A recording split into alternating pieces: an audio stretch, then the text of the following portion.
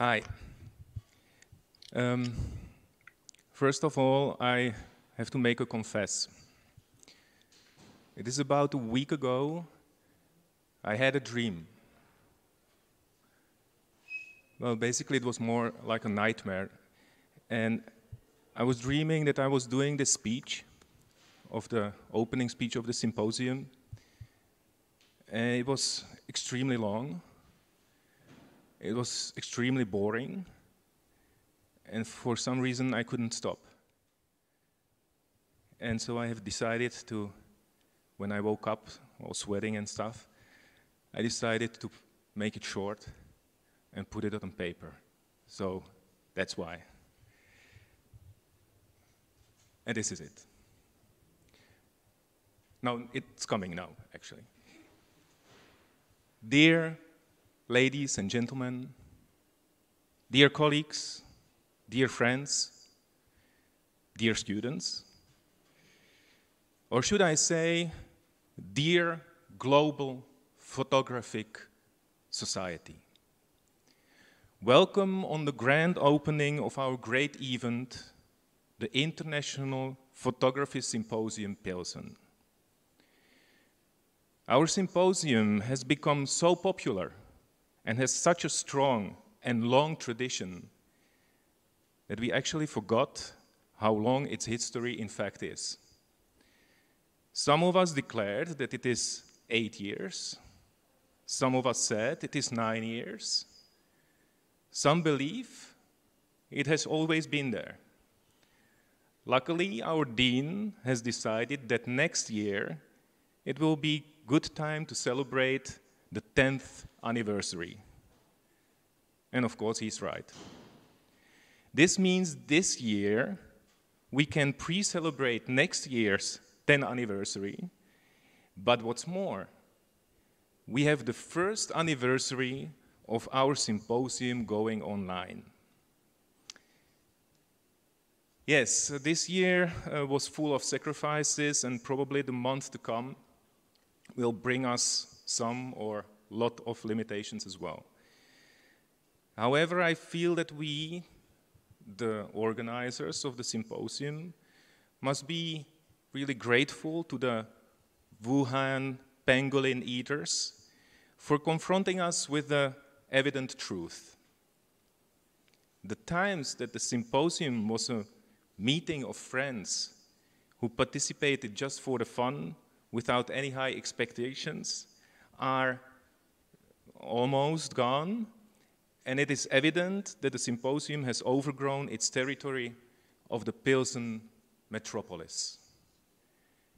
It has become a sheer necessity to go online and to meet the countless fans all over the world who wish to enjoy the best what the contemporary photography has to offer.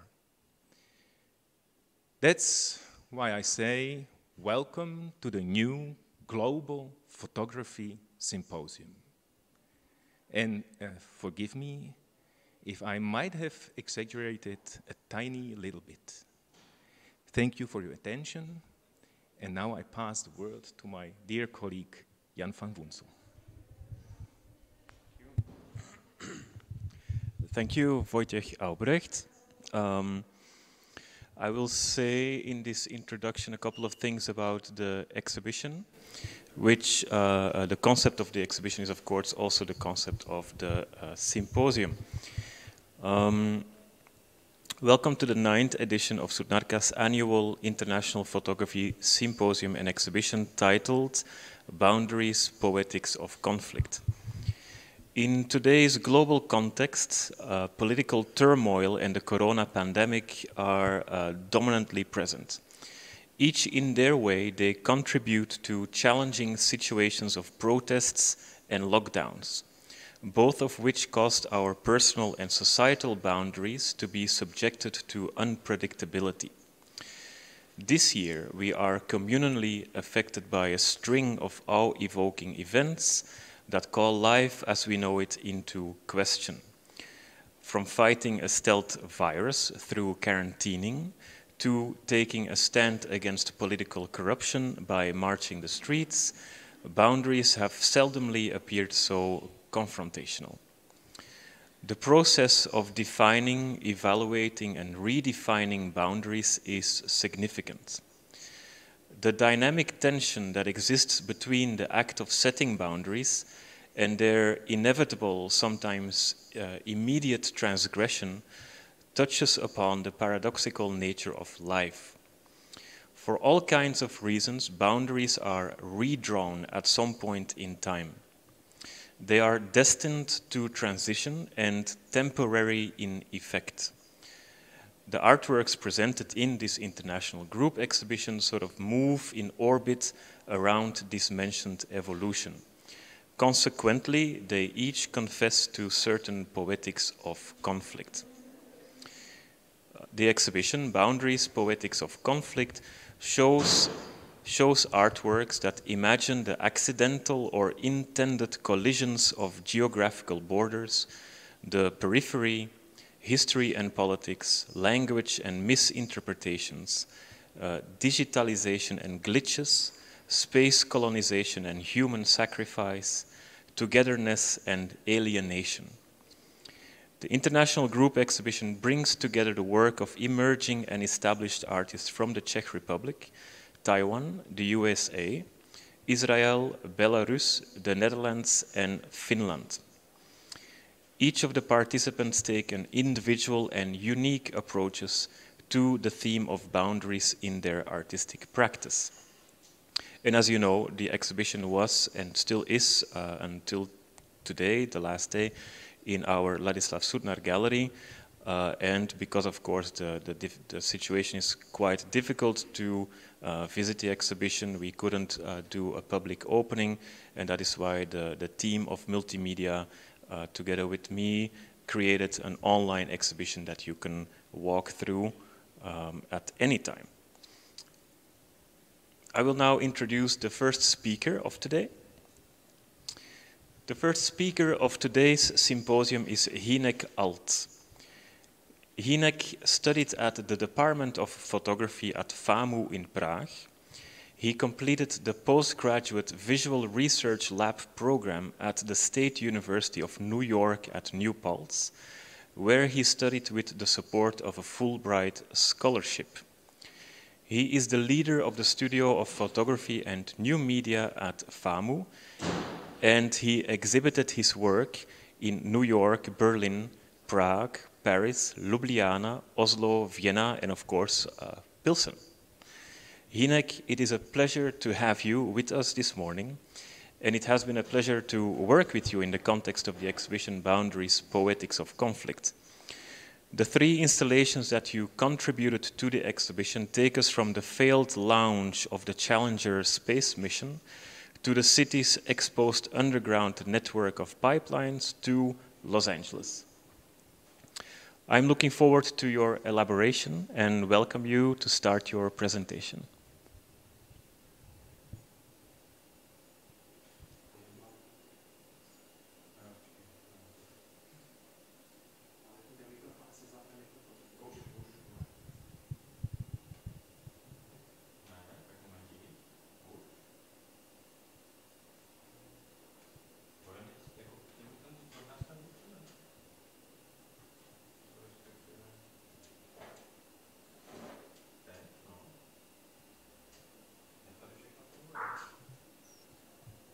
Okay, does it work now? Can you hear me? Yes, now we have sound. Excellent, excellent. Well, thank you very much for this warm um, invite. Um, the audio seems to be looped. Can you can you turn off your mic? I'm getting a feedback loop there. Okay. Still. I can hear myself two seconds after I say something.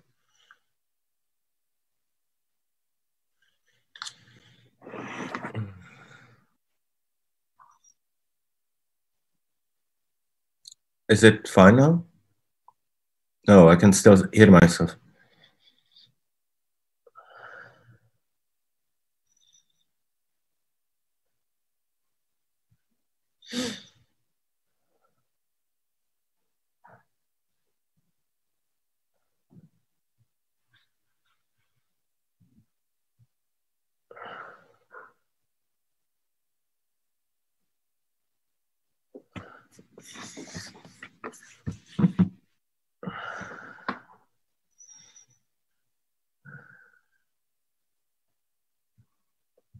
Is that good now?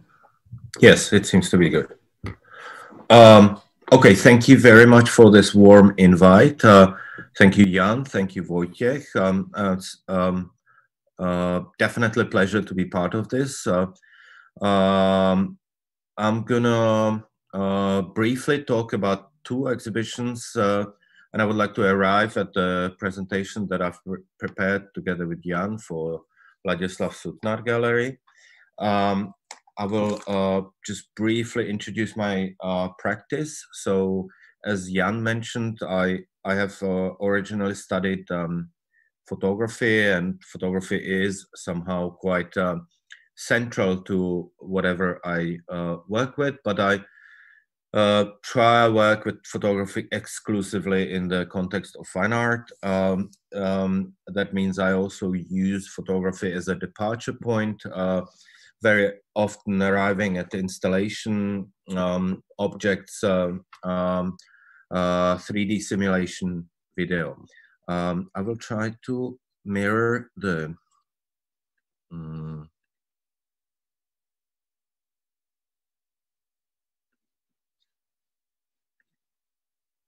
Yep.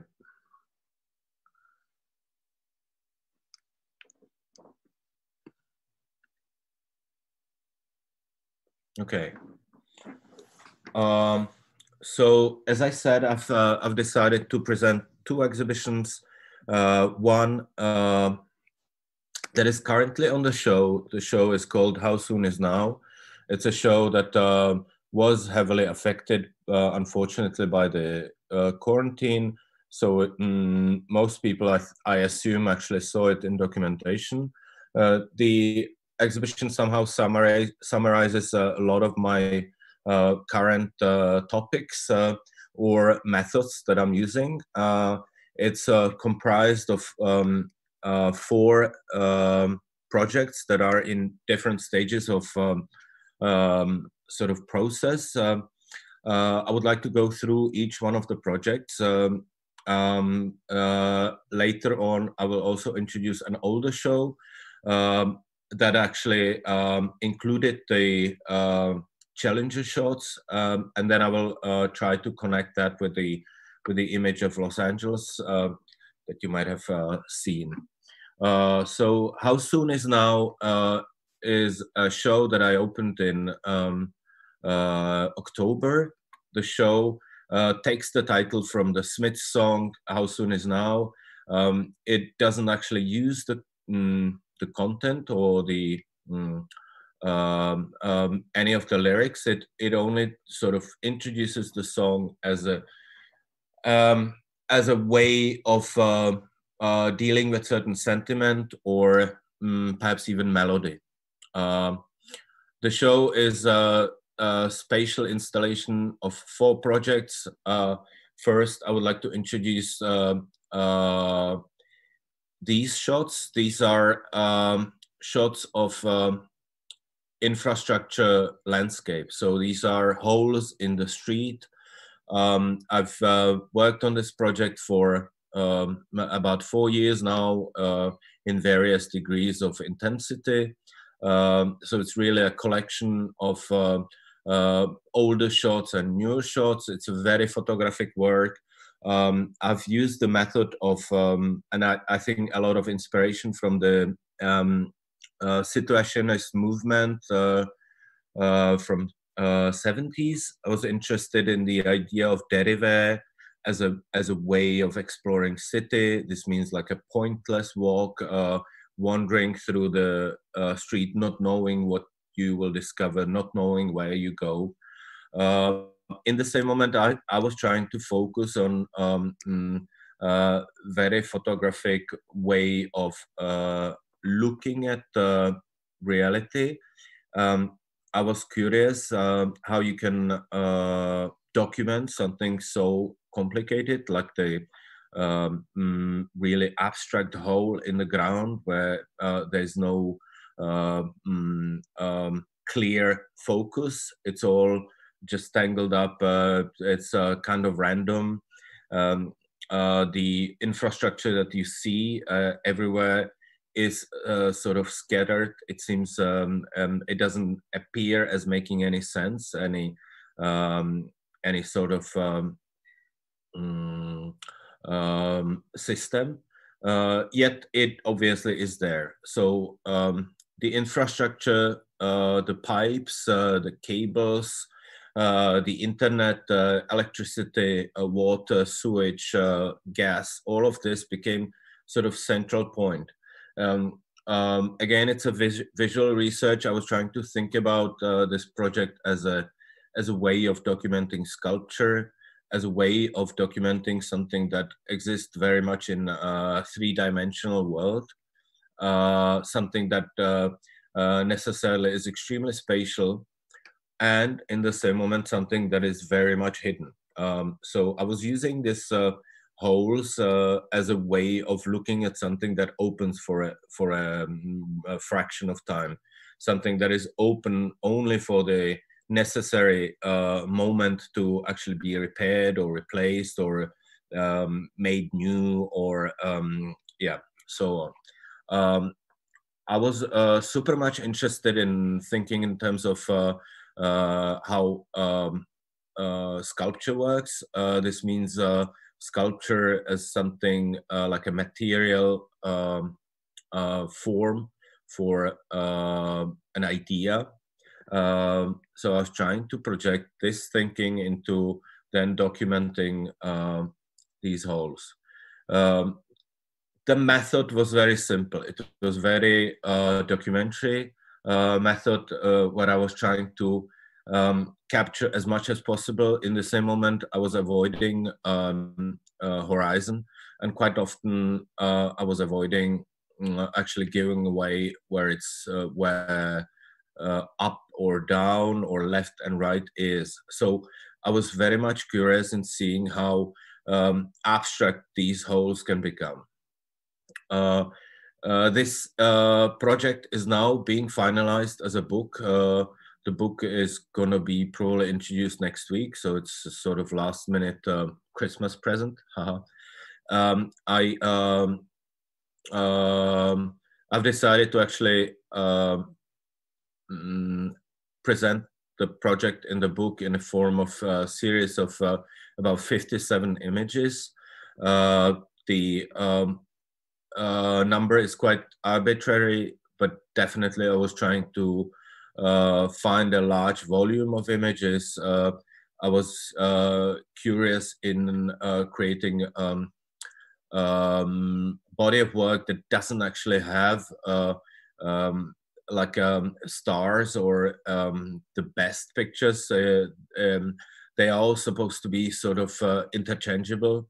Uh, there is no hierarchy to the images. And also there is no methodology in the in the in what it's depicting. So it's uh, it's really um, usually showing uh, just scrambled pieces of anything that was there. For me, uh, it was quite important to uh, think about infrastructure as a key um, um, theme of the whole exhibition. Uh, so um, infrastructure as an idea of uh, uh, sort of um, a social body or body of society, something that we that is underneath the surface, something that we don't realize. Uh, we all use it, obviously. Uh, uh, we all live actually plugged onto um, uh, different modes of infrastructures. Um, I've deliberately chosen the, the, these physical forms, uh, even if I'm aware that there are many other um, elements of infrastructure. So these are these really physical um, mm, bodies of infrastructure that literally uh, bind the society. They function as organs or intestines of society.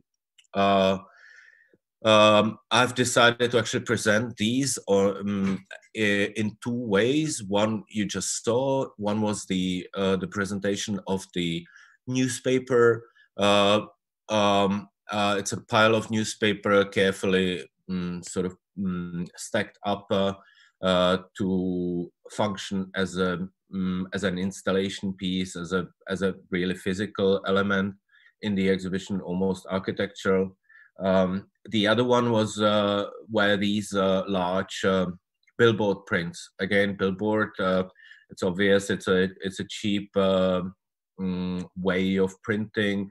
Uh, even if the quality has gone dramatically up, I um, uh, I assume that no one actually thinks about these in terms of um, quality or um, um, any kind of um, uh, mm, uh, they are not uh, understood as as precious prints. Uh, but uh, then again, I was I was super much curious in actually using the facility of the billboard printing, as well as the newspaper printing.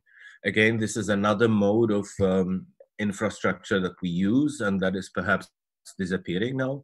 Uh, the um, I will just quickly go back to this. Uh, uh, so the newspapers are extremely interesting to me. Uh, they contain uh, a lot of meaning by themselves. Uh, it's a it's a circulating thing, something that is being made every day, something that actually contains narratives. Um, there are um, that are extremely influential. Um, again, it has um, mm, um super deep uh, political meaning itself. Uh, this particular uh, newspaper is actually printed in uh, uh, the printing house Mafra, which is a printing house that produces the daily iDNES. No, sorry, Dnes, Mladá fronta Dnes. So it's a it's a main Czech daily that is owned by our current prime minister. So it it has um, um, it has this uh, uh, funny uh, depth of uh, its own politics. Uh, in the same moment, it is uh, quite interesting to realize that newspaper printing is at its um, mm, I don't know 15% of its original volume. so people don't read newspaper anymore. Um, it's mm, simply disappearing, as we all know the um, uh, web portals uh, of different news uh, media are um, developing um, in an amazingly rapid pace. and it, it is quite imaginable that newspapers will very soon just disappear altogether. So I was uh, I was super much interested in this um, physicality and um, in the in the centrality of the um, newspaper as such. Uh,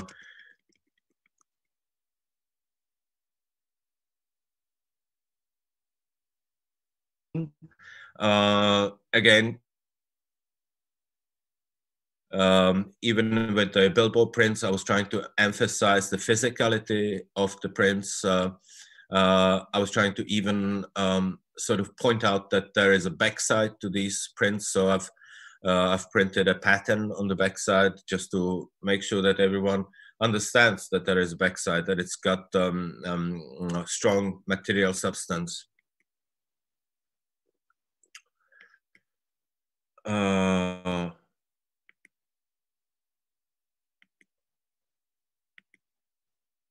okay. Um, so the exhibition, as I said, the exhibition introduced four different projects. Uh, one of them were these shots uh, of infrastructures presented in two uh, modes, let's say. Um, there was another project that I'm just starting to work on, and uh, um, uh, it sort of um, circles around the idea of uh, culture infrastructure, something that uh, is very much physical. So it's um, it um, mm, it shows uh, sculpture in public space. Uh, and um, for this particular project, I have chosen uh, as a source archive of um, uh, the City Gallery of Prague. Uh, I have uh, chosen images that um, I'm just going to play this. I have chosen images that show plain documentation of installation or removal of different sculptures that are managed by the City Gallery uh, of Prague. Um, these images um, show uh, a moment when the sculpture uh, turns into an event. So the installation or removal of the sculpture is uh, uh, an instant thing. It's a it's a news uh, uh, it's a breaking news uh, event. Uh, something that either installs or removes certain ideology. Again, if we think about sculpture as as a, a sort of material um, position of an idea, these are very much about changing the paradigm, about um, retelling the story, about uh, making a full stop in the narrative. Um, uh, I was, of course, interested in this uh, documentary vis visuality of the of these images, but um, I wanted to somehow make sure that they actually unified and um, so I've decided to um, work with a, a, simple tool of digital collage and I've cut them out of the environment. I've uh, uh, corrected all of their positions to to whatever they however they intended to be so that they their up is up uh, and so on uh, this uh, caused everything else to sort of turn around or turn sideways um, um, uh, I've used also um, most of the documentation was black and white, but there were also some pictures in color. Uh, but uh, together with my colleague, uh, who actually is an expert in um, new technologies, so we have developed this simple uh, mechanism that um, uh, uses um, e-ink display and a small computer that is able to change these images. So it's a um, it's again um, um, a strong position in the in the media. I was trying to uh, work with something that is very current. The e-ink display is used in um, um, um, every Kindle or every every e-reader that you, um, you know. Um, it's um, for me it it very much mm, emphasizes the the current uh, technological development.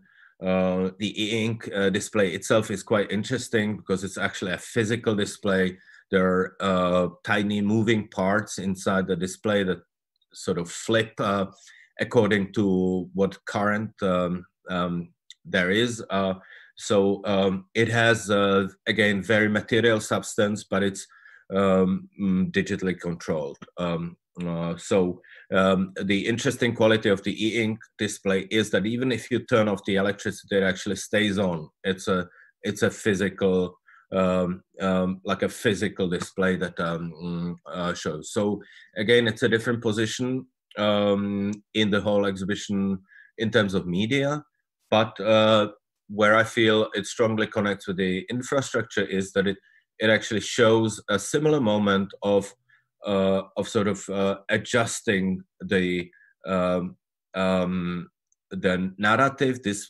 this could mean that there is a uh, it could be uh, sort of metaphorically similar to the idea of uh, repairing pipes or cables in the ground.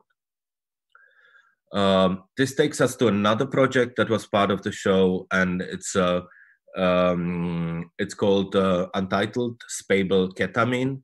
Um, uh, it's actually a project closely related to Pilsen, which I'm happy to share with you. Um, it shows a puppet of Spejbl um, uh, Spejbl is a puppet from 1920. It was developed by, or it was in, uh, back then. They, uh, I suppose, they didn't develop ideas. They they just had ideas. So it was an idea by Josef Skupa, who um, uh, asked his colleague uh, uh, Karel Nosek to um, create a wooden puppet of a city uh, guy, a slacker who um, is extremely cynical, um, uh, who doesn't, uh, hmm, who's lazy, who uh, thinks he's a smart ass, but he is actually uh, a constant um, uh, joke for everyone. he's extremely clumsy. He's dressed in this mm, sort of black, old, uh, hand-me-down black tie um, uh, thing that is supposed to resemble 19th century. So the puppet was created in 1920 when the the whole idea of 19th century was very much present. Um, uh, in the local context, it also meant uh, um, uh, that there was a lot of sentiment against the uh, monarchy that just um, sort of uh, dissipated um, uh, two years two years before that. Um, it was a guy who um, was a simple target. The funny thing with this puppet is that it actually sustained itself somehow. Somehow, the theater revolving around Spejbl um, uh, survived all the way up till today. The um, mm, the narrative of uh, uh, Spejbl then became more complicated because they, he sort of uh, he was pushed in the into the background by his uh, um, character's son uh, Hurvínek, and uh, um, he he was no longer the main uh, character in the in most of the stories. however, the whole idea of Spejbl as such survived until today. But um, I suppose that uh, the the um, the whole idea somehow emptied itself. Uh, so now it's a children uh, theater, um, and uh, I would say quite popular, but in the same moment not not um, not necessarily very progressive. Hmm. Uh, I was curious to look at uh, the character uh, that it really depicts. And um, I kind of felt pity for the character, felt pity for the uh, simplistic take on uh, um, someone's position. I was trying to see if there's way to actually work all of a sudden in a very different way with a puppet uh, that has fixed um, positions, fixed um, sentiment.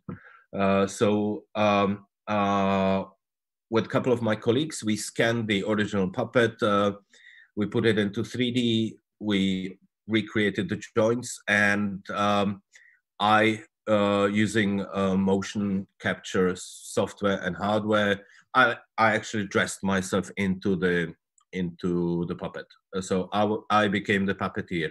But um, I was trying to figure out how to work with the conscience or how to work with the with the idea of uh, control and um, how uh, we can uh, loosen the grip, how we can um, perhaps uh, uh, set the puppet free or freer than um, uh, as we know it. so um, for for this particular video that has um, uh, in total about hour and a half. Uh, I have uh, taken um, um, a moderate dose of ketamine, which is a recreational drug uh, used for weekend parties and so on. Um, originally, it was used uh, as anesthetics uh, for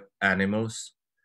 so it co it causes this uh, sort of uh, sleepy uh, loss of uh, uh, uh, loss of control, loss of awareness of your surroundings. So basically, you forget who you are, perhaps where you are, um, and so while intoxicated, I was controlling this puppet. We have recorded the whole thing uh, you saw a, um, a little snippet of the whole thing now. It actually shows the moment where I don't know that I am myself, and it, I definitely don't know that I'm actually controlling a puppet. Um, uh, I was really happy with the text, uh, exhibition text, which was uh, written by Boris Szalay, a Hungarian theorist, um, and she's uh, she's describing exactly this process of uh, losing consciousness in order to free the uh, the body in the sense someone else's body and the failure to do so. So i i understand that um, um even if i intoxicate myself it doesn't actually set the puppet free but it definitely changes something in the puppet's uh, mm, behavior and I imagine something in the puppet's experience, and it also changes the way the puppet presents itself.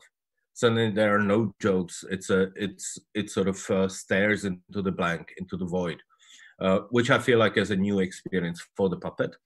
Uh, back to the infrastructures, this was again an, an attempt to think about uh, um, sort of um, uh, some of the key uh, elements in um, culture infrastructures as we know them. So um, um, a character that has been with us for a hundred years is a is a is an important part of the uh, culture narrative, and it's always behaved the same.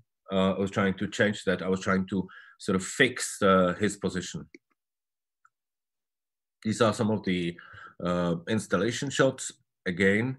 Uh, the last project uh, that I'm going to present in the context of this exhibition is this poster, and it takes us again to um, um, the idea of uh, uh printing offset. Um, for this particular project, I've chosen uh, to do a portrait of a um, fairly successful, famous Czech porn actress.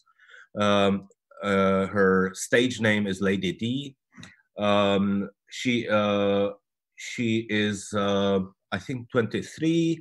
Uh, she's had uh, an extremely successful porn career. Uh, in the same moment now, she's expecting a family, so she's quitting the business. She's gonna be become a uh, her own producer. She's not gonna act in the um, mm, in the porn movies anymore.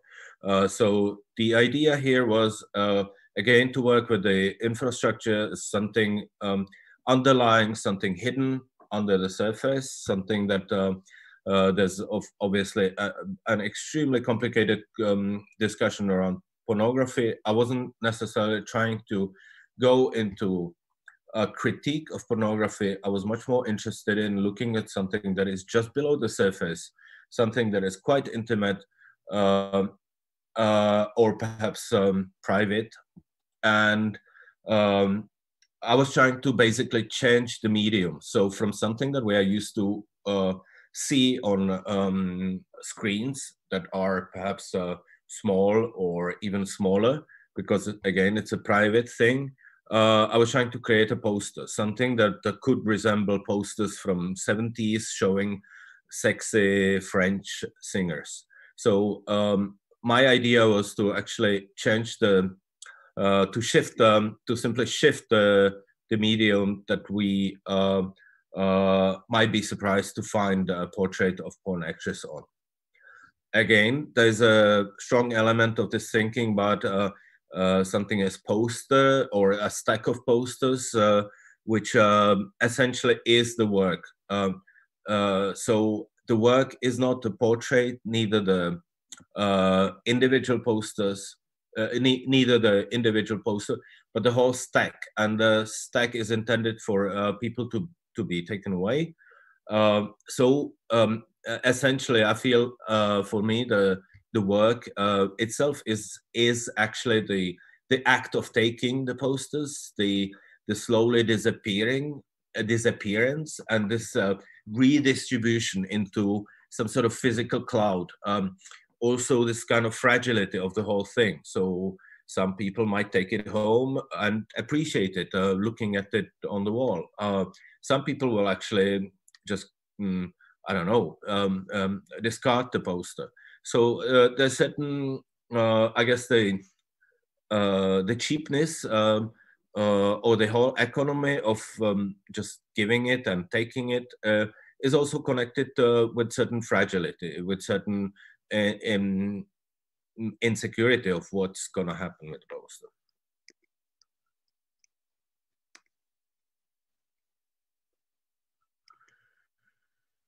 So now I want to go back. Uh, I don't know how we're doing time wise, actually. I think we're fine ish. Uh, so I want to go back to um, a show called Deep Purple that I did at the Lucia Drdová Gallery in 2017. Um, it was again a show comprised of uh, um, uh, three um, other projects. I'm just going to show a snippet. Uh, so In in this case, I just want to focus on uh, uh, part of the show where I've exhibited uh, posters, again intended to be taken away by the visitors, uh, that show four different shots of uh, Challenger. So Challenger uh, was this tragedy in 1986. it was um, um, yeah, here we can see it. So Challenger was this tragedy from 1986 uh, when the Americans launched the new uh, space shuttle called Challenger, and um, it exploded um, about 30 seconds after it uh, it was launched. Uh, it created this uh, mesmerizing cloud, this sort of uh, spectacular show that has this super bitter and sad background. Um, so I was um, mm, uh, I actually remember this uh, event from uh, when I was little, and um, it was shocking. I uh, I couldn't understand. It it was more shocking even if this was an American rocket uh, because I was looking at the whole scene from the other side of the Iron Curtain. So I was I was really shocked not just by the tragedy of the whole event or um, uh, the failure, but also the idea of the Americans uh, actually not managing to launch the um, ship. Uh, but then again, I was when I was looking at it now, I was uh, curious about this uh, abstract essence of the image. Uh, um, so the explosion is an event when when something changes instantly, something that we cannot we cannot perceive how uh, from a, a, like a very physical and firm object like a rocket uh, suddenly there's only cloud. Uh, um, and of course this is what the uh, photographers shot they didn't uh, they had one chance. They could just aim and shoot. Uh, there was no control over the whole thing so rocket as such is an extremely controlled enterprise there is a whole um, um, mm, uh, uh, full room of um, engineers and technicians and I don't know what uh, who control the launch, uh, control the rocket, control the engines, uh, communicate with the pilots or uh, the astronauts. In the same moment, suddenly the rocket, something very physical, some, very physical, something very specific, crafted, thought out, changes into this abstract cloud uh, we have no control over this cloud, and the cloud has a mm, completely random shape. Mm. Uh, of course, it's got. Uh, i I feel like it's uh, it's rich met, with metaphors in in a sense of the uh, the shape and um, and the show that it put on display. Uh, there was another um, layer to the project. I actually couldn't obviously get these images differently than buy them um, I could not have taken them. So I bought them through Getty Images. I was really curious to go through the mainstream thing and actually buy them off the agency. Uh, that is sort of um, um, so Getty Images started as a Getty family dealing with oil and then eventually moving to media.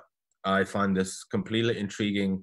Uh, the idea of images being or images and videos being right after business with oil I find this extremely um, symptomatic for today. Um, and now we're arriving at the at the images from the uh, boundaries exhibition.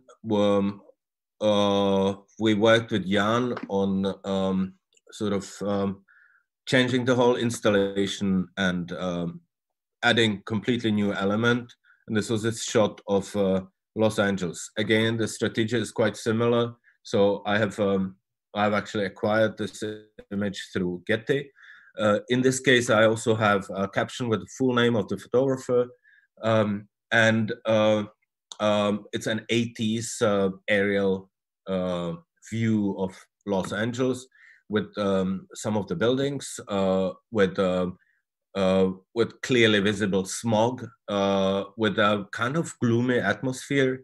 I was really interested in this contrast of the um, imagination. Again, 80s. Uh, for me, Los Angeles was this uh, sort of paradise idea of the uh, the west, furthermost west, um, um, um, uh, something associated with wealth and um, happiness and uh, uh, perhaps luck. Uh, um, the image doesn't look any um, uh, like anything like that. It's it actually shows quite gray city again with a with a thick smog. Um, that was an obvious problem in 80s in Los Angeles.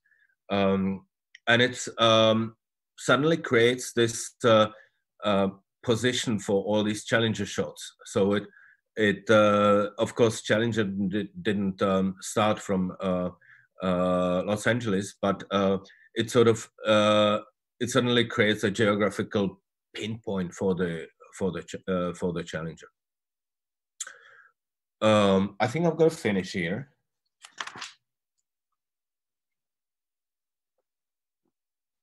Yeah. Yep, I think we are. Uh, okay, uh, Hynek, thank you, thank you, thank you so so much. Um, this is a good moment actually for the, the students in our live audience to uh, speak up, to have uh, some questions for mm -hmm. uh, Hynek based on his presentation. Do we have any questions?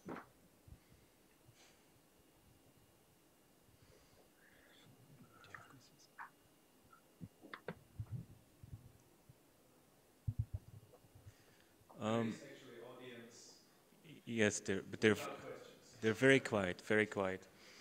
Um, Hello, audience. Uh, Hynek, during uh, your uh, presentation, um, I was thinking a lot suddenly about this, this let's say, maybe um, idea of, maybe I want to call it disappearance.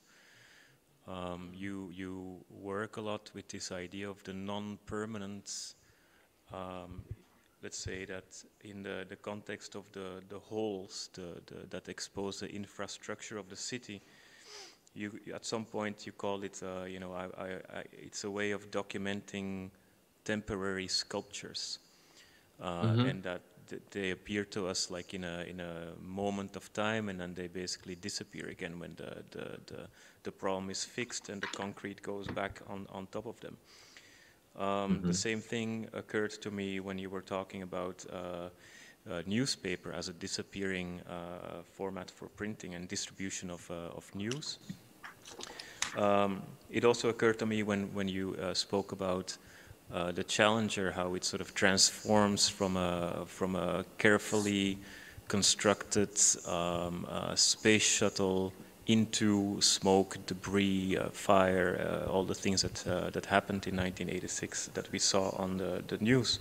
Mm -hmm. um, can you perhaps say something a bit more about this uh, this idea of the the non-permanent uh, disappearance, uh, yeah, yeah. fragility, insecurity? These are words that you mentioned. It also yeah, uh, reminded me of the idea of uh, undirected distribution. Like your work, in fact, is mm -hmm. placed in such way that invites the visitor to take it home, so that it disappears.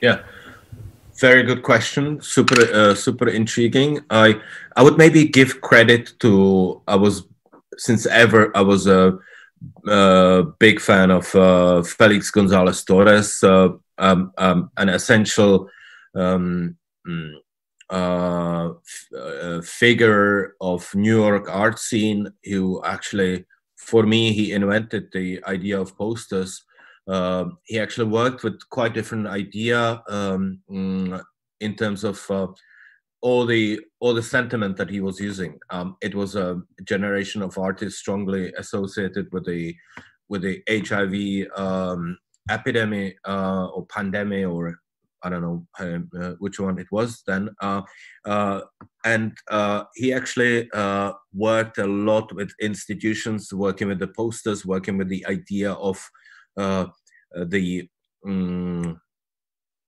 uh, the individual posters being just given away. Uh, in the same moment, I, I I did my research there, and I I've realized he actually he always uh, asked the institutions to keep printing. Uh, there was this uh, idea of um, um, never-ending supply. Uh, and um, when I thought about his work and I thought about my positions, I was um, mm, as much as I uh, strongly appreciate his uh, um, his thinking. I realized that this is not this doesn't describe my uh, experience because I um, mm, so uh, East European uh, practices are often um, uh, strongly influenced by the economy, by the or by the la- uh, lack thereof, by improvisation. Um, so I I realized that the idea of the disappearing pile, something that uh, is uh, once given and then it's uh, then it slowly slowly vanishes. I I thought that this was qu- actually quite important part that you it, it cannot it cannot uh, be supplied forever. There's just no there's just no haha infrastructure for that. Um, um meaning that uh, uh, the institutions are not actually able to uh, provide you with that idea. But uh, then I realized that it's a part of the quality of the work, uh, this this sort of uh, different life of the work. So um, for me, then it became really intriguing um, to think when is the work finished? When do I, when do I, how how do I define when I lose control over the work. So I start by installing a stack of images in the gallery. Um, is that the work? No, it's it needs the participation. It of course needs people to come and take a look or perhaps take the posters and some of them will put them um, um, at the wall at home. Some of them will not. Uh, so the work uh, needs to be disappearing to actually be fulfilled um, and then some of the posters that I've done over the years have disappeared already altogether. So I perhaps have uh, just a couple of um, a couple of uh, posters left. Um, and then I'm thinking, is that the moment when when this whole work finishes? Is that the case of uh, really well done documentation of the exhibition? Is that is that is the essence of the work in the documentation? No, not really. So I really like this ambiguity. It's super simple. The whole the whole idea is very simple. But I like this uh, um, ambiguity. This sort of this um, mm, you. Uh, uh, uh, it's it's a quality that you cannot grasp. Uh, and of course, uh, there's a, um, a substantial conflict. So it's an image, but it has this extremely physical presence or physical absence in this case. Um, does it make sense?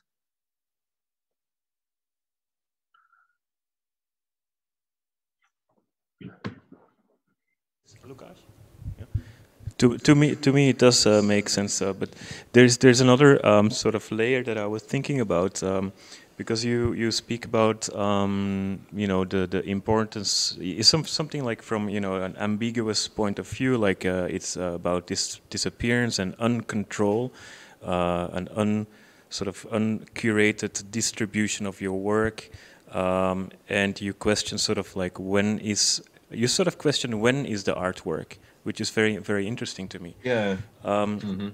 in the in the work that you introduced um, with uh, the puppets, uh, I also had to think about control, and you mentioned it yourself, control and failure. Uh, but there, there sort of it, it becomes something like an, an identification with this uh, puppet, with this character. I believe you mm. you mentioned that the, the this specific uh, character was um, created to be in uh, 100 years ago, I believe, 1920. You said uh, created to be some kind mm -hmm. of a protagonist, but then over time it became more and more of an extra, like not such an important character in uh, in the, the, the puppet place. Mm -hmm. I might be wrong, but there's another kind of uh, layer um, or kind of uh, another type of disappearance from being a protagonist to going sort of you know to the side of the stage, like being an extra. Um, this project actually reminded me uh, strongly uh, to uh, the, the, the project of Pierre Huyghe and Philippe Parreno when they uh, sort of saved the character Annlee from a manga story uh, created by a Japanese uh, manga company. Uh, and this character Annlee was designed to sort of die in one in one of the stories of a, of a, of a manga cartoon. And Pierre and Philippe decide to buy the rights to this character and introduce her yeah. into an art into the art scene where she would have mm -hmm. a different kind of life and she she appeared in sort of like a digital sphere, uh, not really knowing what she is, where she is. Uh, it's uh, the project No Ghost, just a shell. I, am sure you know it. It was uh, it's yeah, a long yeah. time ago. Mm -hmm. I think it was mm -hmm. in mm-hmm. Eindhoven in uh, 2002 or 2003. Mm -hmm. So there's this, this idea of control and failure of control. But at the same time, I think there's a contrast because um, you sort of recuperate images, let's say from the Challenger, uh, that are mm -hmm. in some way already um, lost, completely distributed, uh, and, and sort of you know sit in the memory of us. Mm -hmm.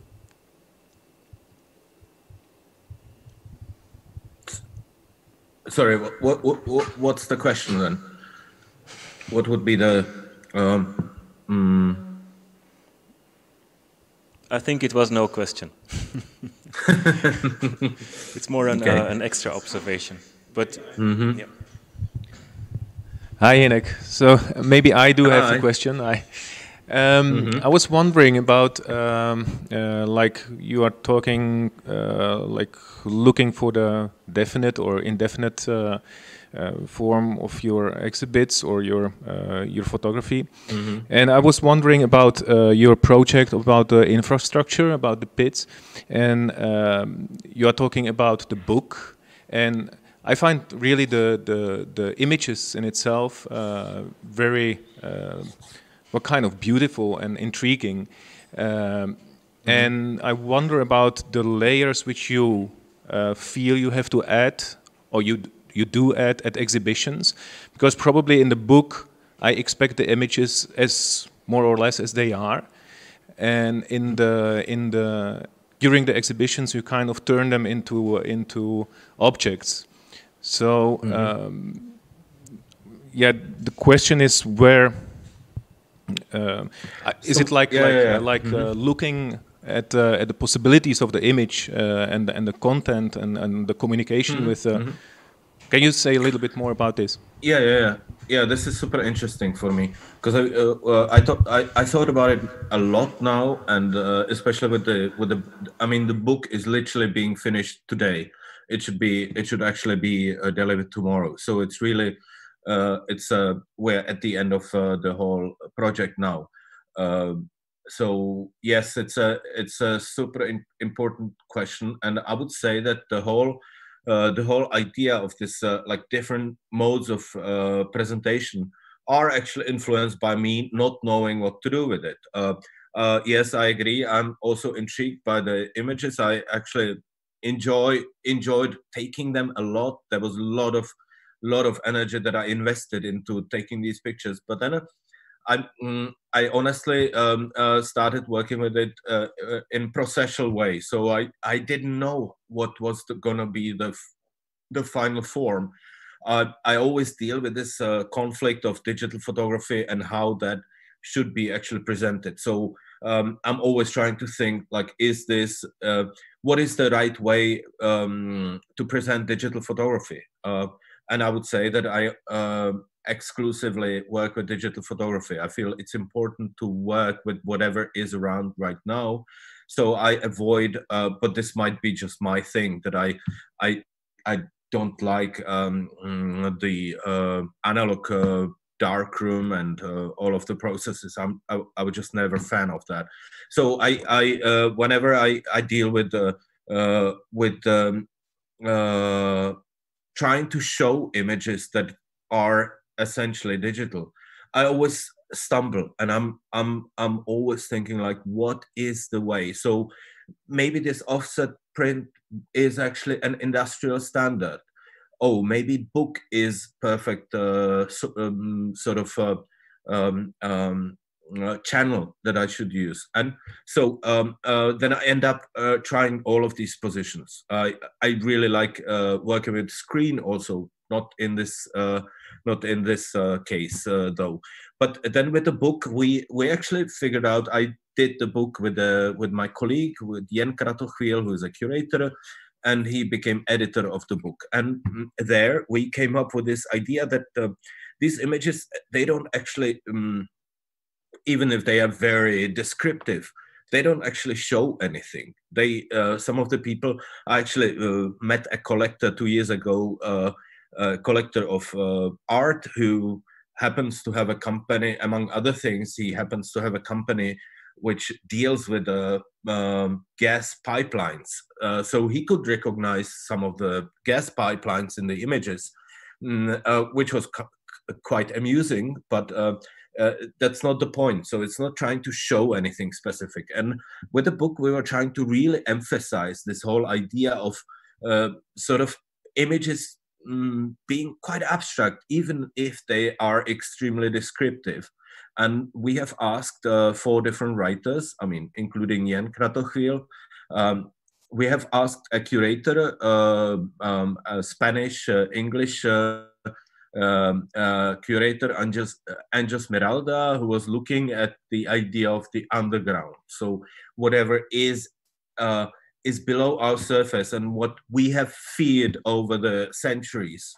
Uh, then we've asked uh, Jussi Parikka, who's a media uh, theorist, um, and he he was dealing with this idea of opening and closing the ground as um, as um, as in media theory. So really looking at at the physical world sort of opening and closing on us. And then we have asked um, uh, uh, uh Gianfranco Sanguinetti, who is um, uh, this uh, one of the situationists who happens to actually live in Prague because he married uh, his last um, wife is Czech, so he he lives in Prague. He's very old now, mm, and um, because the work was very much inspired by the situationist manifesto um, uh, well, we've uh, tried to talk to him about it, um, um, and uh, he um, he wrote a text um, that is not perhaps about the situationist movement at all. It's much more about uh, some sort of uh, um, frustration and skepticism about the current politics. Uh, so what I'm trying to say is that then in the book I've used these images to uh, function as a projection screen, something that uh, um, uh, different people will have super different ideas about, and it's actually petrified in the in the form of the four texts.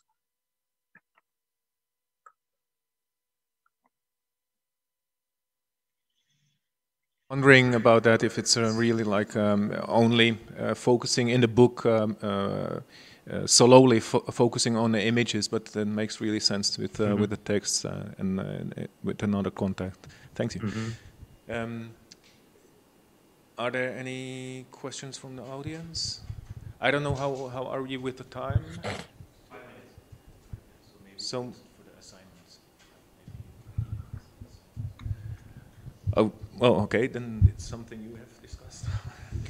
uh, Hynek, I think we, we still have, what, five minutes? Yes. We still have five. Sure, we, we have five minutes, and uh, this would be the ideal moment for you to uh, uh, introduce your assignment to the students of uh, photography. Okay, excellent. Uh, so um, I actually thought uh, this is something I really need to put in writing then later on, and I, I, suppose I will talk to Vojtěch on how to communicate with the students. Uh, we need to set up some sort of uh, channel of uh, like um, how to how to perhaps uh, look at things together and how to make sure that everyone's on the same page. Uh, but I had, uh, unsurprisingly, I had um, mm, um, an idea to actually ask the students to think about infrastructures and um, um, uh, I mean, this is something that I uh, I want to carry on working on, and I feel like there's so much uh, space uh, um, for everyone to be uh, funny. Uh, so um, I actually I'm actually in, uh, super much interested in the politics of infrastructures as something that uh, it's like a physical demonstration of ideologies that we are experiencing. Uh, so uh, the assignment would be uh, for the students to choose uh, a piece or element of infrastructure surrounding us. I'm not going to be more specific than that because I, I would actually like to uh, see what could be infrastructure. Mm. Uh, so I would like uh, each one of the students to actually choose um, piece of infrastructure, um, um, do a proper research. So this is something we need to talk with Vojtěch about how to how to conduct this.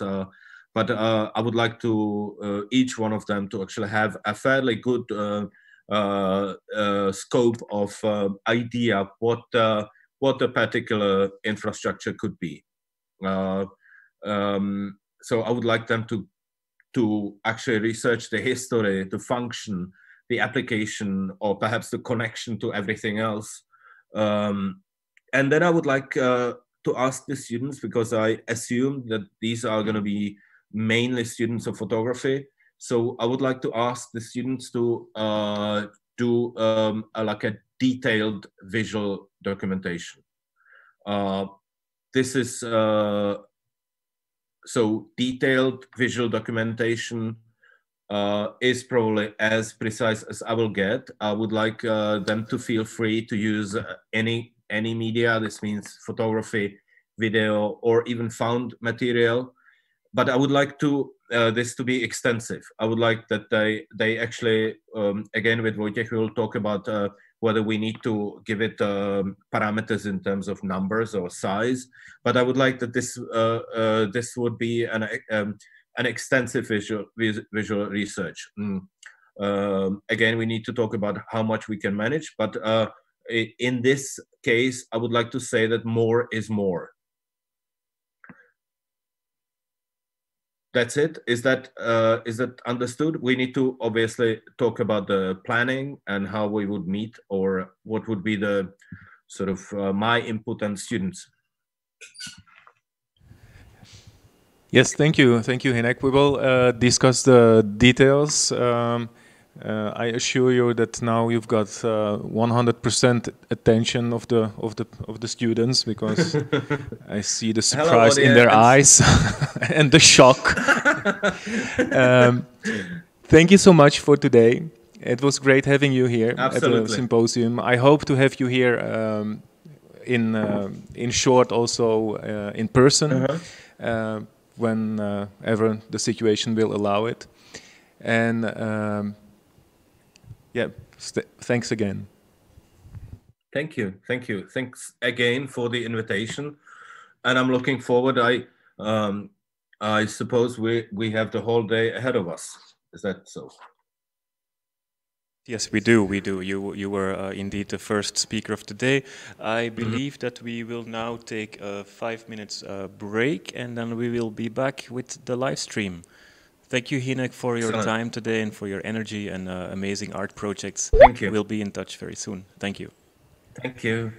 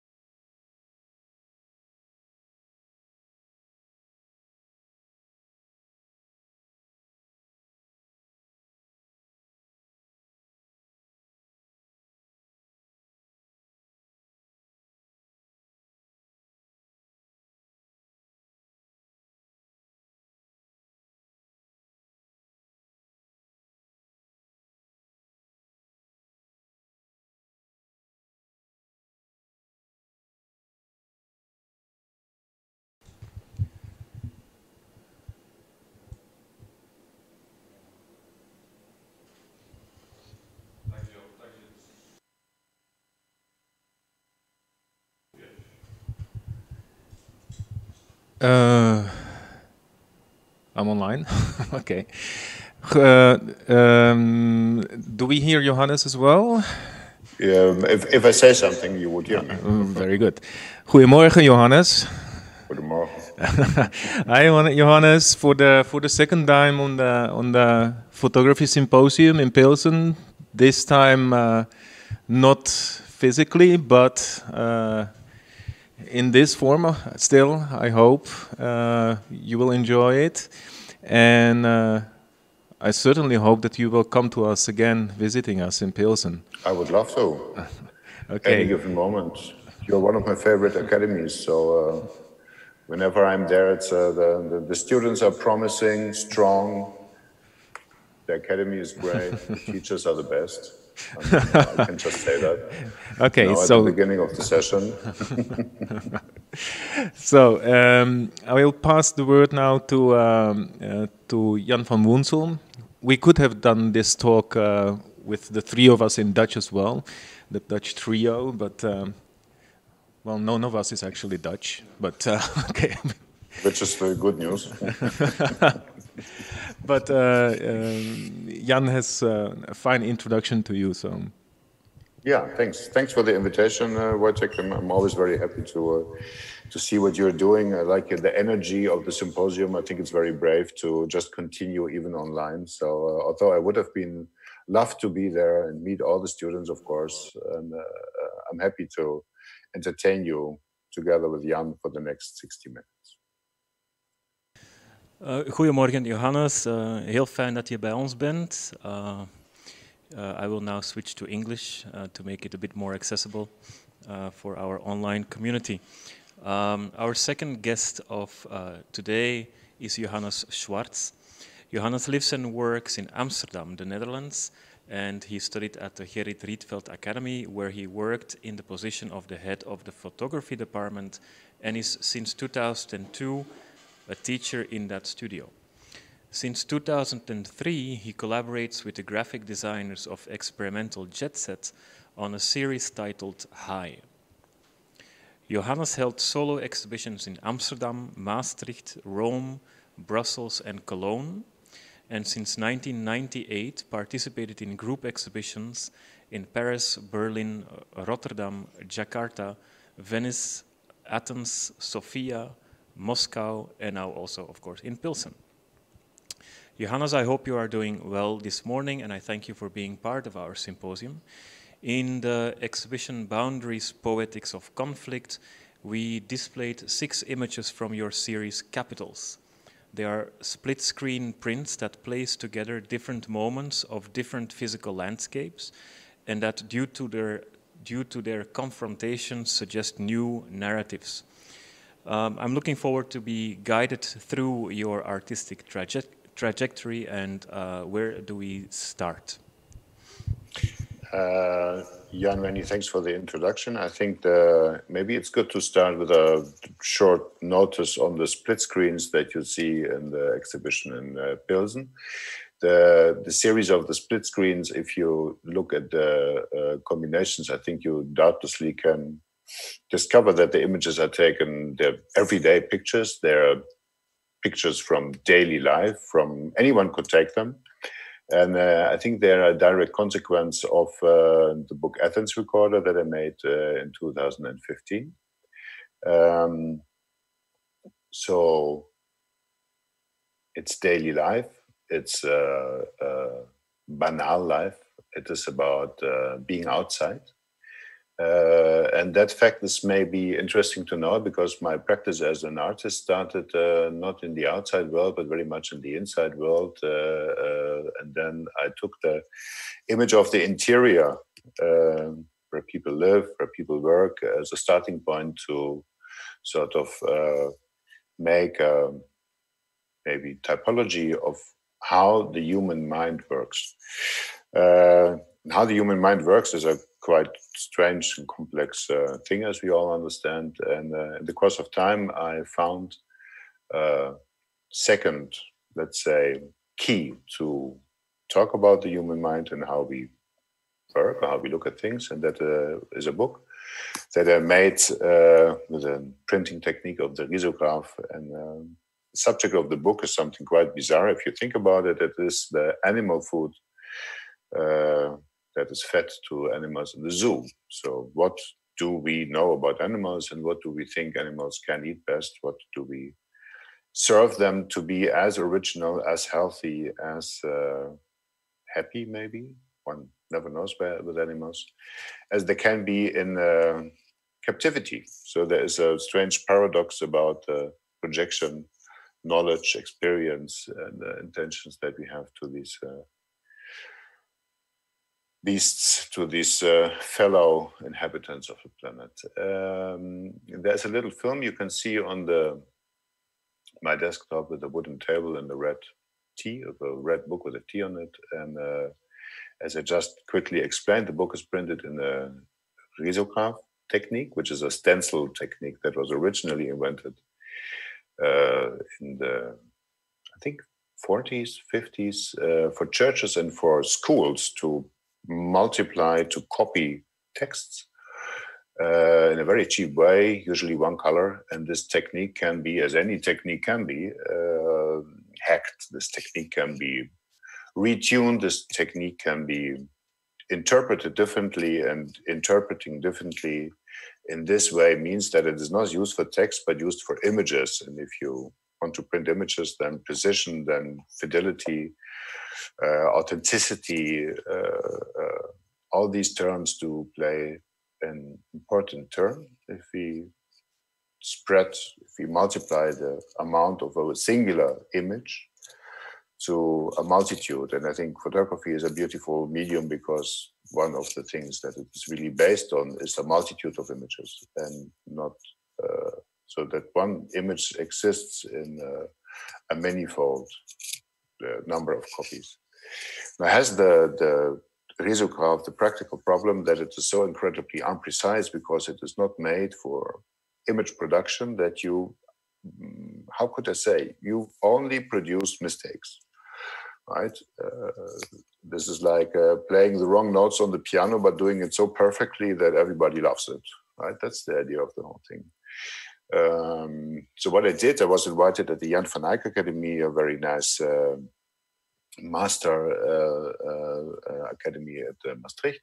they invited me for three months to spend time there and um, Mm, dedicate my knowledge that I had built up as an artist and bring this into the workspaces. And I choose choose the print shop, and the print shop had the risograph. So I uh, developed within three months new palette of printing uh, for color and for black and white, and this led to a complete new interpretation of the images. And uh, I'm almost there with the point that I want to make.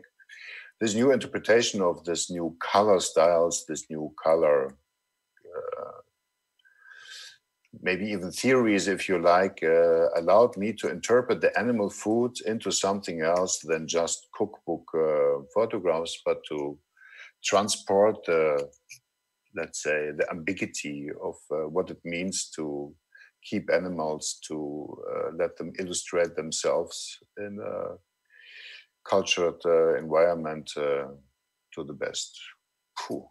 So, now, uh, the consequence of this is very simple. All books are different. Uh, the motives are the same, but the images in the book all do look slightly different. Uh, now, I let you enjoy the film. And here we go.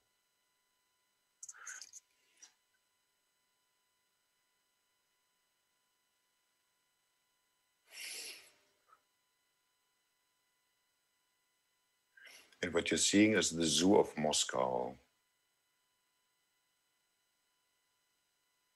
And why is it the Zoo of Moscow? Simply because uh, the Zoo of Moscow uh, allowed me to photograph in the kitchens. Animal food is a very uh, taboo, very uh, secret uh, subject. No zoo ever allows you to photograph it. What you see now is the cages. So there's a mix of the cages and the food.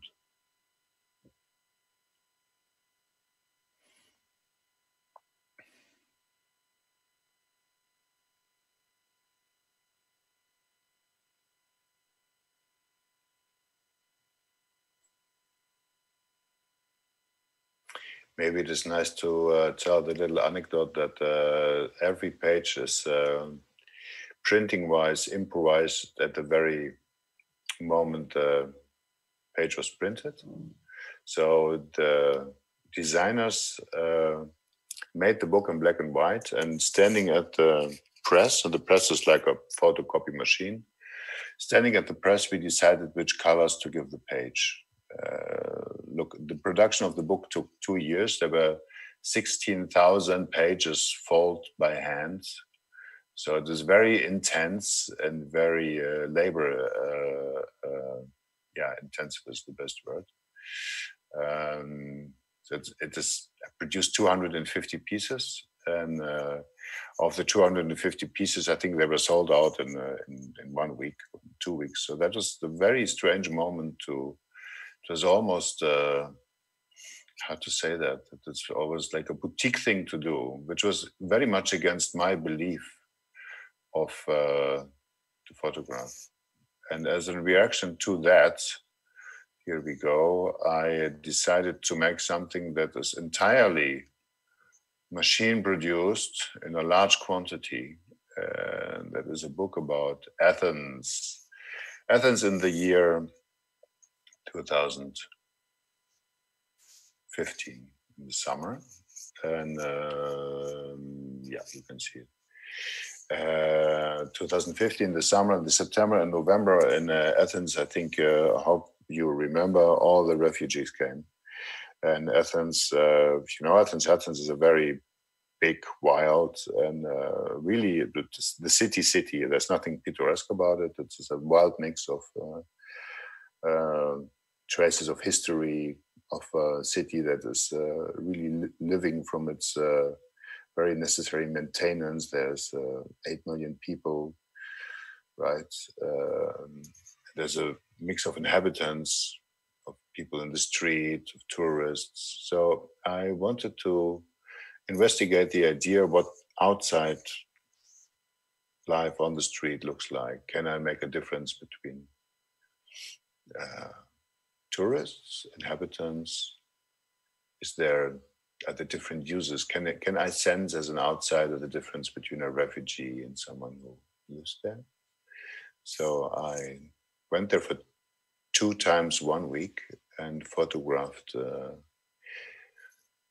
originally everything maybe that's a nice thing to tell the students i made i made a plan and the plan was to photograph the leftovers of the olympics of 2004 um, but I quite quickly found out that the leftovers of the Olympics of 2004 were just old stadiums. Look, old stadiums are always romantic, but on the other hand, they just are old stadiums. Though doesn't really say much about the place. So what turned out to be is that I photographed on the way to the old stadiums.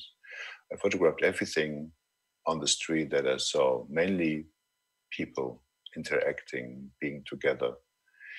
Um, and Wojtek knows, Jan doesn't. Uh, this is the first time in my life that I ever dared to photograph people uh, directly. So I would photograph portrait people indirectly by photographing their places, but I would never really aim the lens or the camera to someone and uh, make the people part of my uh, view on the world.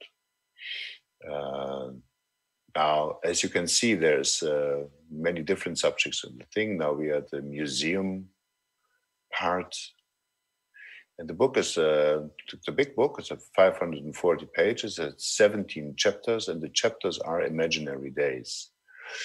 Uh, it's all fictive. It's all not true, but uh, the juxtaposition of the images, maybe a little bit like the like the split screens, suggests many many things. And I think the more you know. Uh, the easier, the different you read it. Now, this is, for example, day three, number four. And uh, if you look at the double pages, the double pages are very much uh, uh, uh design wise. Uh, my daughter's getting the keys, so I have to look at it. Uh, design wise, it is the design is borrowed from a newspaper. The black blocks maybe resemble missing text, And uh, the layout is small, many small images relating to each other on the double page.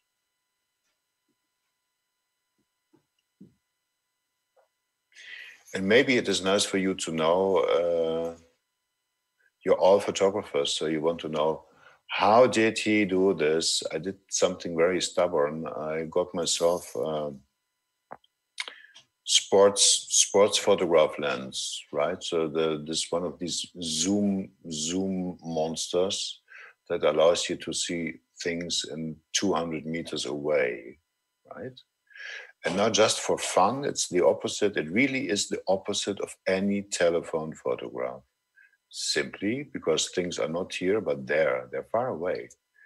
Okay? And not just for fun the next time you step if you have the smoking break in uh, let's say 30 minutes instead of uh, looking what's in front of you you look at all the things that are far away and you will be carried away by the sheer amount of things that you could photograph them so it allowed me to it was sort of how to say mm, much more puzzling much more mm, it was more much more filmic than i usually would work. You see the picture there's a very long lens with a guy that stands let's say 200 meters away and then of course you understand people still sense it that they are photographed that's the nice thing. But it's the opposite of the wide angle, the documentary, the honest. So let's say it's maybe all a lie, right? It is all set up, right? So this mix of the the setup, the organized, the the staged, if you like, together with this uh, more journalistic setup of the image as itself. So there's there's a lot of people looking at their own photographs, looking at their own uh, screens together, then with these radical cuts of the statues, for example. And that maybe it's good, but if you, if you see the book, it's maybe good to know there's one principle that I always follow with the designers that I very often work together with their very close friends of mine, the Experimental Jetsets. Jan mentioned them in the very beginning of the introduction for the high series. There's one thing that we have, and I really strongly recommend this to all of you. Uh, we talk about what the book uh, should be about, and then I give them all the images, and they can do with the images whatever they want. So let's just flip back a few images. These images here that you see here, right? The chapter with the sea. Uh, they're just normal photographs, and then the designers uh, put the the print screen dot in it. They put them on top of each other. They made them bitmaps and uh, zoomed in, bleached them out. Um, so that is one of the things that we allow each other. Uh, it demands a lot from them, but in return you get, uh, I get something that really very well works as a book. Right. So in this case, with the Athens recorder, the work only exists in the book. There's no, it is, it's not shown on the wall. Right. It's not a print. It's not framed. Um, so it's a, not sure whether democratic is the good word. I mean, the, the book is still very expensive. It's still very specific, but at least, I mean, it's accessible for everyone.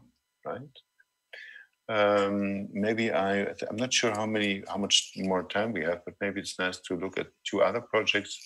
One that I personally very, very, very much like is the. Uh, let me ask to uh, to Wojtek and to Jan, and then they can uh, investigate with the audience present in Pilsen. Do you want to see the Mondrian project, or do you want to see what did the Schwartz do earlier? Yeah, what are the votes? Let's see all of it. Uh... All of it. Okay, no problem. Let's go for all of it. Uh, then I tried to rush a bit uh, quicker through the through the Mondrian. The Mondrian is uh, is uh, the Mondrian project is the outcome of uh, of something. I'm always a bit shy to say it, but um, hey, let's let's have no secrets today. Um, look, I'm an artist, but I'm a photographer as well, so I'm really working applied And uh, applied work uh, uh, can be very nice, but it can be very confusing as well because you have to do things where you think, oh, do I really have to do that?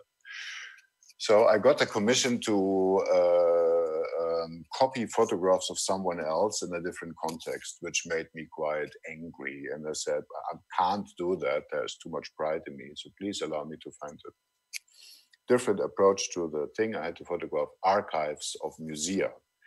And, uh, and I said, uh, yeah, complicated, complicated. We really want to stick to um, to the idea that you just copy someone else's work. And uh, I found a way out, but on this really tragic, horrible assignment, I stumbled upon this photo album, and this photo album uh, is kept uh, uh at um, an archive, and it contains photographs that Mondrian took in the 30s in uh, Paris of his new paintings, and he took them like a little sample book with him to show to other artists, to museum directors, what uh, his latest work looked like.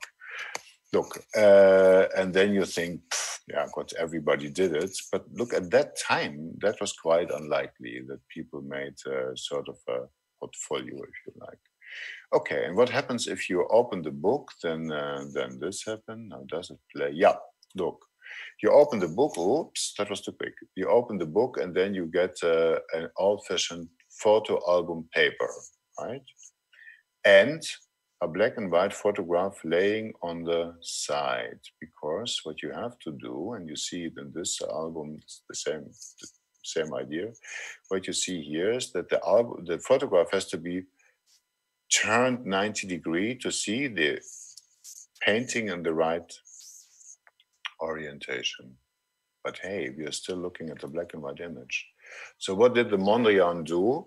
It's all very old, right? He wrote on the back of the image a little note, and this one says, it's the first uh, uh canvas after arriving in London uh, in 38. And then it comes, this is what took really grabbed my attention. It says what you're seeing in the front. It says the small colored square is red, right? Just uh, jump back. And it's probably not that one, but another one. But it describes what you're seeing on the front, right? So what just just for your you open the page, then you see an image on the side. You have to flip it to 90 degrees, usually counterclockwise if you like. Then you see the image, but you still don't see it. So you have to flip the whole image, and then you see what you're then you understand what you're seeing. And then all these photographs have these little notes. Here, if you look very carefully, it says in the middle bleu, and Mondrian had the funny uh, habit to speak the language of the country where he was at. So these photographs are taken in Paris, so he speaks French and calls it bleu. And now we come, um, we jump back from the object that the whole exhibition was about to the guy Mondrian himself, and we see him here. Uh, uh, uh, in the beginning of the 20th century. He still is in Laren, then in the Netherlands. And uh, um, probably you're not familiar with the figure of Mondrian, uh, how he looked. But at that time, he was uh, a completely different figure uh, in what he wanted and what he did. And it's not working. And why is that? Oh, here. So we have to to pause a little bit and look at him sitting in his own atelier and uh, reading a book. And uh, the image as such maybe is nothing different from all other images that are taken of artists at the time. Wasn't it the case that Mondrian was a quite quick adapter in uh, making progress in what he believed in and how he took this belief as part of his self-representation, as part of his work? Poor complicated. Now look, um, there's two two remarkable things in the photograph. If you look carefully, Mondrian is reading a book, right, and he's not looking into the camera. And the other thing is that. Uh, right up from Mondrian, there is a death mask, and if you look very careful, and if you saw the death mask once before, you might understand this is Mr. Beethoven himself in the atelier of Mondrian. That suggests, if you want, that Mondrian listened to classical music. Very soon after Mondrian moved to Paris. And in Paris, something else started, namely the interest for new music. And now we just, just for the fun, look at this image. This is later on in uh, in his atelier in, uh, in Paris. And what happens here? There is no book. Mondrian uh, strictly for what it was strictly forbidden to photograph Mondrian in his atelier with anything written or anything printed. So the only, only thing that was allowed to be shown was uh, uh, the atelier, where part of the paintings were part of the decoration of the atelier, and him with no beard, a modern uh, modern suit, uh, short hair, uh, glasses, and a, and a record player as, as the image of the modern man, right? And the left left down we see another painting of this.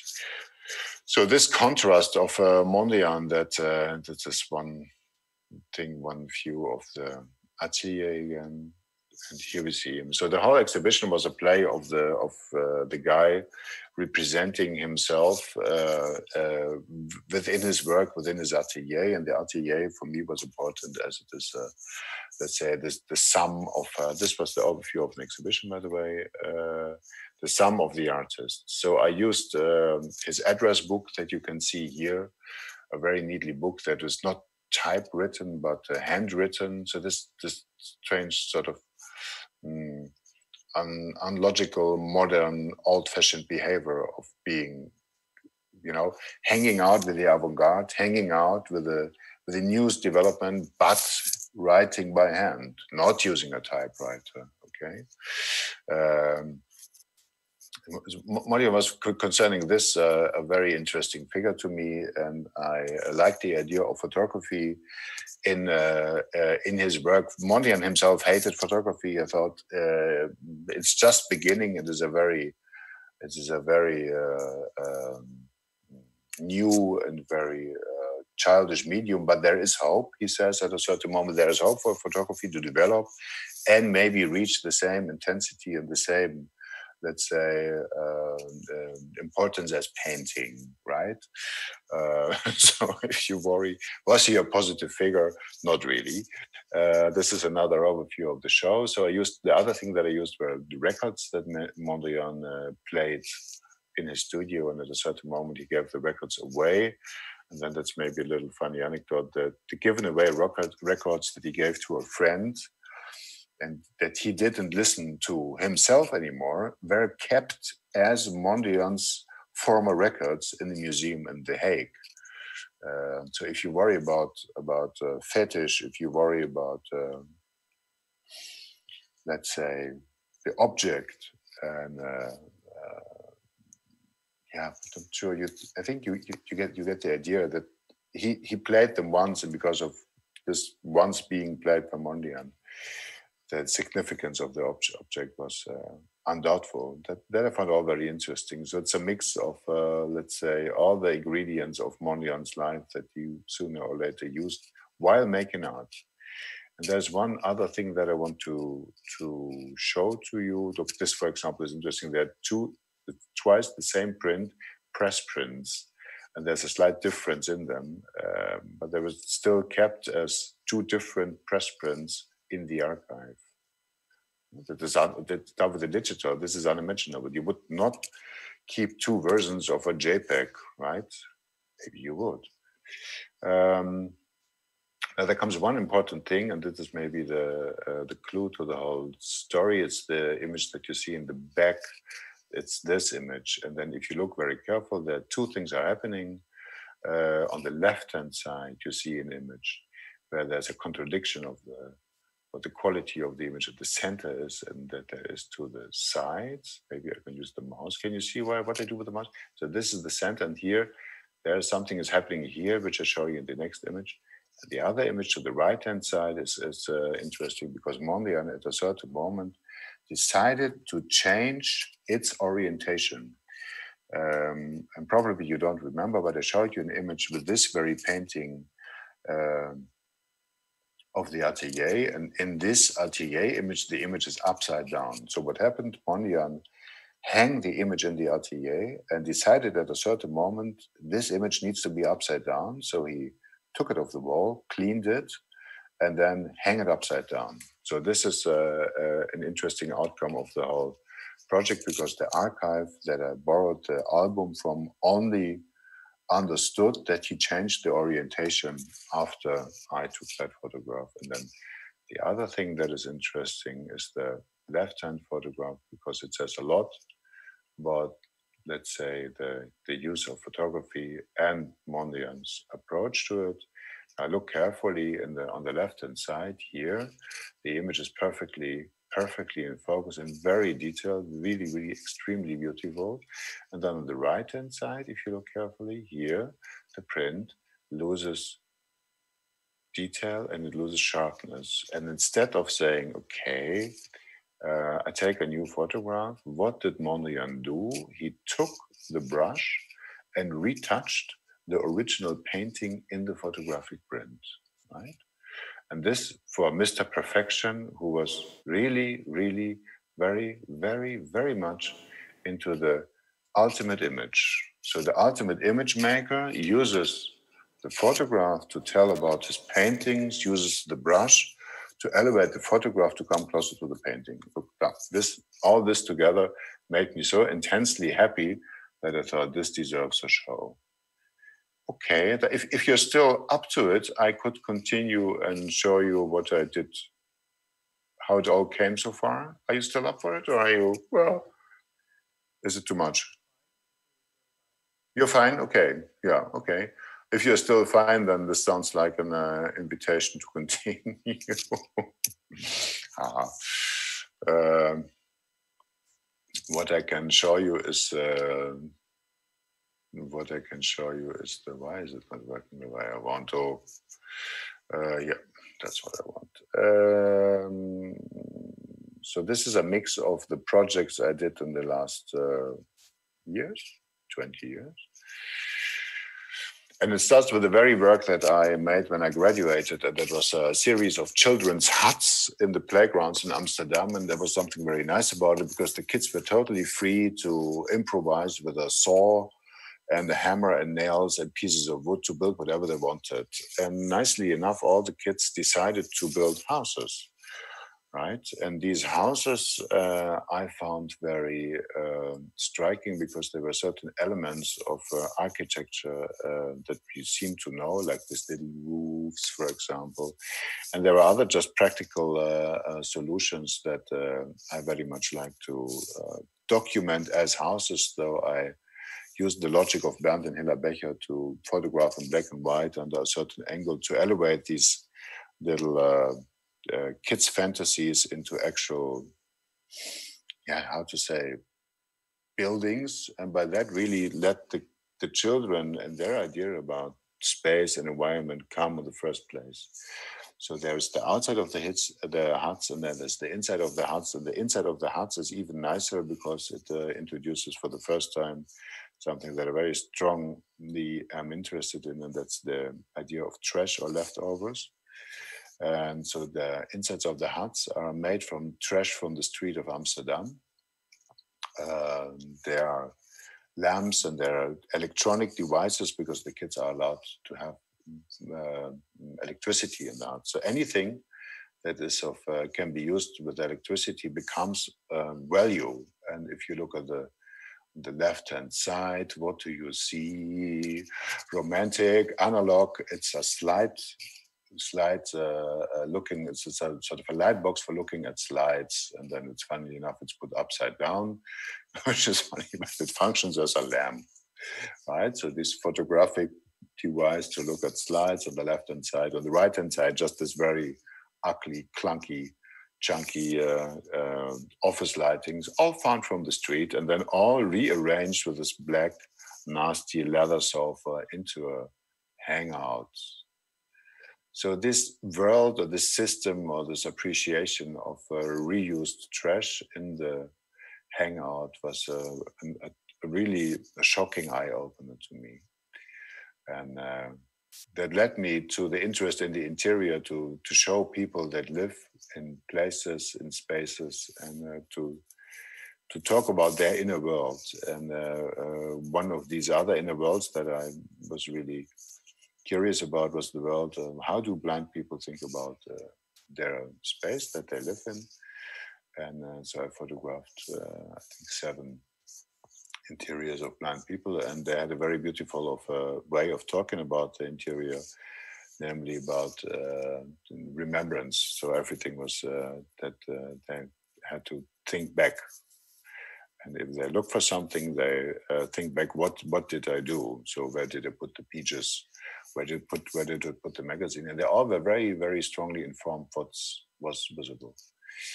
Uh, another series about the, the inside world and the, um, let's say, pragmatic use of uh, what man can build is the uh, hunting huts. Look, hunting huts are uh, these strange little uh, things that uh, hunters can build in the woods. There's no rules for that, right? There's maybe uh, the idea of knowing nature and knowing what works best, but for the rest, it's it's all up to the fantasy of the hunter. And uh, this counts for the outside, but it does count as well for the inside. And the inside of these hunting huts, you already guess, another episode in leftovers and trash are um, decorated completely to the to the yeah let's say effort or pleasure of the hunter so you see old uh, carpet pieces you see custom made things. There's this funny cushion there down is for the rifle. Um, there's a mix of coziness uh, and um, pragmatism in it. So there are two two parts of this series. One is the let's say focuses very much on the material side. These are these are these ones in color. And then there's another one in black and white, and the, the black and white one focuses really on the reuse of chairs, office chairs, school chairs. And at that time, you have to understand what I did was really, it was really, uh, I was very, mm, let's say, unspontaneous. I thought of something, not not on the location, but somewhere else, and I thought this seems a good idea. So I made a plan. I went there, I photographed it, and uh, anything else that I encountered on the way there uh, didn't didn't matter. Quite the opposite of what I did at the Athens Recorder. This is another series of interiors, and that is uh, um, uh, photo models in Paris that are that just arrived there, and they're renting quite exorbitant, expensive uh, rooms. And those are quite improvised, quite sad. The model rooms, then there comes a series of reproductions from a former furnishing catalog from East Germany, and then there comes the jump to what maybe ultimately ended in the Mondrian that I just showed you, and that was an exhibition about mm, Van Gogh and Gauguin at the Van Gogh Museum, and it showed for the first time since many, many years uh, three versions of La Berceuse, which you just saw here, and uh, three versions of the sunflowers. And uh, I'm not sure whether who of you have ever seen an original version of the sunflower. So not on a napkin and not on a coffee cup and not on a puzzle or not on your grandmother's plastic bag. But if you see them in real, they're quite uh, impressive simply because you think you know them, right? It's this little bit this strange New York feeling. You think, ah, I've seen it so often. Uh, I think I know them. But look, on top of it, that you that you have this feeling of commonness, you're quite flabbergasted if you see all or three of the four versions next to each other, right? So there's not one hanging, but three. And then something happens in your mind that is quite uh, spooky uh, because you're so overwhelmed, at least maybe you're not, I was, that my gaze dropped down to find something that I can trust. I mean, this, this was too much. It was hyper real. So I, my mind sort of uh, flipped to the shadows of the frames on the wall and then I thought, you know, I, the only thing I could really grasp or understand are these sort of scattered shadows of the frames, this perfect museum lighting that creates this sort of movement in the framed shadow. And that I want to photograph. And then wonder above wonder, uh, the director of the museum said it's strictly forbidden to photograph the sunflowers professionally, but the idea is so absolutely mad and crazy that you don't want to photograph the, the work, but the shadow of the frame. I allow you to And then the good news for you is, of course, I felt the first time there was a mistake in the camera. There was a little hole in the bellows, and uh, I had to redo it. And on the last day of the exhibition, I managed to do that. Um, these are fire steeples in the east of the Netherlands. So it's the landscape together with the private gardens that sort of made up huge piles of ritual fires. So you see the something that's gone by fire, in, immaterial sort of uh, landscape ideas. Uh, that is a little funny assignment I did two years ago, last last summer 2019 for Fantastic Man, the, the magazine, just to really give you a proof that I, I love really working applied. Uh, so it's always a great fantasy. I photographed uninhabited islands in the Greek Sea. Strange thing to do, but uh, so please, if you can, if you can go for a practice that combines applied work and uh, art, always do that. Uh, this is the place where the Night Watch once was hanging, and it led to a series of wall paintings and photographs. Um, this is the unused art of the Ministry of Social Affairs. And here you see the mix of the photographs of the unused, not shown paintings of the Ministry of Social Affairs, the wall painting of the Night Watch, and on the left-hand side, the Van Goghs. So this would be a presentation way of my works installational, if you like. Mm, that's a portrait of uh, an old lady that lived for 60 house for 60 years in the same house. That looked like this. So I decided to photograph the plastic bags only that were present in the house. It was at the Cobra Museum, so you see next to the Karel Appel painting that could not be moved, so I had to relate to it. Mm. And this is one of the collaborations that I very much like with an architect. I think the, the main essence for me is uh, that this is twofold. One is uh, please go for the applied work and find your own uh, special uh, findings within the applied work to make uh, to to develop. And the other thing is find co collaborators uh, from different fields. So not find architects, find graphic designers, find writers, find designers to share your vocabulary, to share your uh, view on the world, to uh, develop your own options of using photography. That's the biennial in the Dutch Pavilion in 2011. You see the wall painting of the Rembrandt in the back again. And then you see one of the highs that uh, Jan so kindly talked about. We made a high of the all the presence the Ministry of Social Affairs got uh, from other nations as a representation of national pride. And then here, the image, the big orange thing, is the backside of our parliament, which is built as a Greek theater.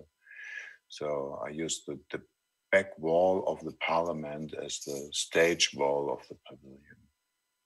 Close up. Uh, that's the Tiergarten that you already saw and hopefully liked. If there is a risograph at uh, your academy, I can only recommend you to buy a lot of cake, coffee, and chocolate for the guy that is in charge of it and then learn to master it.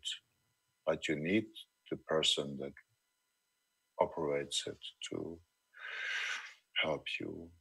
Uh, Mondrian again, and I think I think yeah, that's that's pretty much it in a way. Yeah, uh, yeah, that's it, ladies and gentlemen. Now it's uh, coffee or beer. No, um, this is what I wanted to show you. Maybe uh, can I answer questions or uh,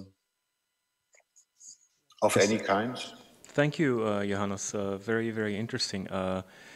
Um, are there questions from our students here in our live audience for Johannes?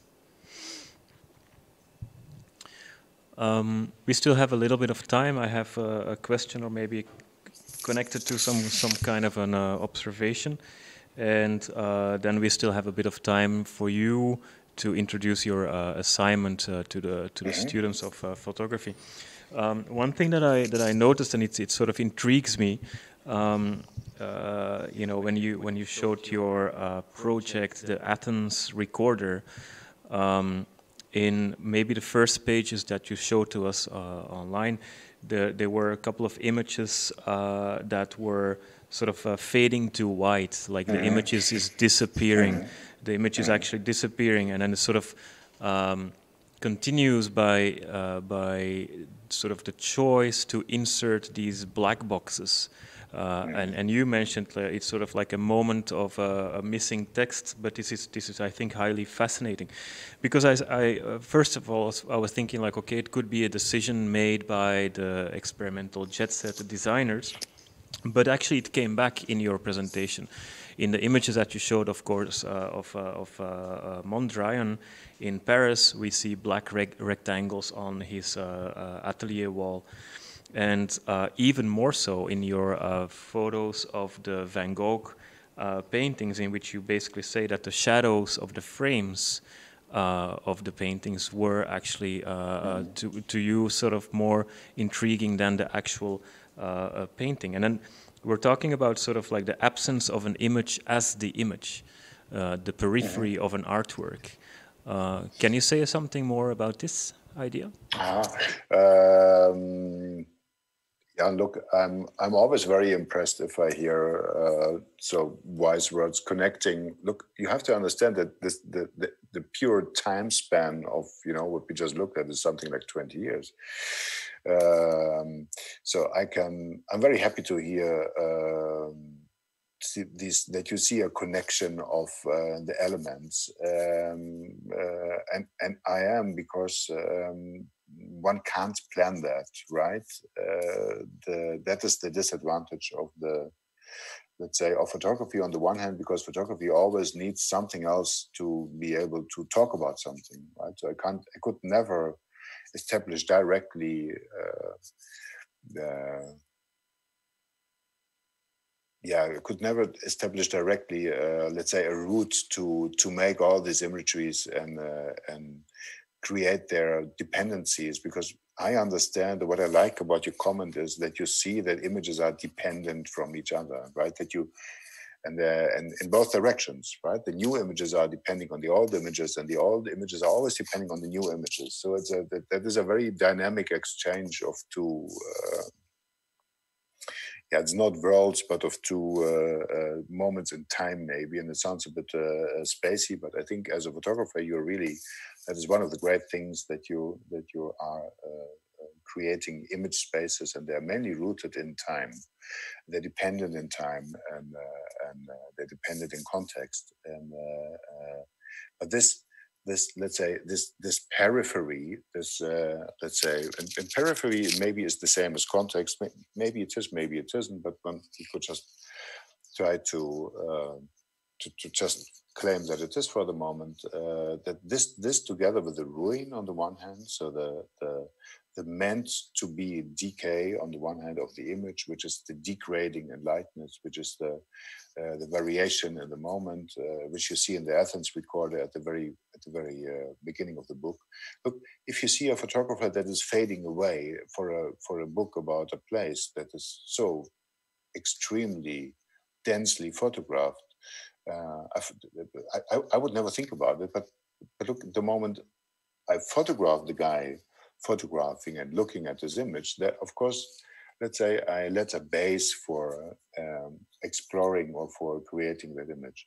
So there's a very complicated answer that I'm giving. I'm trying to say the following: Yes, uh, I am depending on dependent on the graphic designers, absolutely, and yes, they are fully dependent on what I give to them. So. Uh, um, um, the educated guess that photography usually is, you know, can become meaningful by a writer, by a, let's say, very mm, aware contextualization, by a very aware uh, manifestation of the periphery. Um, um, yeah, is that a good answer to your question? Yes, it is. Um, thank you, uh, Johannes. Um, are there questions from our uh, dear public? uh, Vojtěch would like to ask you a question, if that's okay for you. Of course. Really? uh, Johannes, I was I was wondering uh, because um, there are. Uh, it was great to see your uh, work uh, like um, in time, uh, and and there definitely are kind of connections and and and and, and development, and but I was wondering you you you never work with your archive because a lot of our students uh, like um, frequently grab back to their archive or uh, intensively work with their archive. And you are more kind of guy who uh, um, goes to new and new uh, projects and, and, and is that true? Look, Wojtek, it's, it is very funny. Of course, the, maybe Jan does know, the audience can't know. Uh, many, many, many, many, many, many, no, well, 20, 22 years. Wojtek and me together were like you that are sitting in the audience, right? Young, uh, full of energy. And, uh, uh, and it's funny that you're asking me this question because uh, now what I present to you is exactly uh, it gives you the impression that I'm the guy that always goes to the new, but the guy that sits here, in the yellow pullover, has the same notion as the audience that sits there in the room. I created an horrible, really painstakingly big, you would be so kind, Wojtek, to call it archive, and I would say a jungle of imagery that I save for and then look the word later would like to be used, but no. So it waits for a moment of editing, of use, and uh, no. So I am like you are, uh, maniacally collecting images, uh, sometimes in specific contexts, sometimes just for the for the big bunch, if you like, and they wait for they wait for this newly created periphery that Jan is talking about. Um, so the the Athens recorder, for example, as a form, uh, very much helped me to at least uh, concentrate content-wise on how this archive or how this, you know, the archive as such is it's it's it's meaningless if you don't use it, right? Uh, on the other hand, what I very often discover that the archive is something that can be unused, right? It's not it's not a burden, it's not an obligation. Uh, and it certainly is no solution for uh, being modern. So, on the one hand, I would say, of course, it's nice to have an archive. On the other hand, I very much regret that I started working like this uh, because it um, demands uh, time. Right? You really need time to work with an archive, and you really need a partner in that. Uh, so, mm, I would say Mm, the shitty answer that I'm giving you. Sorry to encourage this encourage you, but don't really think about new things. You're too young to use your own archive. Oh, sorry. now, now all sympathy goes away. But uh, I would always say, what the nice thing is, being at an academy is that you have great teachers, and that the great teachers, uh, together with you, sense what matters for you uh, and let's say this this notion is something to me that you look uh, into the future much more than looking into the past. So then, if you're all the gray, you can look back and use your archive. But while you're young and promising, uh, make new works.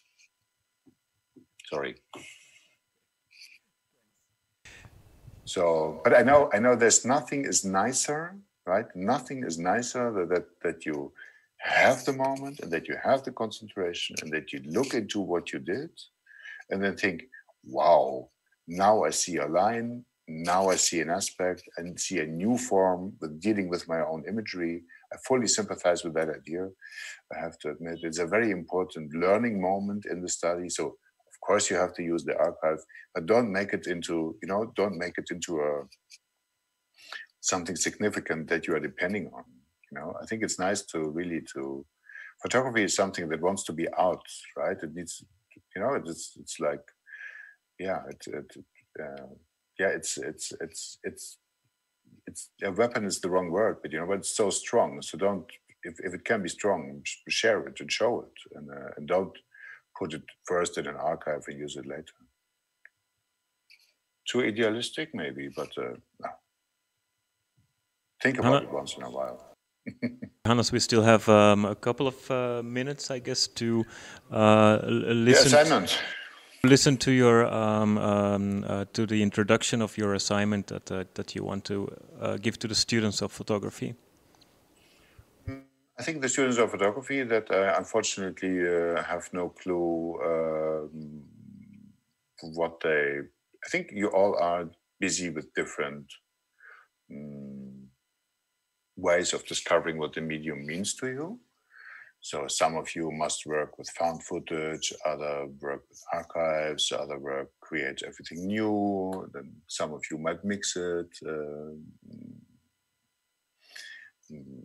maybe there's a lot of experiment involved. So, um, but what is important to me is that you just that you stick to the way you work right? So if you look about work a lot with an archive, you continue doing that. But there's one thing that I would like you to do, and that is um, not sure how much how, how long the, the assignment will be. Is two months or what is there a time time frame for it? Project? Do we have three months or half a year or four years or? Let's keep it with two months. Two months, okay. But then there's that, that, that, that the only thing that matters to me is uh, is that you create something every week uh, and something very simple, very close to you. And then I would I would be very curious to mainly because I want to learn what um, interests you in the medium. I would invite you to make a split screen, so combine two images into one every week, right? Um, and then you can combine your own work, you can combine your work and someone else's work, and you can combine someone else's work and someone else's work.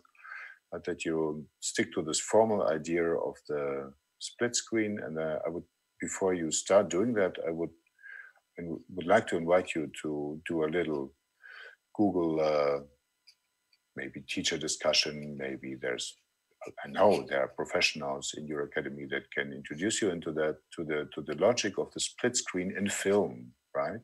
So when is the split screen used to in film to uh, to uh, yeah maybe to allow a different view on the plot on the narrative, right? So what what does the split screen mean for let's say storytelling? What does split screen visually do?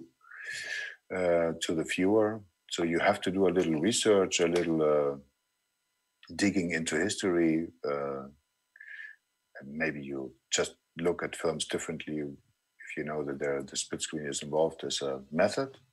So create one split screen every week. And then, if I'm not mistaken, if we have two months, then we have uh, uh, eight split screens and uh, uh that we can talk about. If you are very enthusiastic and uh, things seem to work out easily, make more than one, right? Um, and the good news is, I repeat one more time, you can make new things, you can use your archive. Look, all the all the uh, images are, that are shown in Capita and the, the exhibition that Jan curated, that, that is all my archive, telephone archive, right? So um, I use, of course, I use I use my archive, but uh, you're free in that, right? Is that does that sound clear or? Uh, everybody is uh, nodding. Uh, uh, exactly, exactly. Uh, anyway, we will we will probably get it from you in in writing too, so that we can communicate it oh. once again with the oh. students. Um, Um, thank you so much, Johannes, for your uh, presentation, for your for your uh, time My with pleasure. us uh, here in uh, in Pilsen. Um, the exhibition is uh, closing uh, today. Actually, it's the last day that we have our exhibition in the gallery. As you know, we have the digital um, exhibition online. Mm -hmm. Great. Um, and we are looking forward to meeting you sometime next year. Yeah, me too. Thanks for listening. It was a pleasure to uh, to have such an extensive, long period of time to uh, to.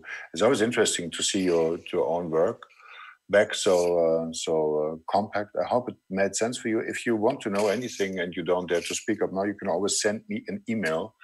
Uh, please don't be shy, and uh, I'm very happy to help you with anything that I can. Um, uh, it's on the website. Uh, Jan has it. Uh, Wojtek has it. So if there's anything I can do for you, I'm very happy. And and we meet either in person or the next time online to look at the split screens together. Thanks. Take care. Dankjewel, Bye. Johannes. Dag.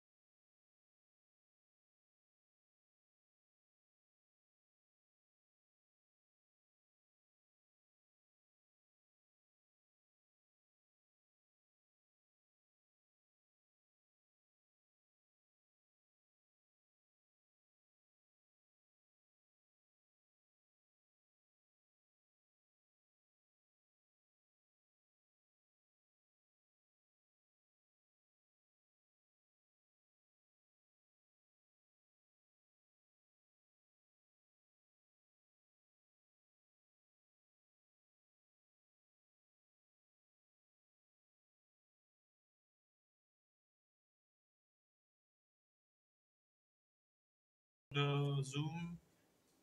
If- Uh,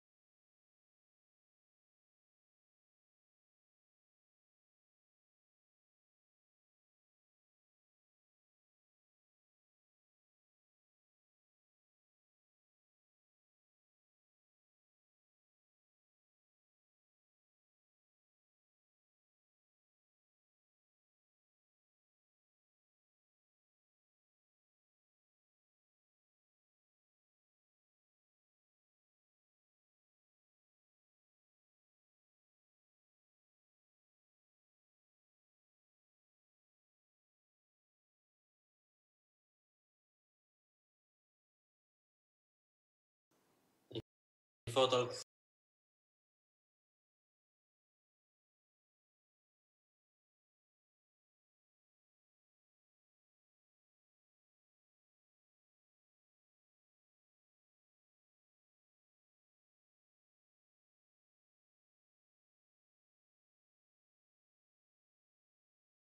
Is it Roei? yeah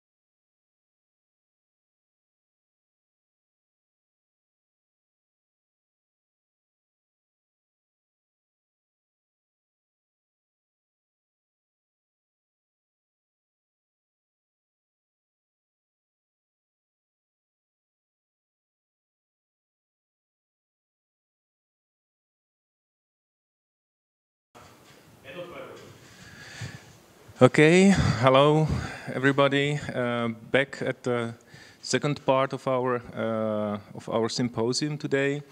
Uh, welcome back our live audience here at the Sutnar faculty. Believe it or not, Uh, we have about uh, 20 people here, which is actually the limit which we uh, may call together, um, as it uh, concerns the, uh, the regulations which are now in place. Um, welcome everybody who's online and, and uh, welcome Roei Greenberg.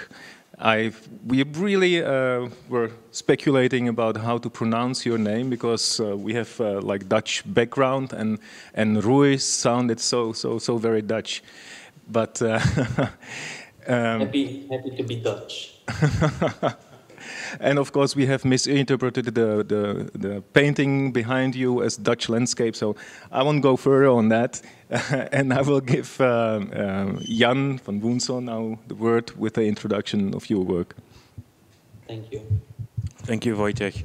Um, so yes, uh, I was actually wrong with uh, in, uh, you know recognizing the painting in uh, in your background, um, and I'm sort of guessing that it will uh, will relate to your presentation of today, uh, being uh, English landscape painting.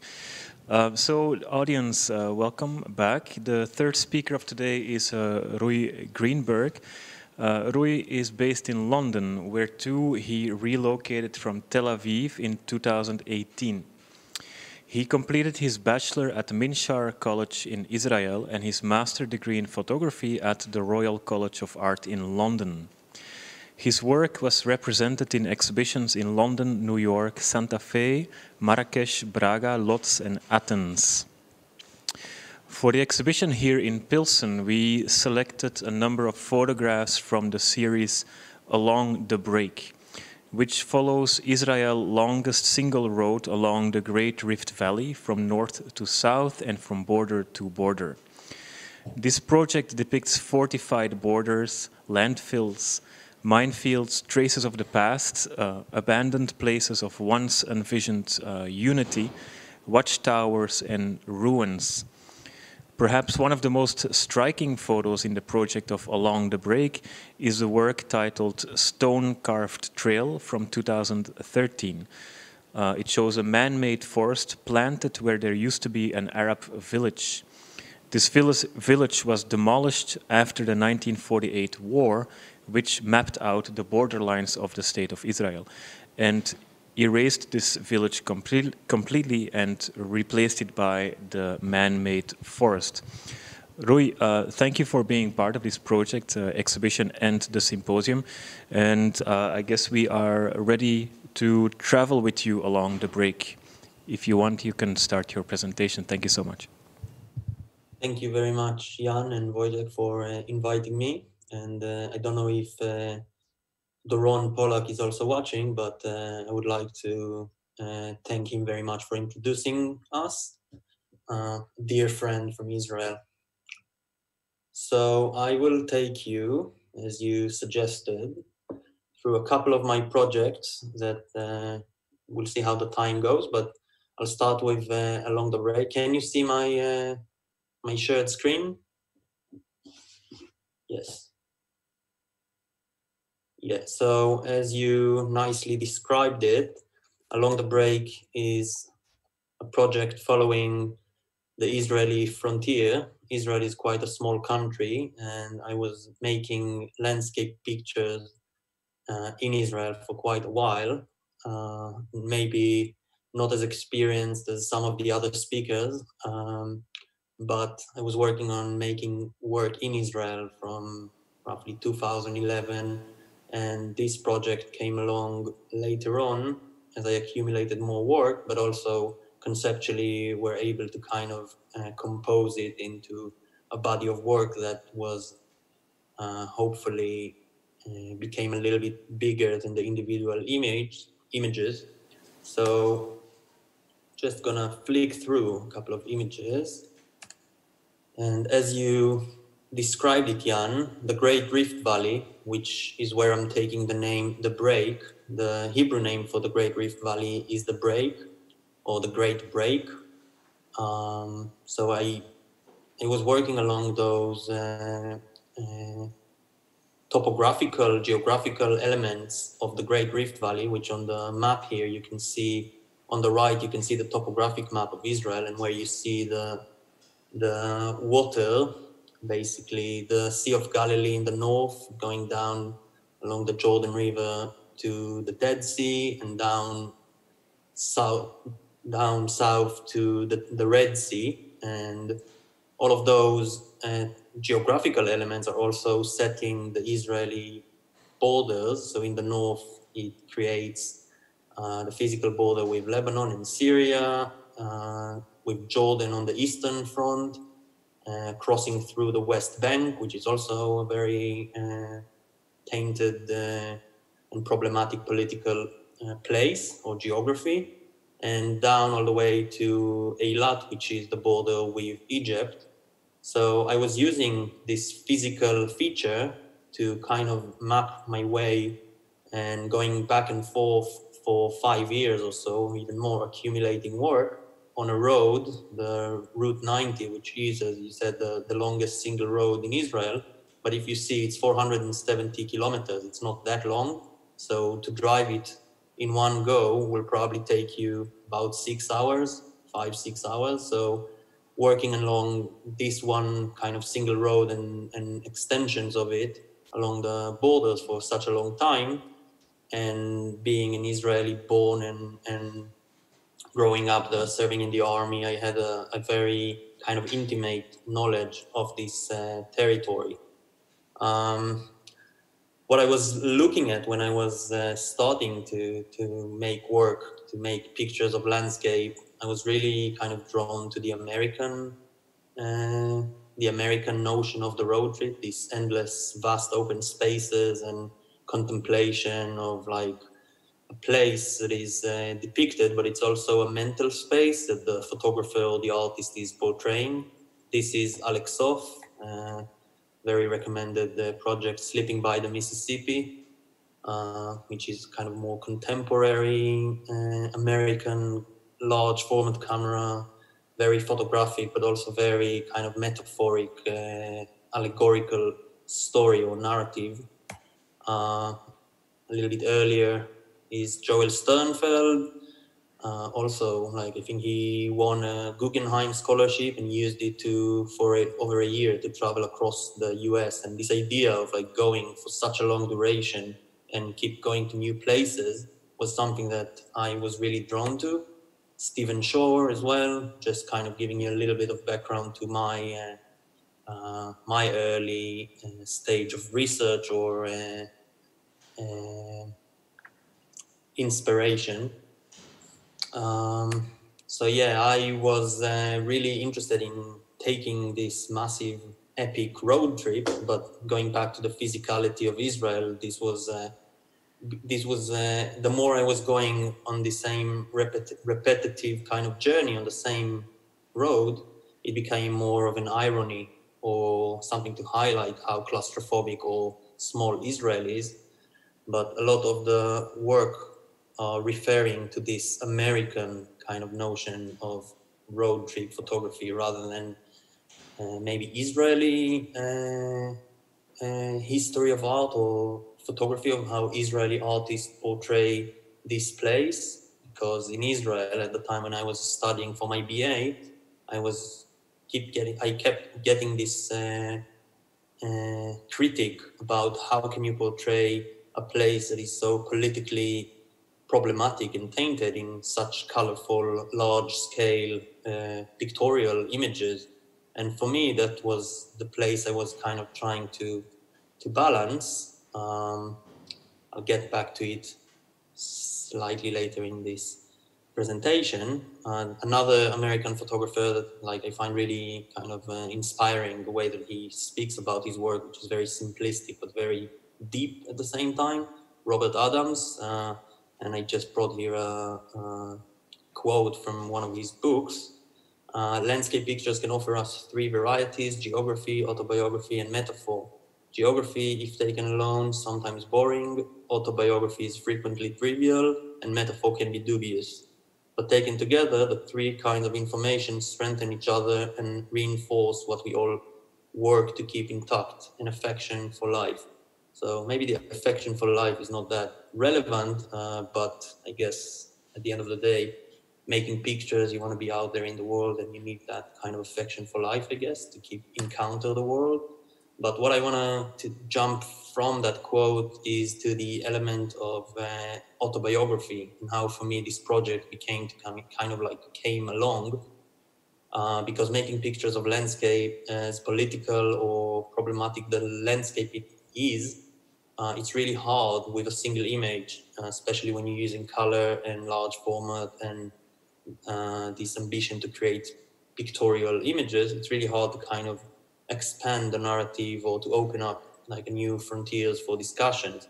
So for me, one way to approach that was to address that idea of autobiography. And this image here that you are seeing now is maybe the mm, the most uh, kind of uh, personal image in the series. This is uh, the kibbutz dining hall. I grew up in a kibbutz, which I believe uh, uh, you probably have heard of, of before. Like many parts of the world, people have no idea what a kibbutz is. But just in case nobody heard of that uh, uh, so kibbutz used to be this kind of uh, alternative communist socialist idea of basically something that the Zionist movement took from the Russian uh, Revolution and created those communities that were both uh, like villages, like a place where people live, but it was also combined with armed forces and, and basically used as a, uh, fortresses on the new frontiers of the Israeli uh, borders or what became to be the Israeli borders. So it was a place of uh, sharing, so nobody would get, like everybody was equal and everything is shared. And the idea obviously is something, uh, something of a utopia. And growing up in this environment was definitely to an extent a utopia but as I was uh, through my adolescence, this whole situation kind of uh, started to change very dramatically. Uh, financial reasons, but also with the political environment in the world at the time, the collapse of the Soviet Union, this whole idea of socialism uh, kind of made its way to more capitalist uh, entity in Israel and the kibbutz where I grew up, but also a lot of other kibbutzim uh, were kind of starting to diminish and had to transform, uh, privatizing and changing the structure. So the kibbutz dining hall used to be this beating heart of the community where everybody gather for like breakfast, lunch, dinner, and where all the social activities are happening. Uh, but back then, in during the change, this whole place kind of ceased to uh, function. So uh, it kind of remained uh, this white elephant or this elephant in the middle of the, the village that is now dysfunction. Uh, and I went back there a few years ago and I was working on this project and this landscape painting on the wall is probably the first image of landscapes that I remember. Uh, this is a very kind of peripheral uh, place. So I didn't really had a lot of exposure to the art scene. And Israel, in general, is not that uh, multicultural uh, back then. But I guess today is a little bit different in Tel Aviv. But anyway, uh, so this picture, I I always remember there's this like uh, idea of the landscape or the place that represents itself. And when I exhibited one this work like a few years back, I was contacted by the artist who painted the painting and I always had this like kind of alienated feeling from it, but I didn't know exactly why. And if you see the the the line on the on the soil, it looked like a tractor. But then she contacted me and she told me that her son died in the Lebanon war, and after he died, she would go back to the border and paint, repaint like the the landscape where he allegedly stepped through so those marks on the ground are actually tank marks and this whole kind of added layers, which is not completely relevant to the story that I'm telling you, but it's something that I find really interesting when you think of a place like Israel and how uh, the place has so many layers of history and conflict, and how even something as simplistic as that, like a decoration on the dining hall wall, which is now not even existing anymore, the whole kind of idea. So even that kind of uh, have its history.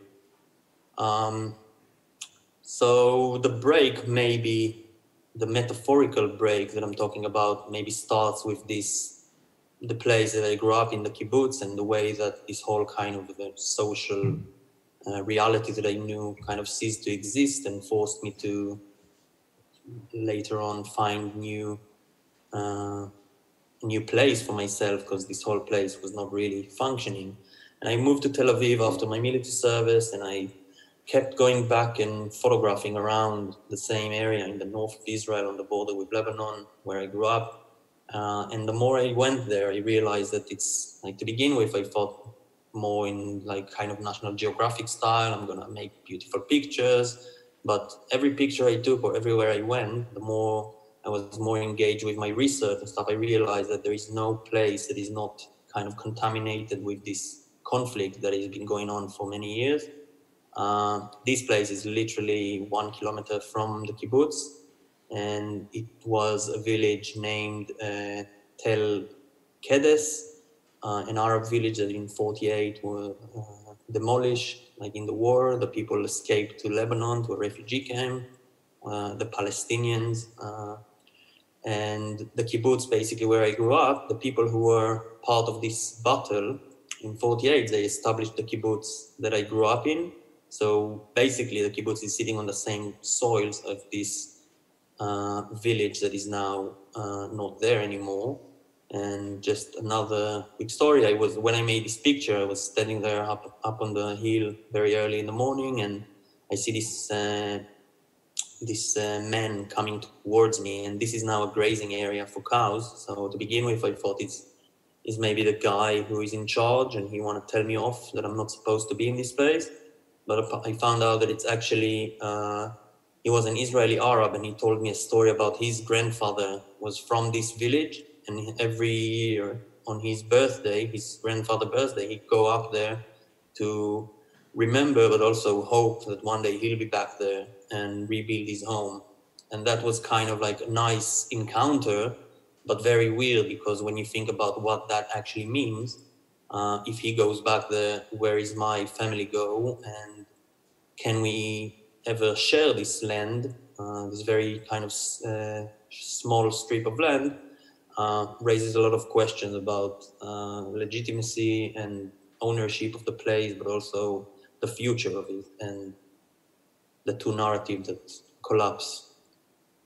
Uh, so yeah, um, so started working a lot in the north, but then I expanded my journey along the uh, other frontiers and keeping this uh, uh, ambition to create something that looks like a postcard, but also have this sign of the conflict or this um, collision of, of sentiments or feelings.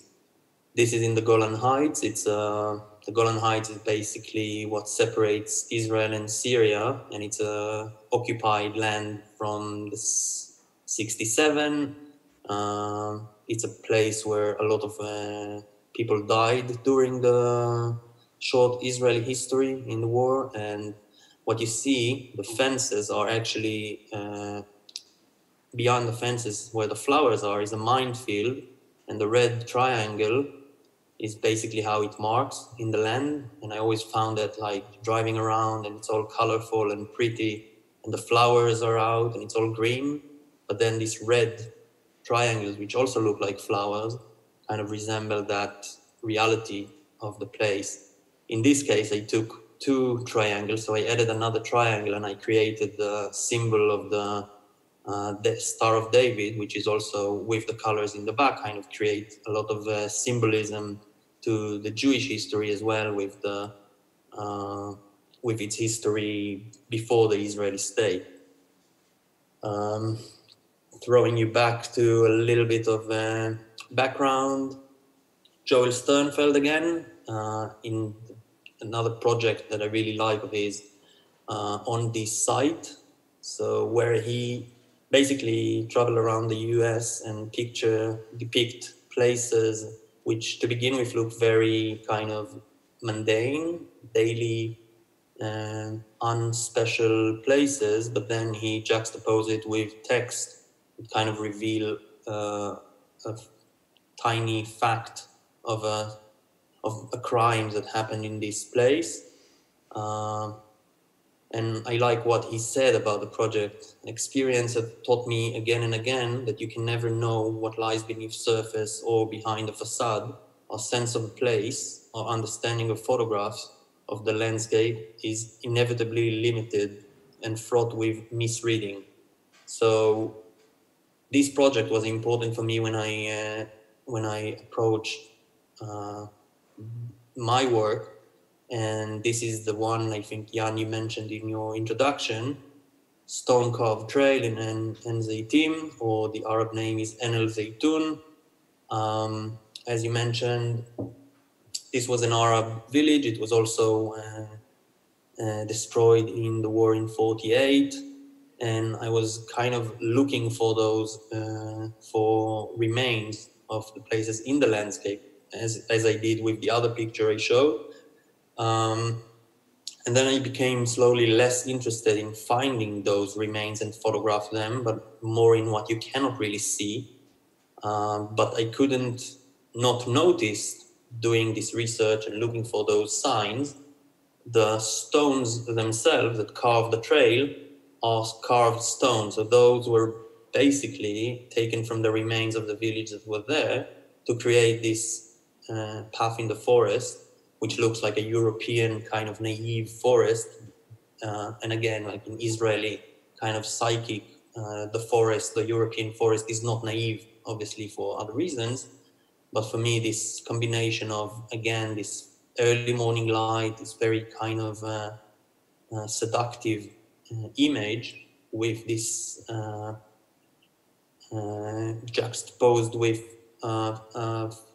factual comment that kind of change the reading or the encounter of the viewer with the work is very important. And this is how the work was uh, shown last year in the in the New Contemporaries here in London, uh, and you have it also in the gallery today uh, in that scale, slightly different uh, out uh, production, but yeah, this encounter with the work, like something that invites you in and then lure you and force you to then read the little bit of the index, which kind of uh, change the way you interact or read the work, but also the rest of the works, because uh, those are all individual images, but obviously together they uh, meant to create something bigger.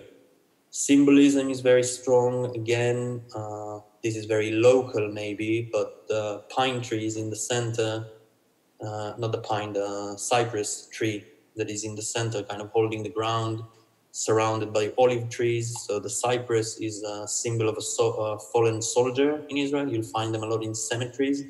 And the olive trees are both Palestinian symbol, but also a symbol of peace and very kind of related to the area. So this fight over the land, which trees kind of symbolize, is obviously referring to a wider idea.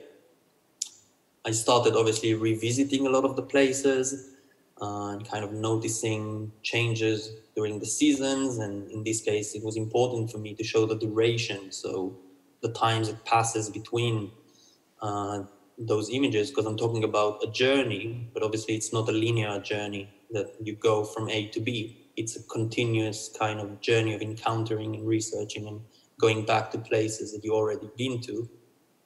Um, this is a work that I really like from this body of work. It's uh, basically what you're looking at is a, a wall painting mural in a hotel in Tiberia, which is uh, a city to the Sea of Galilee where Jesus walked on water. It's a very kind of tainted with history and symbolism place.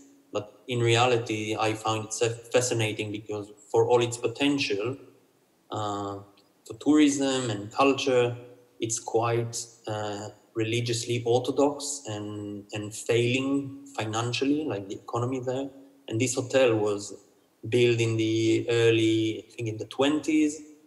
And, and later on, uh, and later on it was abandoned. But the painting on the wall here is something that was uh, is very kind of like a Zionist uh, depiction of the of the local landscape, this empty landscape, which is obviously was was never in reality empty and uh, and not inhabited as it depicted.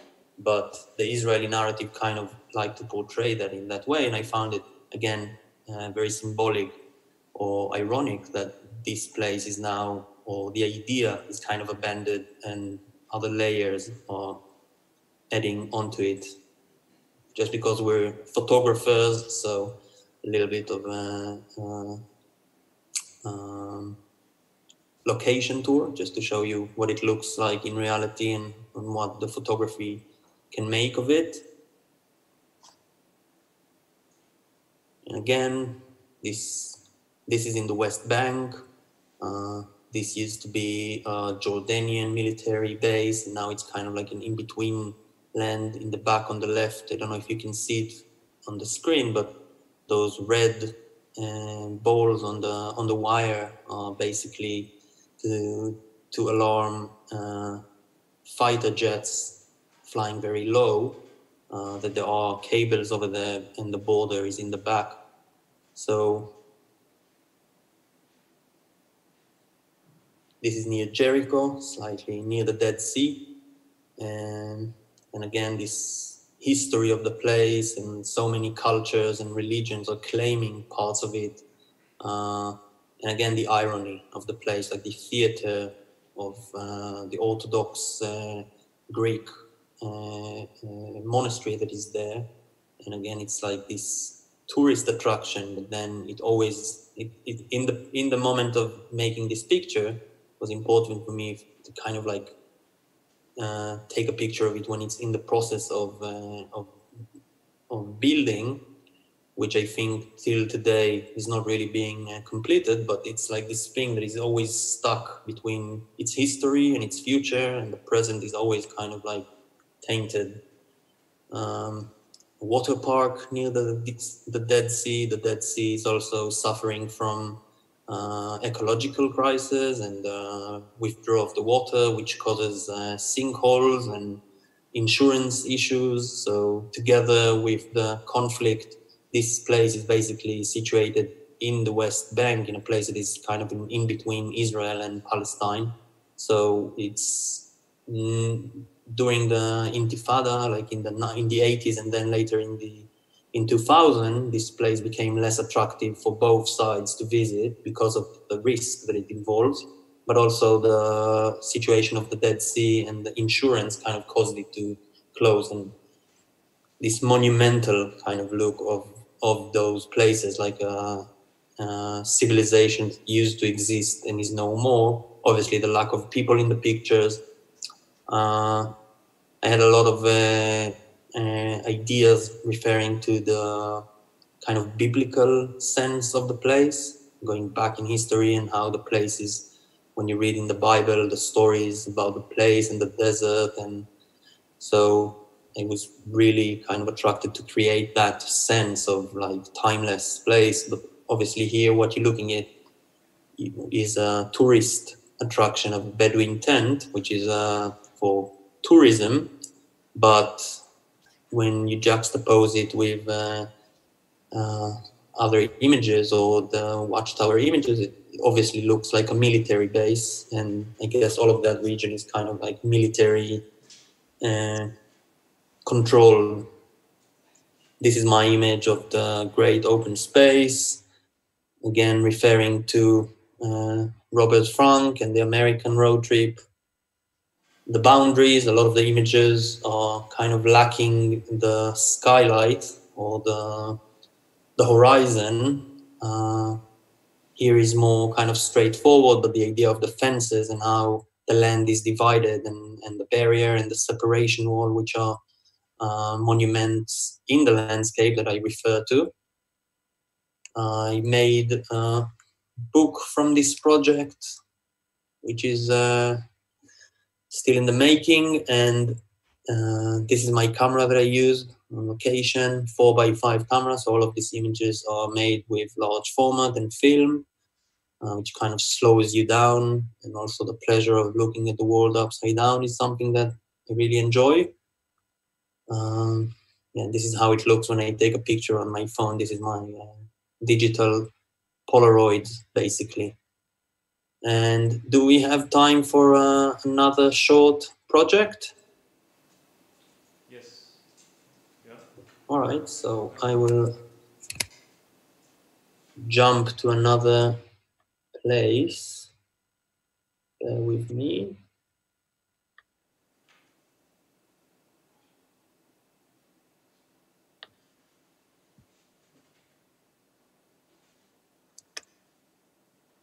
And in 2018, I moved to the UK, to London, and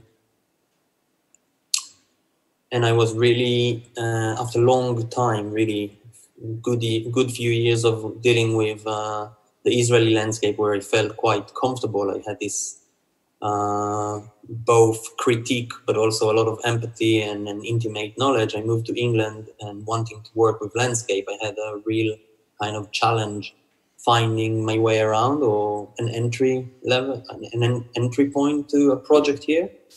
Um, so the idea that I came with uh, during this process of doing my degree here is something that I took from my Israeli background, this idea of knowing the land as uh, something that suggests belonging and entitlement and ownership something that is very kind of Israeli culturally based about knowing the territory because it's such a small place. You need to really walk the land to know it, and and that's something that was really strong in Israeli culture. And coming to England and knowing nothing about the geography or the history, I felt like that might be a good way to kind of uh, start a project. So I had this idea of mapping the English island and driving to different places and making work in the landscape.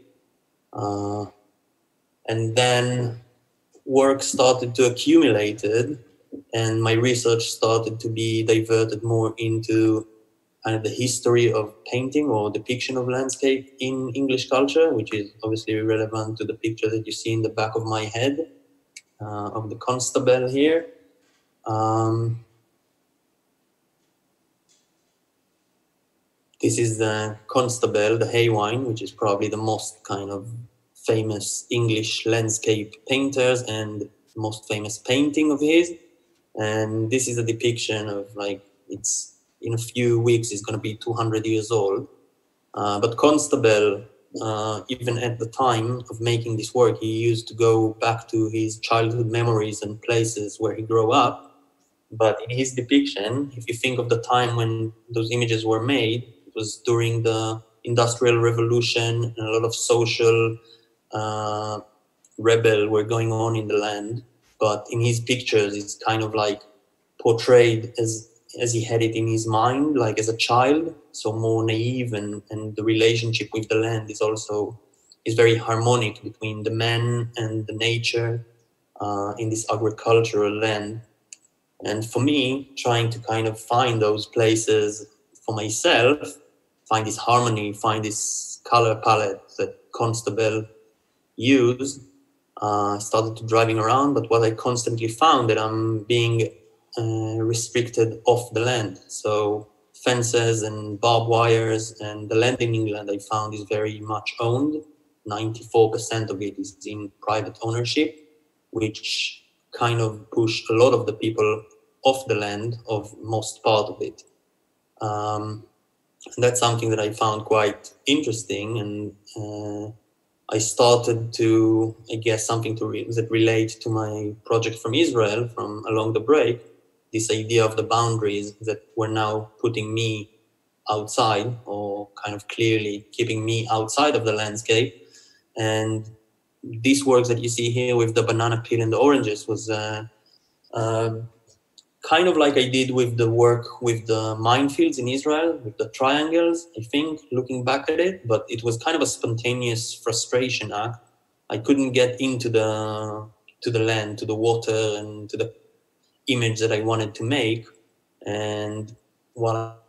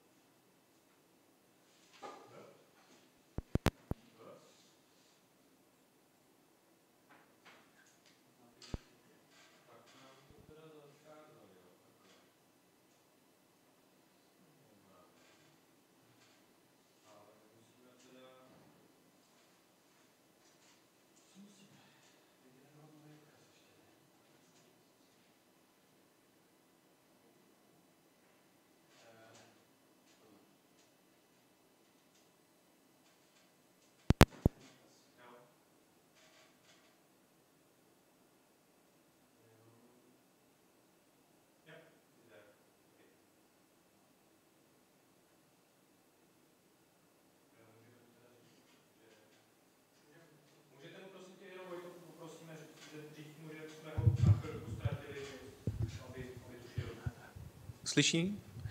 Hi, Roei. Uh, we lost you for a second. Uh, we, we lost you at the fence with the, uh, with the oranges and the banana. if you could please could could bring us back and, and at the moment uh, maybe your microphone is off. If you please can check. Oh yeah, yes, I just very need good. uh, yes. I just need to be able to share my screen and then I can. Yeah, yeah, okay. Okay. All right.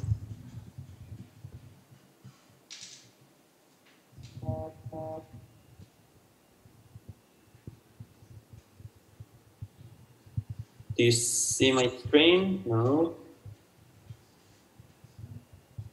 Can you see my screen now? Yes, Yeah. yes, perfect. Thank you. So yeah, I was saying that uh, uh, I was waiting here for the light. I was pointing my camera, uh, the large format, at the fences, and I was waiting for the light, which in England is very tricky because it changes a lot and there's a lot of clouds and movement. Uh, so while I was having my breakfast, I kind of thought playfully to place those uh, leftovers on the fence, which was to begin with more colorfully kind of uh, alter the the color space of the scene. But in hindsight, I realized it's it might be a way of uh, kind of uh, insert my present into the to the landscape and, and change the landscape or its depiction or its narrative. And one work that really influenced me, or uh, this is Peter Kennard, going back to the hay Haywine. And Peter Kennard was my tutor at the college and this is a work he made in the 1980 but his attempt of with a collage photo collage of uh, altering this nationalist very nationalist picture the Hay Wain and inserting it with what was very relevant at the time the uh, nuclear missiles that were placed in the england island american missiles uh, during the cold war. Uh, so he used photo collage, but uh, this idea of inserting something that was not there in order to alter the landscape is something that I found really intriguing. And I started doing it myself with different ways. So keep focusing on these barriers in the land and inserting certain elements or changing things that will suit me and my language. So the private land sign is something I bought some signs on Amazon and I would start to insert them in different places. Again, to play with the color of the scene, playing on this very pictorial kind of uh, look, but also inserting uh, something that was for me really relevant at the time. Uh, Mr. and Mrs. Andrews, uh, Thomas Gainsborough, this is very much, uh, if you think of English landscape and depiction of landscape, the landscape here was always kind of used as a background to uh, portraiture, not just in England, but in England, the idea of ownership of the land goes hand to hand with the way that the landscape itself was depicted. Uh, in here, you can see the couple, uh, Mr. and Mrs. Andrews, sitting in the uh, land uh, taking the portrait, basically showing this is all us. So I found that relationship between land and landscape or depiction of landscape very interesting.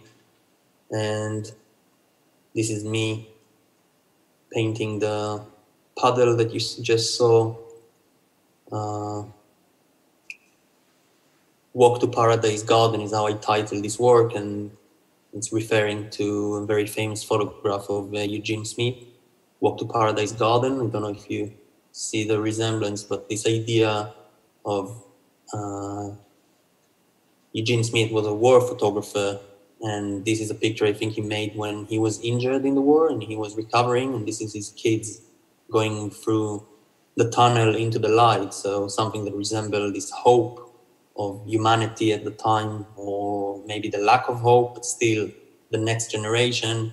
And for me, it was really interesting. This uh, when you think of of of landscape and the generational kind of history of it, and the access to not just the land, but a lot of resources that uh, a lot of people have in the English island, uh, ideas of equality and such.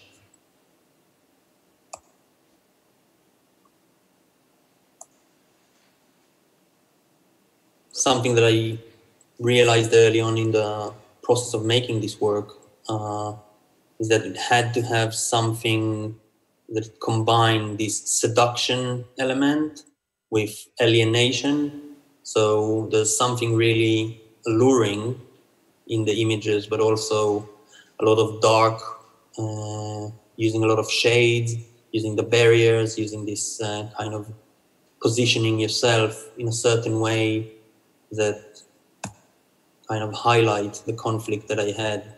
And again, the idea of the open road and the open spaces. This is my uh, my horse to the journey, the car that I used to travel the English island for over a year.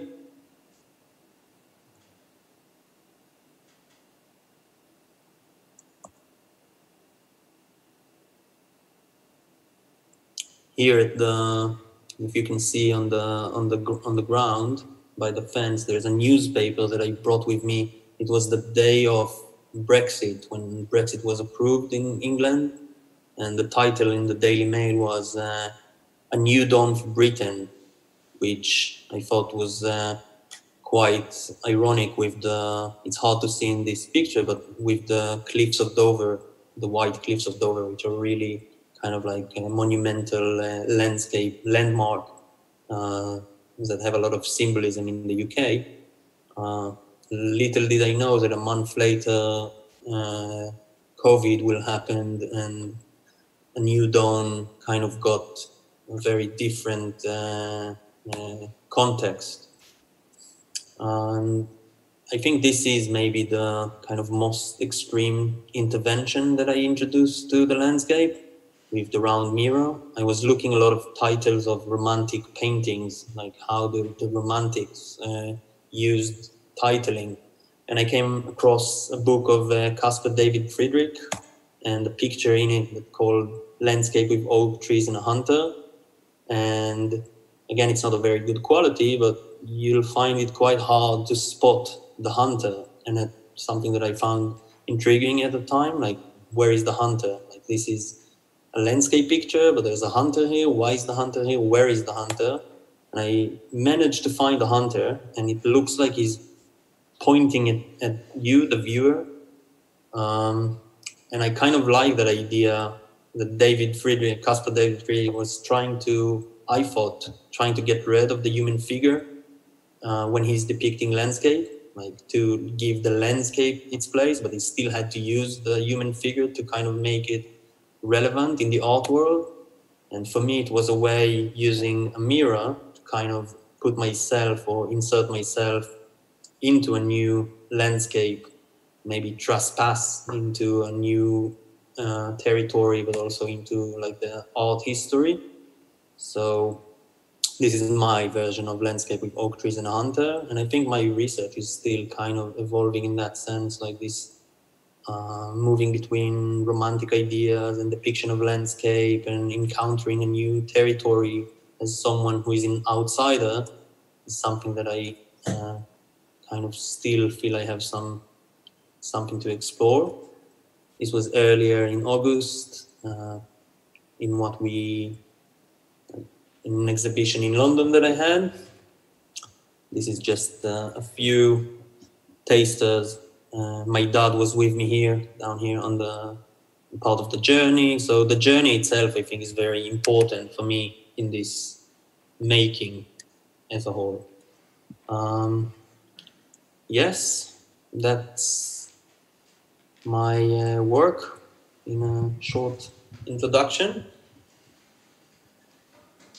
Thank you, uh, thank you, Roei. Um, I think now we have a, a a moment to uh, accept questions uh, from our audience.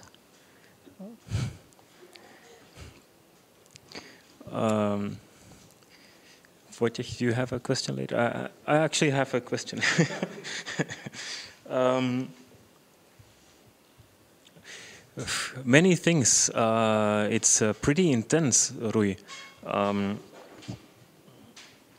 And and at, at some point I was I was uh, wondering um, with with what uh, sentiment do you did you travel along the break five times? You said uh, as sort of like a road trip, uh, imagining the sort of romantic idea of the American road trip, uh, thinking about um, symbols that you encounter, even adding elements to the landscape, and it's in sort of in in in in, uh, in a in a way, it all started with uh, your memory of this uh, landscape painting in the dining hall of the kibbutz where you grew up. And even that image that shows a landscape is completely, um, uh, has a very, very intense and complex uh, meaning. Like basically it's a, an image that commemorates this, the, the death of a son of, a, of, a, of an artist. Um, I, I, guess this is the question that I want to ask. What is the with with what sentiment do you uh, travel along the break and even uh, in England to make your work? So yeah, back in Israel, I think uh, the sentiment of the work was something that started for me early on, like my early days uh, growing in a kibbutz in this remote place, in kind of surrounded by nature, but also uh, surrounded with borders and boundaries. So the kibbutz is actually located on the border with Lebanon, which means that you can go out of the kibbutz and find yourself in nature if you go uh, to the east or to the south. But if you want to try and go north or west, you very quickly will hit a dead end and the border itself. So this idea of restriction and also what these borders meant, because it was at the time when I was growing up, uh, the war in Lebanon was still ongoing. Uh, missiles and alarms and bomb shelters were part of my childhood, which were very much symbolized by this border or the prox- proximity to the border. So, uh, and then going uh, at 18 uh, to a mandatory military service and combat unit and finding yourself uh, dragged between between the different frontiers but also working in the west bank in like uh, civil population and realizing that the narrative that i was told growing up in israel as an israeli in the zionist movement a very idealistic community this narrative is way more uh, there's more to this narrative than I was told, and a lot of Israelis are told. And the other narrative, which is parallel, uh, is, is often hidden or uh, destroyed. And that's something that both sides are doing, trying to erase each other narrative. So this idea of erasure is something that led me to the work with the path in the forest so how the landscape, which was like the place that is depicted there, is actually a national park. And I have memories as a kid going there on holidays and playing around. And there's a playground and barbecue, and we used to go there as like a outing day in the nature. But then you think about this nature or your memories from it, and and the narratives that you were prevented from exploring because it doesn't really suits the ideals of the society you're living in and the ideals that you need to have when you are going to the army and serving your country. Um, so the sentiments, I think, during my army kind of military service and later on moving to Tel Aviv, starting uh, art course and research and becoming a, mo- a lot more politically involved, kind of led me to decisions about the fact that I didn't want to serve in the army anymore, like as a as a reserve force. Like I didn't want to go to the West Bank and, and be a soldier in the Israeli army. So I had a lot of confrontations with my surroundings and myself about this idea of identity. And I think identity maybe is the sentiment, like this exploring your own identity and and the place you're growing up or you're living at. Um, but still i had this idea of the american road trip and i wanted to make beautiful images and i loved the land so i would go to the desert and I, felt like i do belong there and it is part of my heritage and it is part of my history and culture and I have good memories of it. So this sentiment, I think, of or this duality between empathy and belonging, and then the idea that there are a lot wrong with the situation and the reality of this place and the narrative that I was told kind of pushed me to start investigating uh, the other side's narrative and going to those places and confronting those uh, ideas. And again, it's very problematic, I guess, because photography is a language and image making is a language, and the way you choose to portray something, uh, hard because on one hand, when I'm telling you the story, it highlights some problematicity, but when I'm not there to speak for the image, maybe he does the opposite. So it's something that I was faced with early on in this progress, but uh, the decision I made is that I'd rather create uh, an image that first first satisfy my aesthetics, but also uh, also it's more likely to gain attention to the context using a very strong photographic uh, uh, visual language, which I felt like I could do and was pushing myself more and more to kind of exploit that. Uh, and I find that later on, yes, it is encountering some problematics, like some people um, would not see the criticism or because of the nature of the images, but still this conversation keeps rising. So uh, yeah, uh, it's a tricky question about the sentiment, but I guess the sentiment is there. It's this duality of criticism and empathy together. Um, yeah, I, I, think with uh, the the work along the the break, you, uh, as I said, it's it's very very intense. But I think the intensity is uh, is uh, very important in in let's say showing um, the it's not only the landscape. The landscape becomes, uh, you know, a, a, sort of generator of many meanings, both, uh, let's say, historical uh, and symbolical, um, and political. I mean, that's the that's the whole thing that I that I constantly feel like you're. Uh, you're, you're, you know, it's it's sort of like a constant uh, unstable ground, um, and and I think one of the last times I was in in uh, Jerusalem, uh, they were they are building the Museum of Tolerance, uh, giant new museum. But in order to make the museum, to build the museum, they had to move uh, one of the Arab uh, cemeteries, which is of course uh, uh, interesting if you want to build a museum of tolerance, that you actually are sort of intolerant against a certain group of people. Um, and uh, with uh, the English uh, works, I found it also interesting that you mentioned uh, Constable and how he would go back to his childhood to make his paintings, but uh, he would uh, do it from a specific point of view, sort of like again this romanticized point of view, uh, sort of uh, ignoring the industrialization of that moment. Um, and when you encounter the landscape, it's always fenced off. There's always this boundary. It's uh, sort of unreachable. Um, great, really interesting. I will let uh, Vojtěch ask a question now. I, I, would love to, but I'm afraid we are running out of time, and we are not. Five minutes, okay.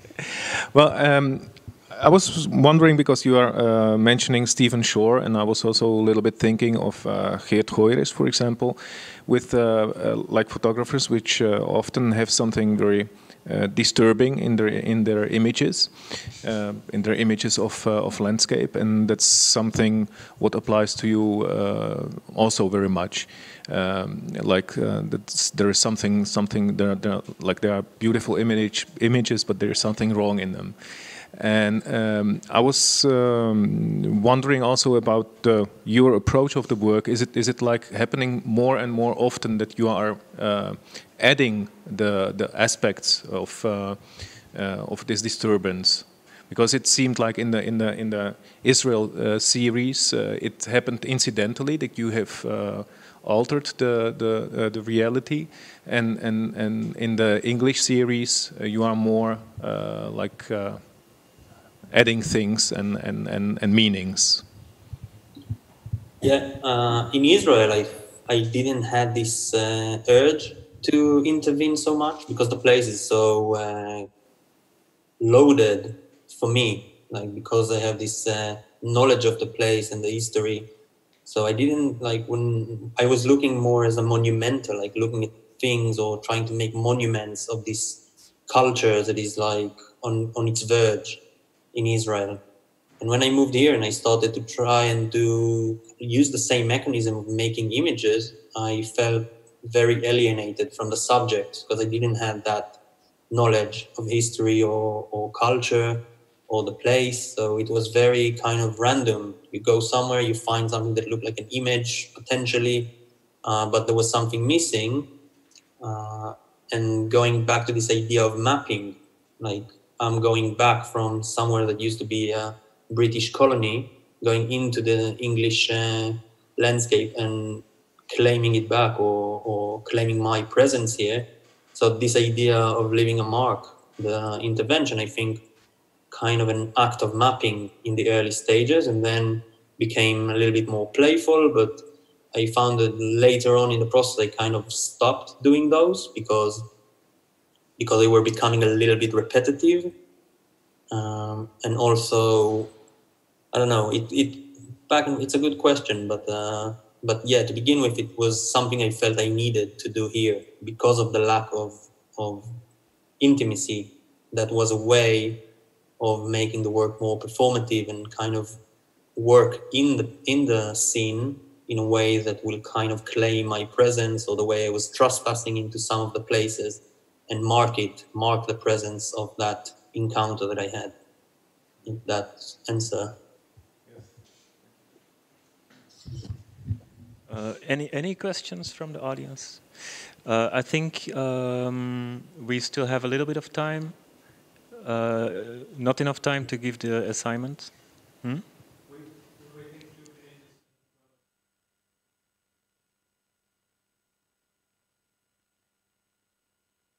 Roei, we, we have to um, let you go. Our next speaker, also based in London, by the way, is uh, is waiting. She will be uh, called in in a, in a minute from now. Um, are you still going to be around later today for the group discussion? We are we are basically uh, uh, curious about the assignment that you want to give to the students of uh, photography. Uh, I would be, but in and out at some point. Would you like me to give the assignment? It's a it's a slideshow, so you can take a screenshot of that as well. Yeah.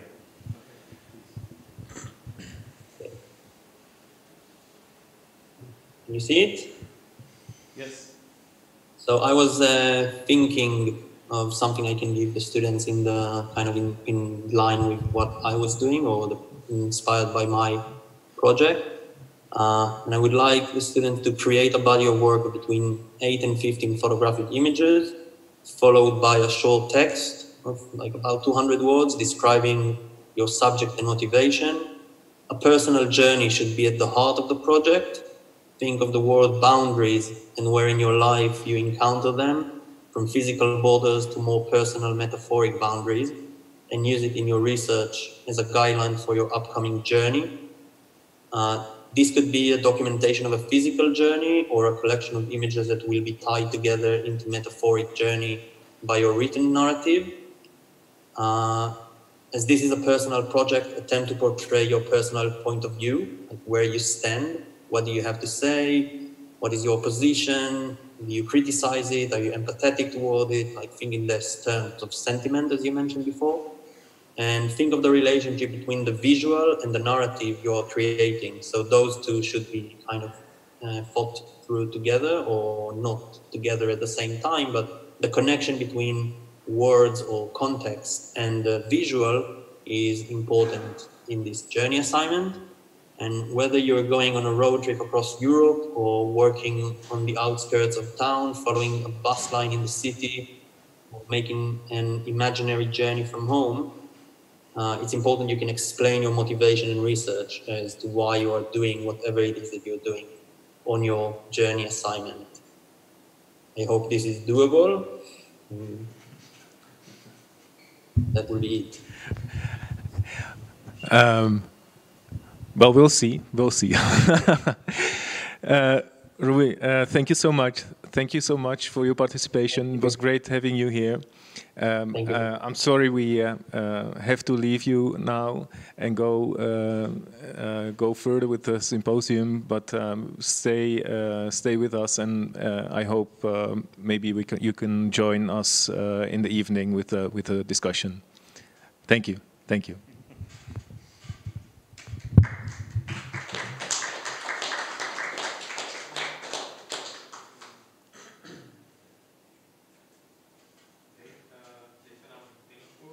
Takže, pardon, že jsme to přetáhli. Ne, já jsem Rozány napsal, že I wrote to Rosalia she to wait for a minute and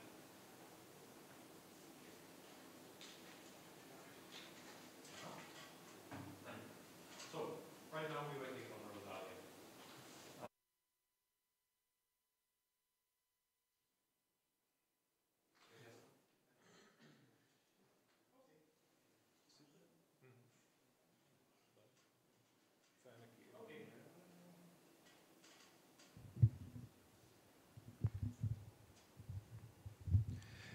So, hi, Rosalie. Nice to see you. Uh, Hi. Dakar. Welcome to uh, to our um, afternoon set of the symposium, and um, um, it's great to have you at our faculty the first time in this way. I hope it will work out to have you here next semester.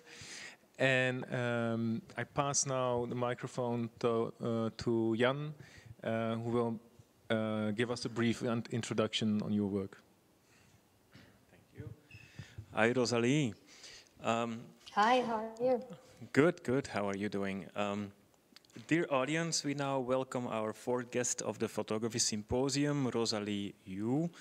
Uh, originally from Taiwan, she is currently doing a residency in London and is based in New York City, where she is a member of the 12 month program of the New Museum's New Inc., which is an incubator for art, design, and technology and brings together boundary pushing professionals who are innov- innovating the fields of inter- interactive art, gaming, architecture, film, uh, performing arts, uh, among others. Rosalie is an interdis- interdisciplinary artist who graduated in 2015 from the Interactive Telecommunications program at New York University's Tisch School of the Arts and holds a BA in psychology and film from UCLA, the University of California. To Boundaries Poetics of Conflict, Rosalie contributed two digital sculptures from her project Close to the Body of a Stranger to the online exhibition that we created and that features a new and in reality non existent black box space that the visitor can walk through virtually. Rosalie, so welcome to our uh, symposium of today, and I guess we are now ready to listen to your presentation. Thank you, Jen. I'm going to share my slide. Can everyone see it okay? Great. Um, hi, my name is Rosalie Yu. Um, like what Jen just described, I'm an artist and researcher. Um, I'm from Taiwan, but I'm based in New York. And I'm calling you from uh, London. It's uh, from the Delfina Foundation, where I'm currently doing an artist residency. And um, today, I think I uh, I will talk about the project that's in the exhibition and also uh, walk through other projects that's related to um, um, to the sculptures I'm displaying. Also explain you can kind of see the trajectory of um, my career as an artist. And yeah, so just to give a little bit context, um, uh, like what Jen described, um, I graduated um, from New New York University in 2015, and after that, I was doing research. I was associate researcher at the Columbia Journalism School, and my role is to bring new technology to uh, to the journalism school and thinking about how um, uh, how technology could help with storytelling. And uh, before that, I was also a resident at NYU. And um, I think this is just kind of explain how my work is situated. It's really process based and research based. Um, so just to start, um, my work and research explore a feminist take on emerging photo techniques and digitizing tools. And to do this, I often facilitate workshops and classes in which we explore the practice of reciprocity, shared intimacy, and look at how cross-cultural concepts shape our understanding of them.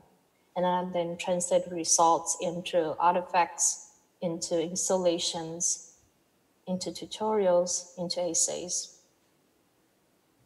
And the medium that I work with the most is called photogrammetry. It's basically the practice of stitching 2D images from multiple angles into 3D objects. And you can kind of see this medium as a transitional or a liminal medium between photography and sculpture. And um, I, you can kind of see, um, well, this techniques is rooted in the um, the science of measurement. And uh, because its proximity to uh, other medium, um, there is a lot of vocabulary that I borrow from sculpture and photography when I work. And this is um, this is how it looks like in the software. You walk around the object, you take photographs from all angles, and you stitch you stitch them into a 3D model.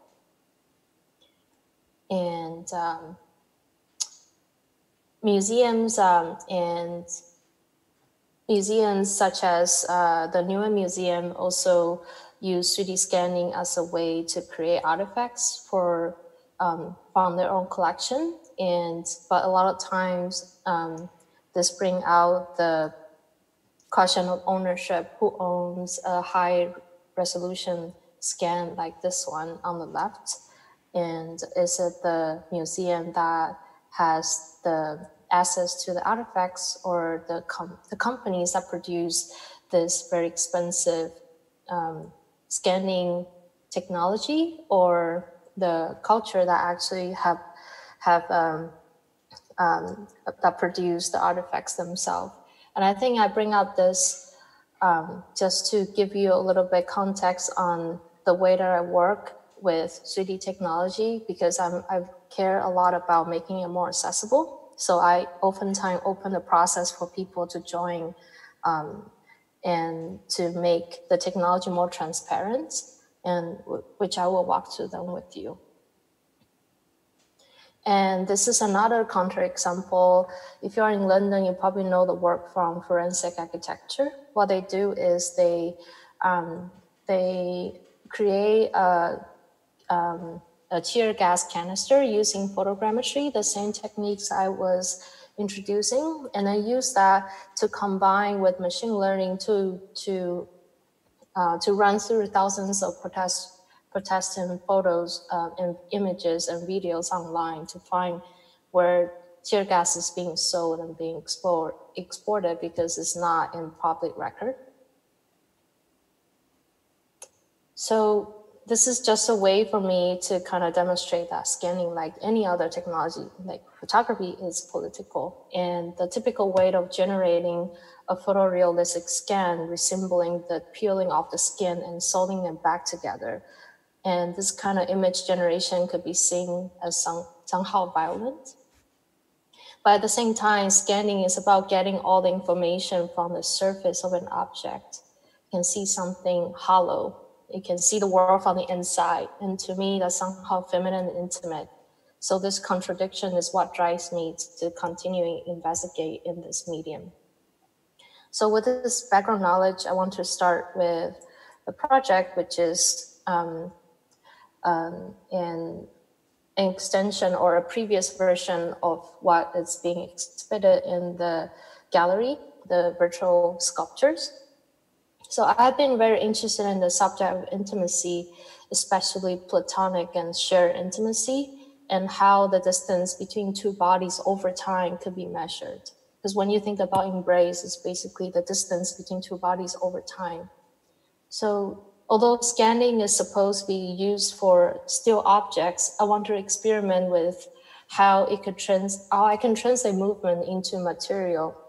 Um, and the slides that you're seeing is just to demonstrate that uh, the process of scanning is very similar to early photography because the subject need to stay for a long time and there's even devices to hold your body posture and so the technology, when whenever there's a new invention of new technology, um, you can kind of see how this technology kind of train our body or make our body behave in certain way. And this, uh, and in in regarding to 3D scanning, um, you can see that the person usually have to close their eyes, wear a pattern clothing, or have to um, stand still for a long time. And another uh, parallel is um, uh, usually scanning, you will see people scan like a dead animal or animal sleeping. And that is also very similar to still life paintings.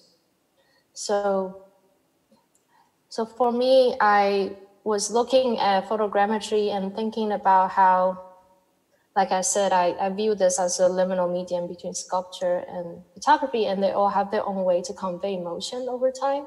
And how can I borrow that, borrow this vocabulary that's already established? So, um, so this uh, this sculpture, how it was made, was very, it was a very iterative process because I was looking at long exposure um, you create this mess of information on the left. But if I use uh, the aesthetic of, um, uh, it's called scanning, is basically you scan lines of pixel over time and you stack them together. So you create this continuous flow.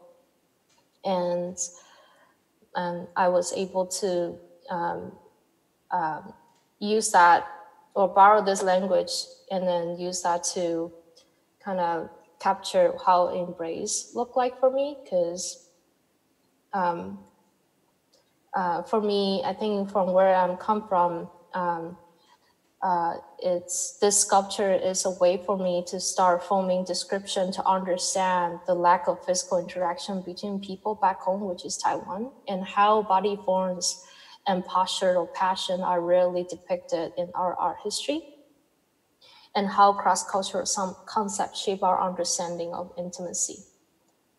And this is the version that you see in the in the gallery. And uh, um, the, in, the, in this case, this is an extension of this project. I take out my own model so people can walk in and to be wrapped around by the embrace.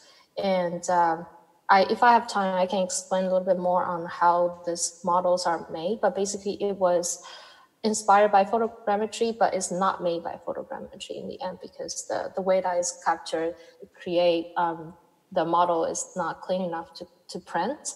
But um, if people are interested, I can talk more about it in the Q&A. So um, the next project I choose to talk about is called Knowing Together. I want to talk about this project because it's basically an extension of the project that you see in the exhibition. So instead of inviting people to uh, to have a one-on-one capture with me, I open up the process. I bring around 40 people uh, into a same room with me to do a one-day workshop. So I'll explain that workshop with you. So like I said, I'm very interested in shared intimacy and um, how to conduct or how to lead a workshop like that. And so uh, imagine you're in the workshop. The first, the first part of the workshop is uh, we learn how to establish a safe space. We learn how to give and receive attention to a total stranger by eye contact and then an embrace. And then we stand in a circle, a pair of strangers um, embrace in the center while the 40 participants take turns snapping photographs and pass the camera to the next person. And this video uh, kind of gives you an idea of how the camera traveled during the uh, during the workshop. So you can see like again in this photo, one person only take one photo and pass the camera to the next person. And in here is a bird's eye view. Each dot is where people take photos, and that's and the line is how the camera traveled.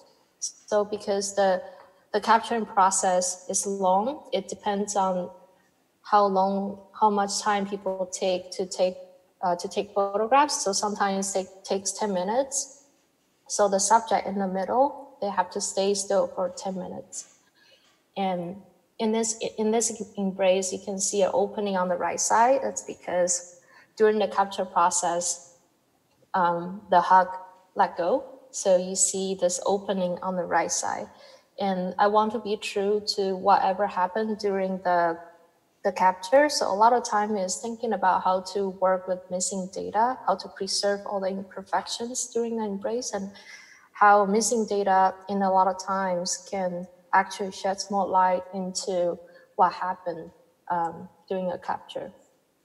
So like I said, um, a lot of time is thinking about how to preserve them in the printing process. And so I, um, all those photos are uh, stitched together and uh, turned into 3D model and being 3D printed.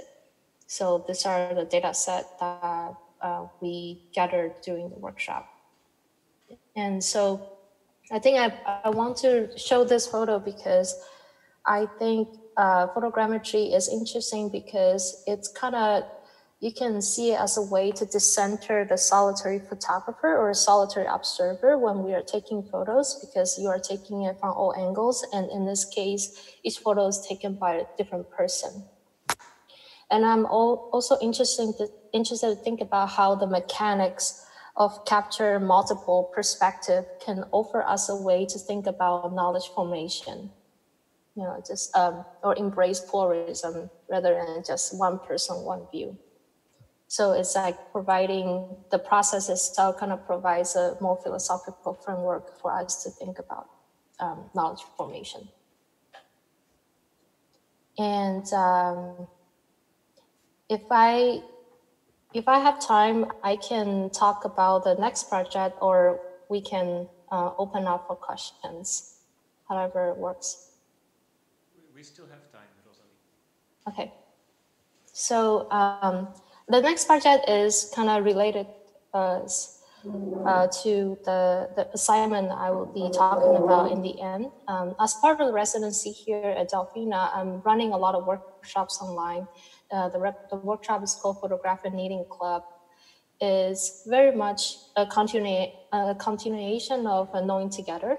It's also um, uh, testing the limits of um, mechanical objectivity and thinking about how do I combine the science of measurement with uh, the knowledge um, of our knowledge to a space that's more embodied, that's more local. And I'll explain what I mean by that. So um, I, like I said, I created this knitting club. I use the name knitting club. It's about a group of people come together, make something by hand from start to finish. But in this case, instead of yarn, we are knitting together images. It's still using photogrammetry and just using the mechanics as a as a metaphor to think about how um, we can look at digitizing tools from a more uh, a feminist uh, lens and also reframing digitizing tool as a digital craft. And so in the workshop, uh, we think about, we use our camera to capture our spaces and, or we kind of think about um, other more, other different ways we can observe our place that we have been, we have, we are inhabiting for so long, especially I think during the pandemic, um, um, uh, the space or the place, the space I am zooming in with you right now um, uh, is takes on different meaning. And because we have been spending uh, spending time in here for so long so um, part of the workshop is to think about how to use the process of uh, 3D scanning, which is taking a lot of photographs of the space to kind of defamiliarize um, the relationship between you and the space. uh, which I will use visuals to explain what I mean. Um, so uh, over here, you see this is the process of stitching photos in the software. And, and this is the end result of, from one of the participants. And what I'm really interested in is using the process um, of uh, photogrammetry to create this data portrait of how people capture their space. And so again, this is um, this is a bird's eye view of a diagram. The black square is the laptop, location of laptop. The triangle is where the person started taking the first photo of their space. And then the, the points are where they choose to capture and you can kind of see how they move. And the outer rectangle is the, the shape of the room. And this is another version. This is, I overlay all of the participants' uh, uh, data portrait on the top of each other and using laptop as an anchor to kind of align them. And I kind of, I like how this look like because it's almost, you can kind of see a pattern starts to emerge and almost like time and distance collapse for, and there's a sense of togetherness for a group of people that's isolated um, but connected at the same time. And uh, I so I ran a few workshops before, and these are some of the results. Um, I in so in the workshop we practice how to observe our space through um, hand drawings, also through 3D scanning, which is what you're seeing on the right. And this is some of the results people did. Um,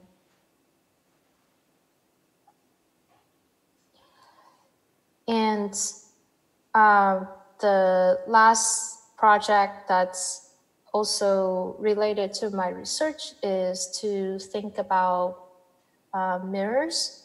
I think when Jane told me about uh, the the thing of the of the exhibition, I was thinking a lot about borders and artists versus the state um, because I I had a bit of visa problems for the last year, and I wasn't able to enter um, enter United States for a long time, and and I was also thinking a lot about uh, mirrors, which is all mirrors is something that's always presented in the camera. Uh, a camera needs a mirror to function, but mirrors in 3D scanning is uh, a glitch factor. You cannot include anything that's reflective in the mirror.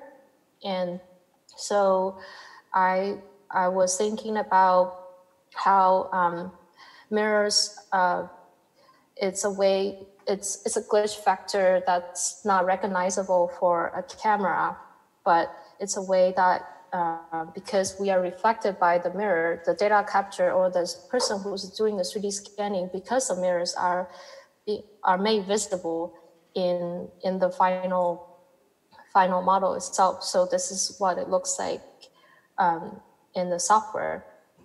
So um, I am doing a project about um, uh, introducing this glitch factor into the software just to break the software uh, to break the software as a way to see how the software work. And this is uh, me um, because there's a mirror present in the space that you can actually see the person who's capturing the space in the 3D model itself. And I think I want to reflect back to uh, what I said about borders is I think a lot of times um, for, uh, for artists like me to stay in a foreign country, a lot of time we have to make ourselves legible to the government so that they're able to um, you know, determine if you're a real artist. And I think, uh, but a lot of times to be a creative person that you want to have some kind of um, uh, flexibility in in what who what you want to create or who you want to be. And I think uh, making this project is kind of a way for me to kind of reflect on this um, contradiction. um, if that makes sense. Um, yeah, so I think we have five minutes left. I can talk a bit about the assignment, or um, Jane, I would give back to you. Thank you. I think now is a now is a great moment to uh, welcome the questions of uh, our audience. Um, I will start with uh, a question, if you don't mind, Rosalie. Um, Yes.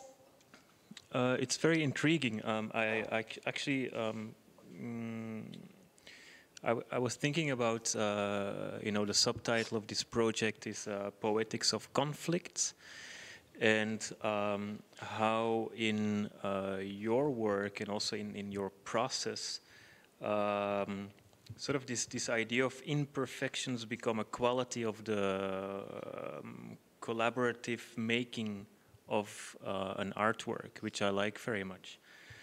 Um, I was thinking like, you know, the, the, an embrace, a staged embrace, sort of as a, let's say, performance, uh, uh, and as a subject for a documentation via photogrammetry, um, which is a participatory process in the physical space, becomes then or is then introduced into the digital process and system. Uh, that sort of adds a whole new layer of uh, fragility to the project. Um, and I was also thinking about, uh, you know, there's okay, there's an, an, another layer of fragility, but there's also an, another layer of, uh, or a different consciousness, um, sort of one between the participants and uh, and the intelligence of the the the, the, the, the um, digital process that you uh, incorporate in your work. It's not really really a question, uh, but can you reflect on what uh, what I said? Yeah, thank you for uh, thank you for your reflection. I think um, I think what uh, for for knowing together a lot of the a lot of the thing that we are doing or what I was thinking about is really pushing the limits of um, pushing the limits of uh, mechanical objectivity is um, how how uh, photogrammetry is supposed to work. And is there a way that i can kind of open up the process and include people in the process as a way to um, kind of test if there's other ways i can work with this medium? So and i think i i'm not sure if i i uh, directly answer your question, but I think a lot of time when I'm thinking about this, um, I'm thinking about this uh, book called Data Feminism. is um, a book by Catherine D'Ignazio and uh, Laura Klein. Is uh, they're talking about uh, when artists working with technology or working with data.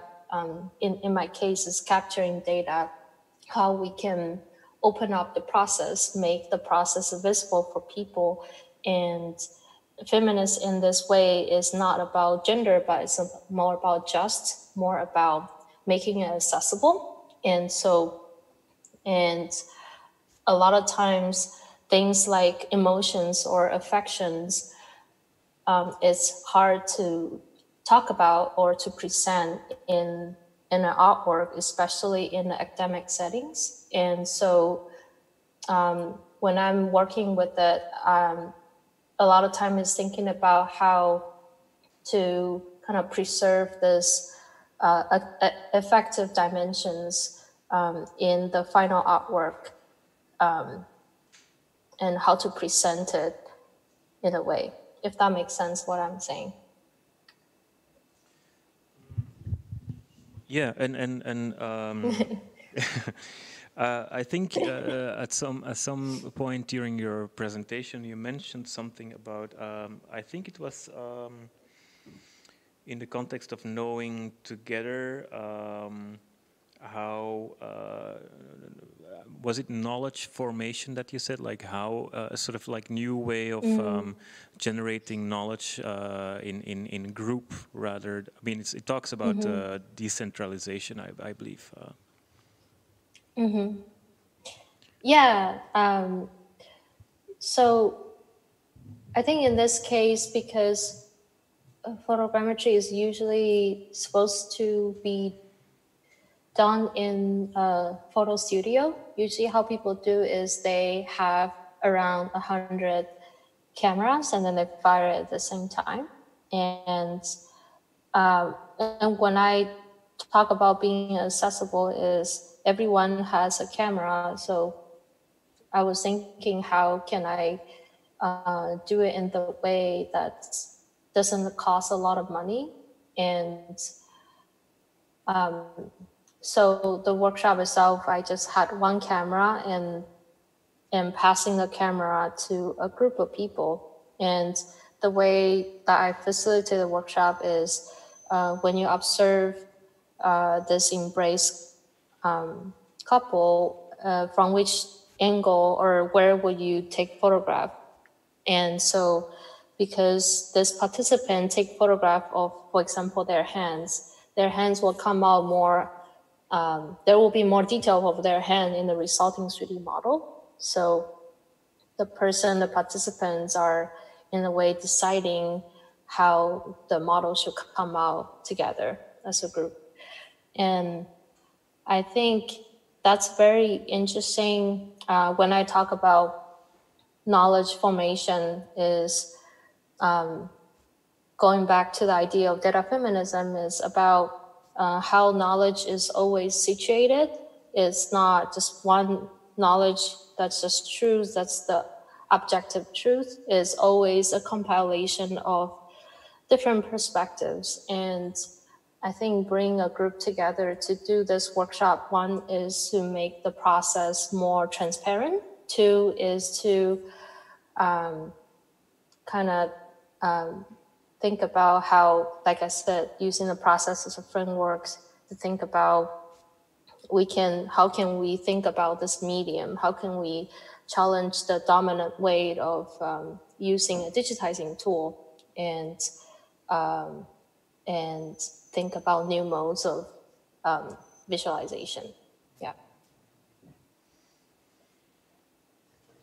Rather than just um, extracting information, how people use, uh, a lot of people use or think about 3D scanning.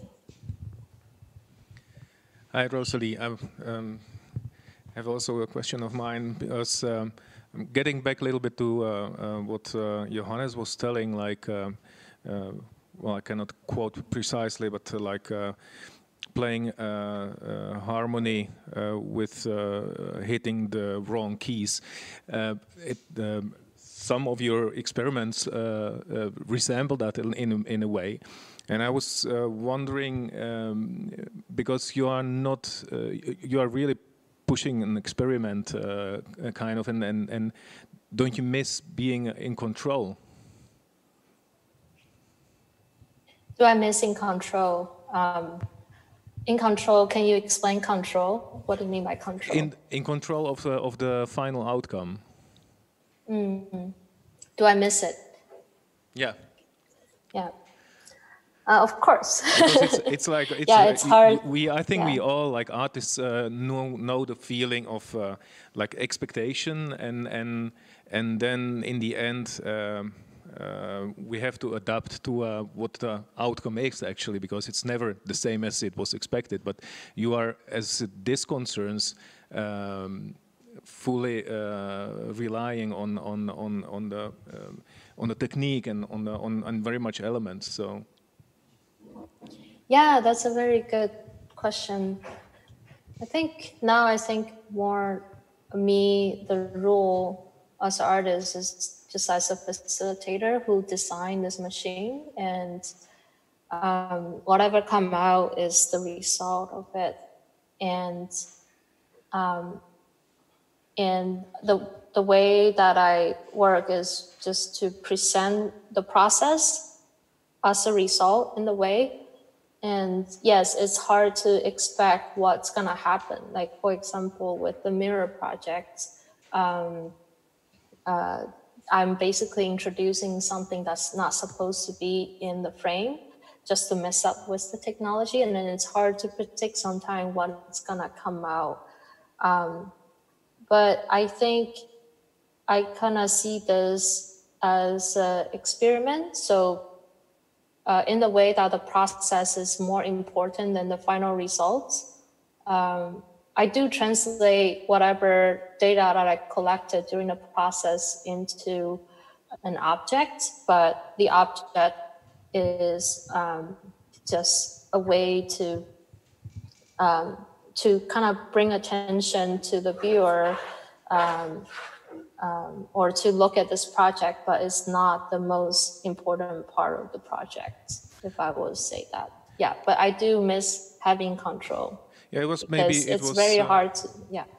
Uh, sorry, uh, I think maybe that was uh, that was uh, like also the the thing which made me think of it because um, uh, I was wondering about these objects actually these these these final objects uh, what kind of role they they play. Is it try, like trying to um, reach uh, something tangible and and and, and visual and and and solid?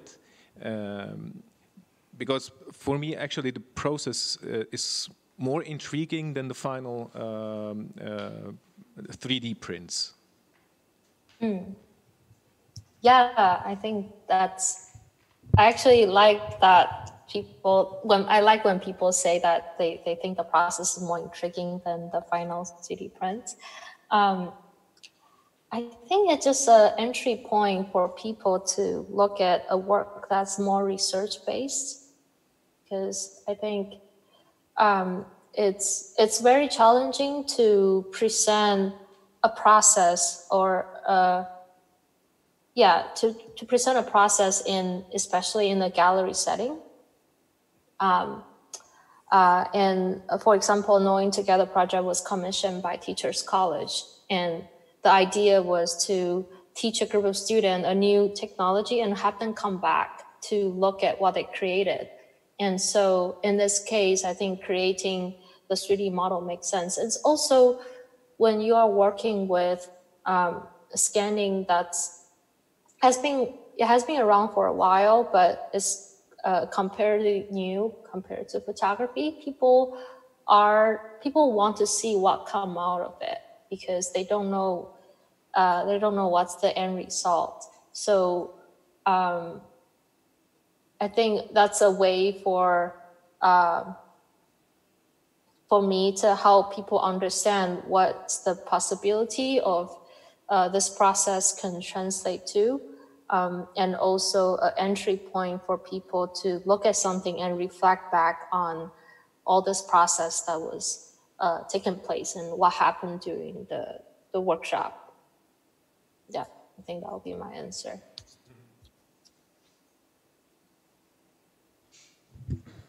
Um, I think now is a is a perfect moment to uh, introduce to the students of photography uh, your uh, assignment or the, the idea that you have uh, for them to to work with them in uh, the nearby future. Okay, I will share my screen again. I hope you guys can see my screen. Okay, great. Um, I think uh, the uh, for the assignment, I actually prepare a tutorial, which uh, the tutorial is on this page. Um, you're welcome to take a photo of this to visit the site, or I can send it to Jen and and distribute to you guys. Um, this is a tutorial that I put together on how to do uh, photogrammetry yourself. It's a it's very detailed. It's step by step. So um, and uh, with this technical uh, background, I um, the assignment that I have for everyone is to uh, use this technique to observe your your own room and uh, follow the steps on how to um, um, how to do a photogrammetry of your space. And um, uh, the step you can think about it as uh, a way to spray paint your room um, to paint in all the details of your room using photographs. And then um, uh, a the the process you can also think about it as uh, stitching photos together um, of your room, and there should be a lot of overlaps between the photos, and you can also take individual objects or scan individual objects in your room. And I put in some details here. You take around 100 photos of your room, and you can also scan objects in your room, 10 photos each, and you can either capture mirrors in your room.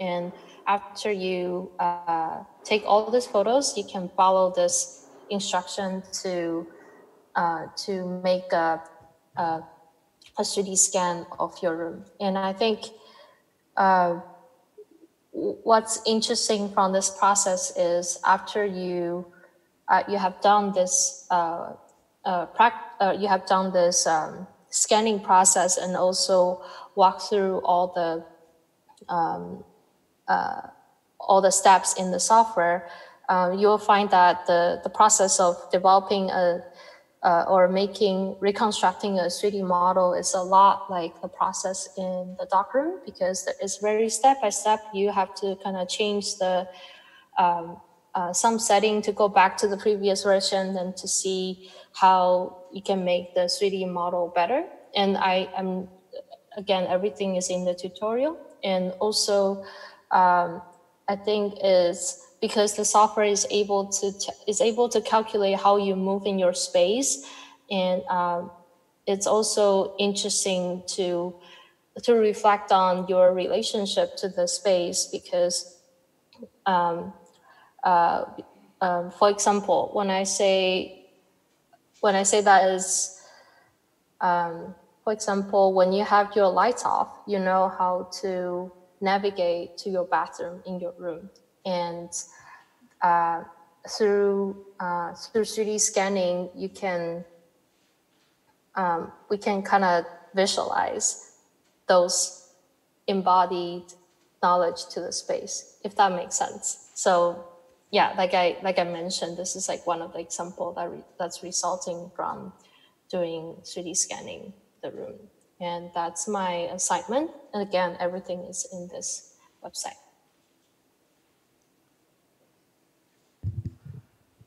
Well, Rosalie, thank you so much. Thank you so much taking thank part you. today on the on the symposium. Um, um, we will stay in touch, and and if everything goes well, then we will be in in in. Um, uh, in cooperation next semester, which I'm very much looking forward to. Thank you again. Thank, Thank you so you. much. Bye.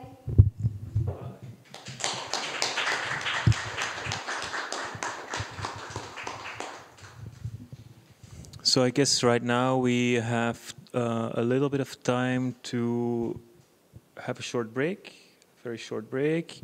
And uh, at uh, 3.30 we have scheduled a performance of uh, Ondřej Líbal, student of uh, multimedia. Okay, so short break and then we will be back soon. Thank you.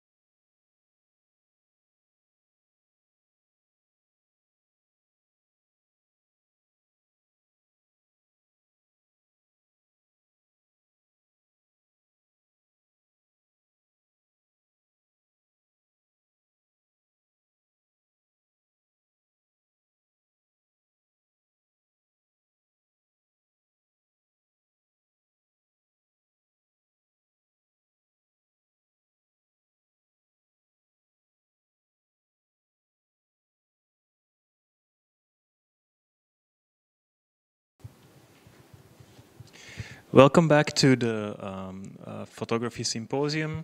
We now uh, have a short intermezzo, which is a, a performance by Ondřej Líbal.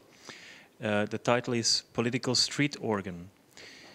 It is an artistic response to the current time's global resurfacing of political indoctrination.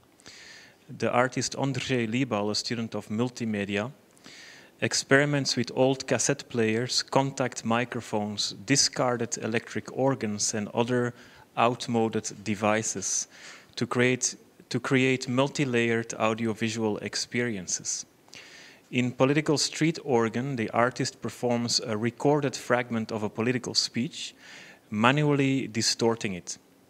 His self-made box and the way to operate it are reminiscent of a street organ, that normally would amplify pleasing melodies, evoking a coincidental soundtrack to urban life.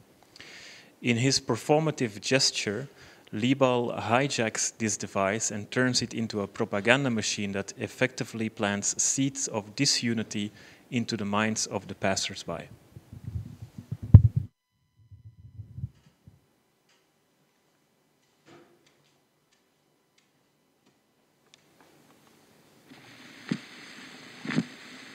Čau lidi, je to kampaň Senegalu moc milé.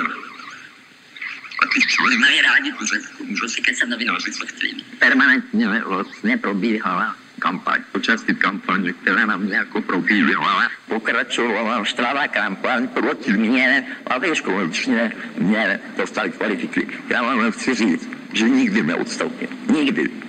Nech si to všichni zapamatují. Nikdy. Já vám chci říct, že nikdy neodstoupím. Nikdy.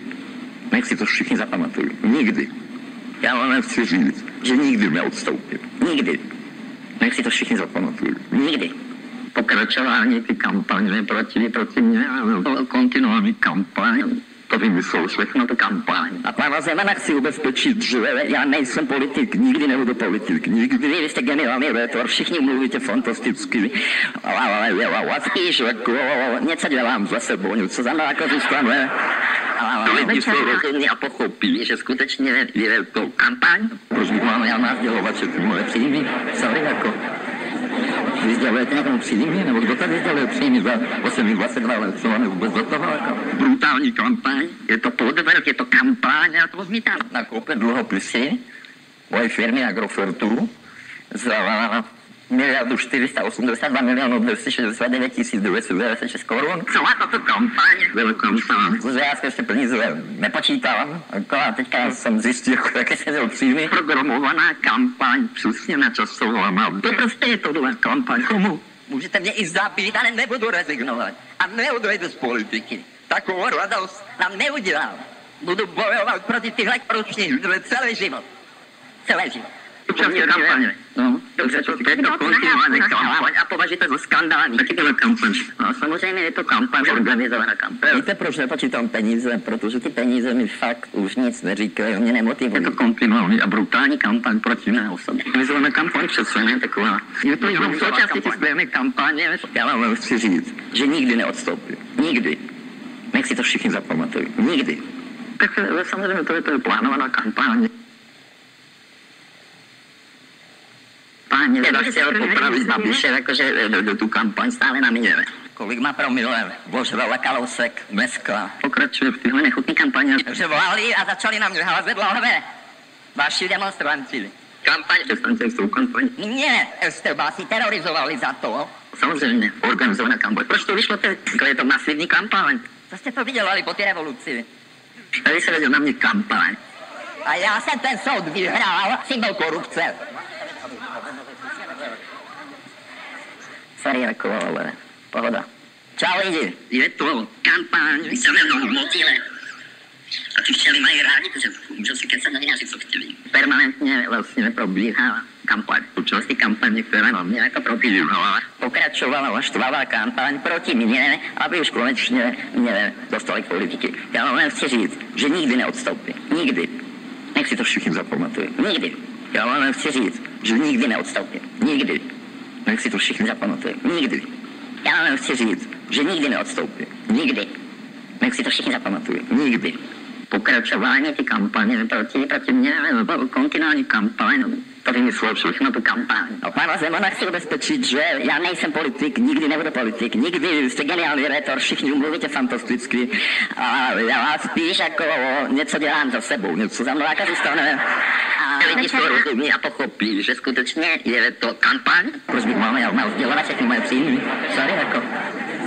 Vy sdělujete někomu příjmy? Nebo kdo to vyzděluje příjmy za 822 let, co máme vůbec za toho? Jako? Brutální kampaň. Je to podvrat, je to kampaň, já to odmítám. Nakoupil dluhopisy mojí firmy Agrofertu za miliardu 482 milionů 269 tisíc 926 korun. Celá tato kampaň byla kampaň. Protože já skutečně peníze nepočítám, jako teďka jsem zjistil, jaké se za příjmy programovaná kampaň, přesně načasovaná. To prostě je tahle kampaň. Komu? Můžete mě i zabít, ale nebudu rezignovat. A neodejdu z politiky. Takovou radost vám neudělám.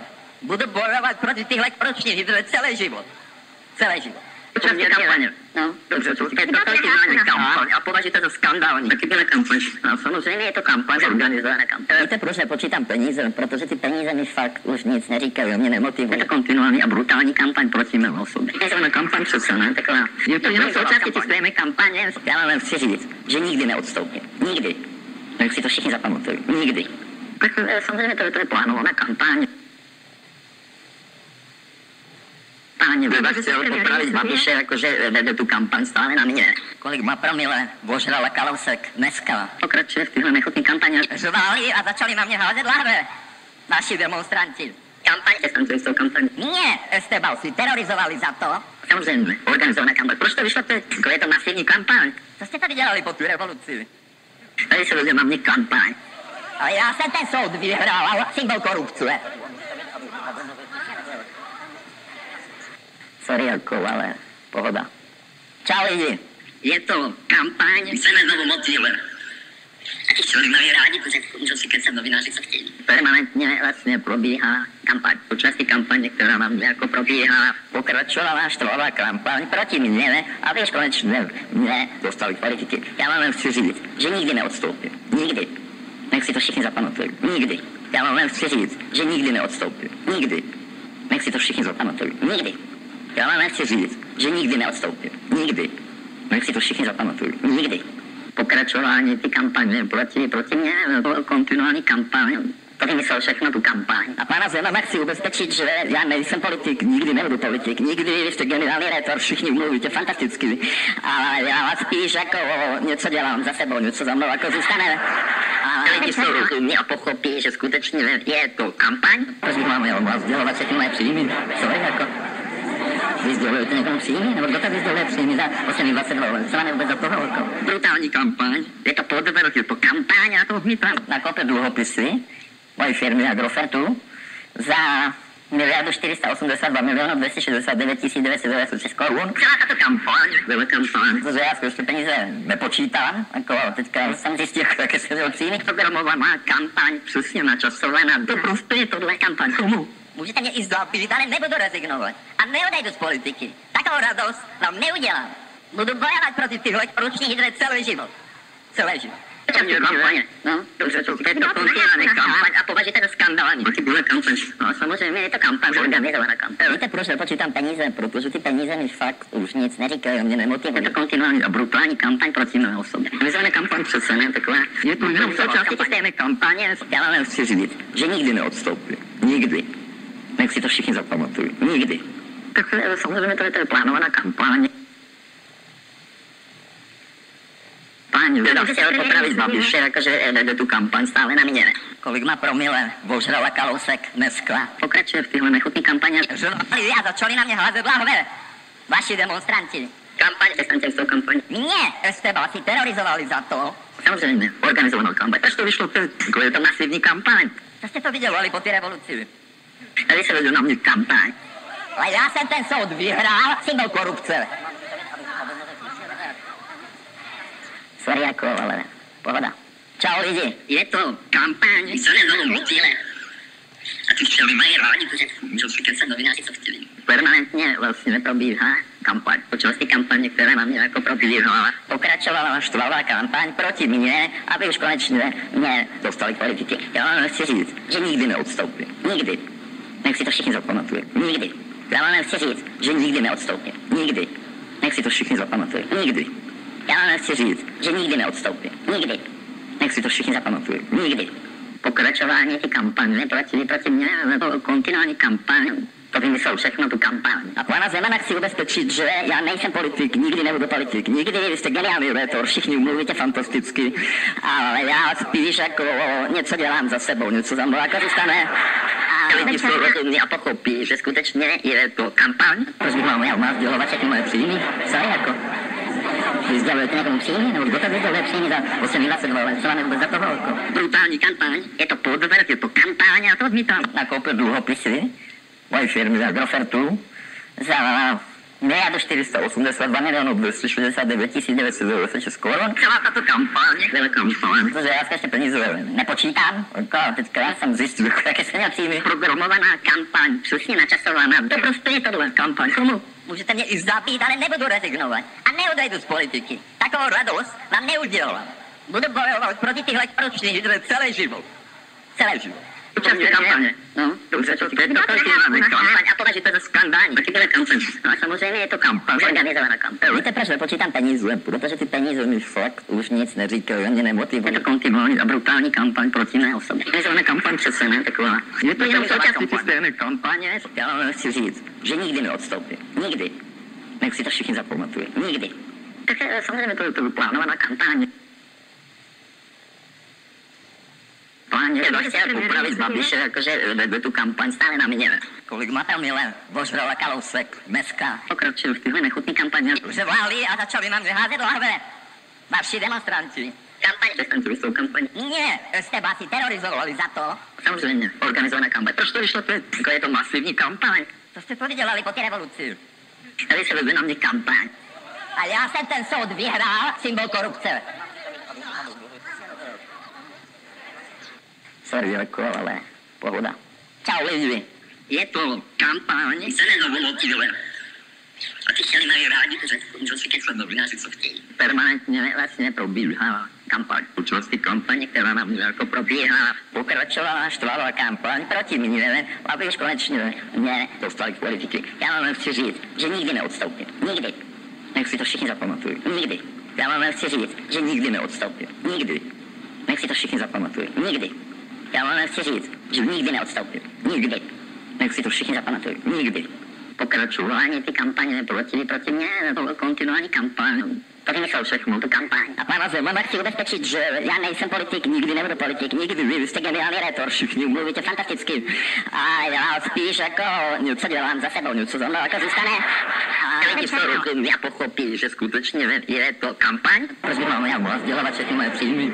Sorry, jako vy sdělujete nevím, příjmy, nebo kdo to sděluje příjmy za 822 let, co máme vůbec za to válka. Brutální kampaň, je to podvrat, je to kampaň, já to odmítám. Nakoupil dluhopisy moje firmy Agrofertu za miliardu 482 milionů 269 996 korun. Celá tato kampaň byla kampaň. Protože já skutečně peníze nepočítám, jako a teďka jsem zjistil, jaké jsem měl příjmy. Programovaná kampaň, přesně načasovaná. To prostě je tohle kampaň. Komu? Můžete mě i zapít, ale nebudu rezignovat. A neodejdu z politiky. Takovou radost vám neudělám. Budu bojovat proti tyhle pročních celý život. Celý život. Účastní kampaně. No, dobře, to je to kontinuální kampaň a považujete to skandální. Taky byla kampaň. No, samozřejmě je to kampaň, organizovaná kampaň. Víte, proč nepočítám peníze? Protože ty peníze mi fakt už nic neříkají, jen nemotivují. Je to kontinuální a brutální kampaň proti mé osobě. Organizovaná kampaň přece ne, taková. Je to jenom součástí ty stejné kampaně. Já vám chci říct, že nikdy neodstoupím. Nikdy. Nech si to všichni zapamatují. Nikdy. Tak eh, samozřejmě to je, to je plánovaná kampaň. Pán Juda chtěl popravit Babiše, jakože vede tu kampaň stále na mě. Kolik má promile? Vožrala Kalousek dneska. Pokračuje v tyhle nechutný kampaně. Řvali a začali na mě házet lahve. Vaši demonstranti. Kampaň? Přestaňte s tou kampaň. Mě jste vás si terorizovali za to. Samozřejmě, organizovanou kampaň. Proč to vyšlo teď? Je to masivní kampaň. Co jste to vydělali po té revoluci? Tady se vede na mě kampaň. A já jsem ten soud vyhrál. Se. Sorry, jako, ale pohoda. Čau lidi. Je to kampaň. Se neznovu motivuje. A ty chtěli mají rádi, protože můžou si kecat novináři, co chtěli. permanentně vlastně probíhala kampaň počas ty kampaně, která na mě jako probíhá, pokračovala štvala kampaň proti mně, aby už konečně mě dostali k politiky. Já vám chci říct, že nikdy neodstoupím. Nikdy. Nech si to všichni zapamatují. Nikdy. Já vám chci říct, že nikdy neodstoupím. Nikdy. Nech si to všichni zapamatují. Nikdy. Jo, ale chci říct, že nikdy neodstoupím. Nikdy. Nech si to všichni zapamatují. Nikdy. Pokračování kampaně proti, proti mně, nebo kontinuální kampaň, to vymyslel všechno tu kampaň. A pana Zemana chci ubezpečit, že já nejsem politik, nikdy nebudu politik, nikdy jste geniální rétar, všichni mluvíte fantasticky, ale já spíš jako něco dělám, zase něco za mnou jako zůstane. Ale lidi jsou rozumní a pochopí, že skutečně je to kampaň. Proč bych vám já mal sdělovat všechny moje příjmy? Sorry, jako. Vy sdělujete někomu příjmy? Nebo kdo tady sděluje příjmy? Za poslední 20 let, co máme vůbec za toho jako? Brutální kampaň. Je to podvrh, je to kampaň, já to odmítám. No, koupil dluhopisy mojí firmy Agrofertu za miliardu 482 milionů 269 tisíc 296 korun. Celá tato kampaň byla kampaň, protože já skutečně peníze nepočítal. Jako a teďka jsem zjistil, jaké jsou jeho příjmy. Programovaná kampaň, přesně načasovaná. To prostě kampaň tomu. Můžete mě i zabít, ale nebudu rezignovat. A neodejdu z politiky. Takovou radost vám neudělá. Budu bojovat proti tyhle ruční hydre celý život. Celý život. Počasně kampaně. No, dobře, to teď kontinuální kampaň a považujete za skandální. Tak to byla kampaň. No, samozřejmě je to kampaň organizovaná kampaň. Víte, proč nepočítám peníze? Protože ty peníze mi fakt už nic neříkají ani nemotivují. Je to kontinuální a brutální kampaň proti mé osobě. Organizovaná kampaň přece mám taková. Je to jenom součástí ty stejné kampaně. Jo, ale chci říct, že nikdy neodstoupím. Nikdy. Nech si to všichni zapamatují. Nikdy. Tak eh, samozřejmě to je plánovaná kampaň. Teda chtěl popravit Babiše, jakože vede tu kampaň stále na mě. Kolik má promile? Ožral Klausek dneska. Pokročí v těchto nechutný kampaně. Že nálí a začali na mě házet láhové. Vaši demonstranti. Kampaň, přestaňte s tou kampaň. Mě, Estebasi, terorizovali za to. Samozřejmě, organizovaná kampaň. Proč to vyšlo? Jako je to masivní kampaň. Co jste tady dělali po tu revoluci? Tady se vede na mě kampaň. A já jsem ten soud vyhrál, symbol korupce. Sorry, jako, ale pohoda. Čau lidi. Je to kampaň. Se nezavolal cíle. A ti včely mají rádi, protože můžu si kecat na vinařství. Permanentně vlastně probíhala kampaň. Počas ty kampaně, která na mě jako probíhá, pokračovala štvala kampaň proti mně, a už konečně mě dostali k politiky. Já vám nechci říct, že nikdy neodstoupím. Nikdy. No, si to všichni zapamatují. Nikdy. Já vám chci říct, že nikdy neodstoupím. Nikdy. Nech si to všichni zapamatují. Nikdy. Já chci říct, že nikdy neodstoupím. Nikdy. Nech si to všichni zapamatují. Nikdy. Pokračovala ty kampaně proti, proti nebo kontinuální kampaň. To vymyslel všechno tu kampaň. Pana Zemana chci ubezpečit, že já nejsem politik, nikdy nebudu politik. Nikdy vy jste geniální rétor, všichni mluvíte fantasticky. Ale já spíš jako něco dělám za sebou, něco za mnou jako zůstane. Ale lidi to rozumí a pochopí, že skutečně je to kampaň. Proč bych mám já mal sdělovat všechny moje příjmy? Sorry, jako vyzdal Lecenek vnitřní, Novrata vyzdal vnitřní, měla 8 hlasů, dva co máme vůbec do toho? Jako? Brutální kampaň, je to podvrat, je to kampaň, já to odmítám. Nakoupil dluhopisy moje firmy na Grofertu za miliardu 482 milionů 269 996 korun. Celá ta tuka.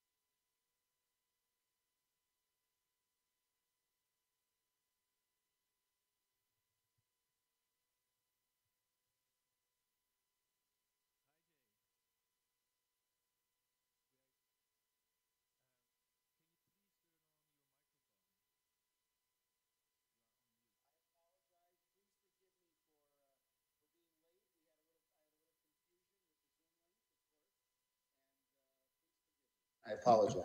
No problem, no problem at all. So, hi, nice to see you, and hi, nice to have you with us today. You are Thank you. our last speaker today, and um, um, it's great to have also somebody from uh, Columbia College. Uh, last year we had uh, Ross with us here in uh, in Pilsen. It was a great experience. Uh, we also had an uh, opportunity to visit. Uh, well, it was the, basically the last chance to travel from Europe to the United States when we, in February last year, visited, um, or, or this year actually, uh, uh, Columbia College. We've seen uh, some of your students. We spoke about cooperation, um, which uh, didn't work out uh, this year because uh, because of evident reasons. Uh, but I'm very glad that uh, we can meet uh, at least in this way. And um, very warm wel- welcome to you. We, uh, as uh, to uh, describe the situation for you, we are here with uh, together with uh, a couple of students because we have like limit uh, 20 persons per uh, uh, room, so these are limitations. Uh, there are um, uh, there are a number of people following us online. So that is our audience, and I give now the microphone to Jan, uh, who will do a brief introduction uh, to your work. Hi, Jay. Mm, our last guest of today's symposium is Jay Wolke. Jay is based in Chicago, but at this moment you are in Georgia, I believe, I am. I'm in Yes. Atlanta, Georgia. Yeah. in Atlanta. Uh, Jay is currently a professor of photography at Columbia College, where he also served as chair of the art and design department. His photography can be found in the collection of, collections of MoMA, Whitney Museum of American Art, the Art Institute of Chicago, the Museum of Fine Arts in Boston, the San Francisco Museum of Modern Art, the St. Louis Art Museum, among many others. Exhibitions in which he participated were organized mainly in Italy and throughout the United States, and of course now also in our Pilsen, Czech Republic. The works of J. Wolke that were uh, included in the exhibition Boundaries Poetics of Conflict are part of a project that is ongoing and that are the result of a repetitive process of scanning and digitally distorting physical edges to the point of abstraction. Jay, after we spoke on the telephone, I wrote you in an email that, uh, in my opinion, your project Edges comes out of a process of building and deconstructing, rebuilding, and eventually sort of uh, freezing the image when it appears most fragile, most tense, most on edge, which provokes a certain uh, rejection of any form of uh, security. If you can agree with this observation, then uh, now it is a good time to share with us your art and uh, photography projects. If you if you don't agree with this observation, then it's also a good time to start with your uh, you know presentation. So we are ready and listening. Thank you. Well, thank you both very much for the kind words. And yes, uh, Columbia College has been really um, uh, happy to work with you folks, and uh, I'm very happy to be here with you. So uh, I know we're a little late, so I'll get going here. Um, so what I've done is I've put together a, um, a, few photographs, and in fact, Jan saw them when I proposed uh, some work for the show. I'm going to show the ones that I actually um, showed to you, Jan, which has examples from three different projects, um, just to get an idea that uh, I have been essentially uh, examining the idea of borders, boundaries, buffers for my entire 40 year career. Um, and most of my work could be seen that way given the right framework. So, what I'm going to do here is uh, firstly, I'm going to start. Oh, I better, I'll share my screen. And let's see here. Okay, can you see that list that's up right now? Yes, yes we do. You see that? So I've made a list here and it's pretty extensive. There's some overlap, obviously, in some words that might mean similar ideas, but all of these are ways in which I believe you can uh, consider the idea of a boundary. Uh, we often think of boundaries as uh, being spatial, but they're also non spatial. There are conceptual boundaries, cultural boundaries, as I say, physical, virtual, vertical, horizontal. We think of boundaries as being on a horizontal plane, but in fact, much of the world is based on vertical boundaries where air rights are actually part of the boundary system, things we cannot tangibly see. And I've spent a, a whole career dealing with this kind of idea. In fact, this list is, I, I, I, was told I had to give an assignment. So, just briefly, this list will be the um, the uh, inspiration, I hope, for students. And I've asked them to make images that address two types of these boundaries. Uh, so you can pick two of these and make images that deal with those uh, kind of factors. So that was my idea.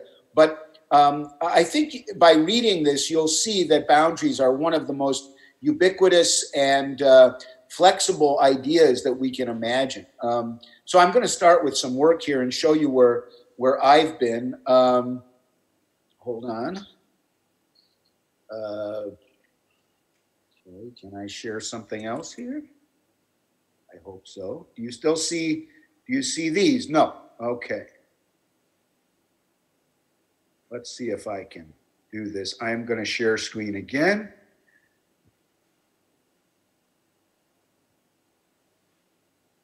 You see that now? Okay. Yes. Very good. So, um, what we're doing, what I'm going to show you here are some images from three different periods in my photographic career. Um, the first group I'm going to show you are actually images that I made over 30 years ago in Las Vegas, Atlantic City, and Reno, Nevada. And at that time, in the late 80s, these places were the only places you could go to gamble in the United States. This is where gambling was legal. And at the time, I was looking for places where people go to have a temporary change of of um, emotional state, of private emotions in a public venue. And these cities are, were designed for that kind of temporary transformative psychological state. People go there essentially to cross the boundaries of their own individuality. They will move into other spaces and ideas and proximities um, based on their need and their desires. So I went to these cities looking not just at people that gamble, but how the cities are organized physically and psychologically in order to facilitate a certain kind of boundary crossing. So I'll show you a few of these images, um, and, and you can see in each one of the ones I've shown, there is some demarcation, some kind of a boundary. So obviously, here's a man going to the edge of his property to receive his mail. Uh, here's a man who decided this was the correct space to have a suntan. And again, the idea of what constitutes normalcy and how we cross over or accept that normalcy is part of our consideration as human beings. And so, again, this is a boundary I believe that's been crossed, and that's in terms of comfortability. Here are two people playing golf right next to an airport. So, again, very fuzzy, very gray uh, borders. A man on the boardwalk at Atlantic City. And of course, there are uh, symbolic boundaries. Here, we know that in Atlantic City, you'll see a couple of others where there is economic separation between people. And so the idea of these cities where there are these huge statues and advertising and artifacts and architecture that symbolize wealth and the uh, winning of wealth. In fact, the reality is people don't get that wealth. And there is a huge disparate population of poverty and people who go there and are not connected to the dreams that these places have. And in fact, the name of this book, which I published this work just a couple of years ago, uh, even though it was made many years ago, Kehrer Verlag just published this book a couple of years ago, and it's called Same Dream, Another Time. Here's another Atlantic City shot. Here's a man in his, his trailer, again, looking out beyond the borders of his home.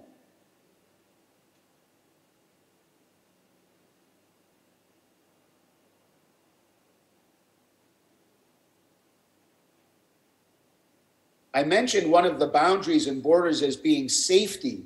And this one really challenges this notion of what is a safe border and what is not a safe border, and how we choose to either be afraid or not. In this case, this family decided it was just fine to rest on a median strip in a very busy street in Las Vegas. And then we see this picture, which absolutely crosses over sexual boundaries, cultural and social boundaries. And here is a fight in the middle of a street in Las Vegas. Um, and again, this one breaches emotional and um, psychological boundaries.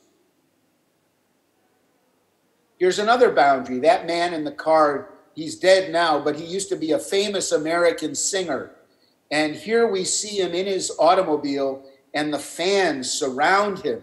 And the only thing separating these two worlds is that glass between him and the crowd.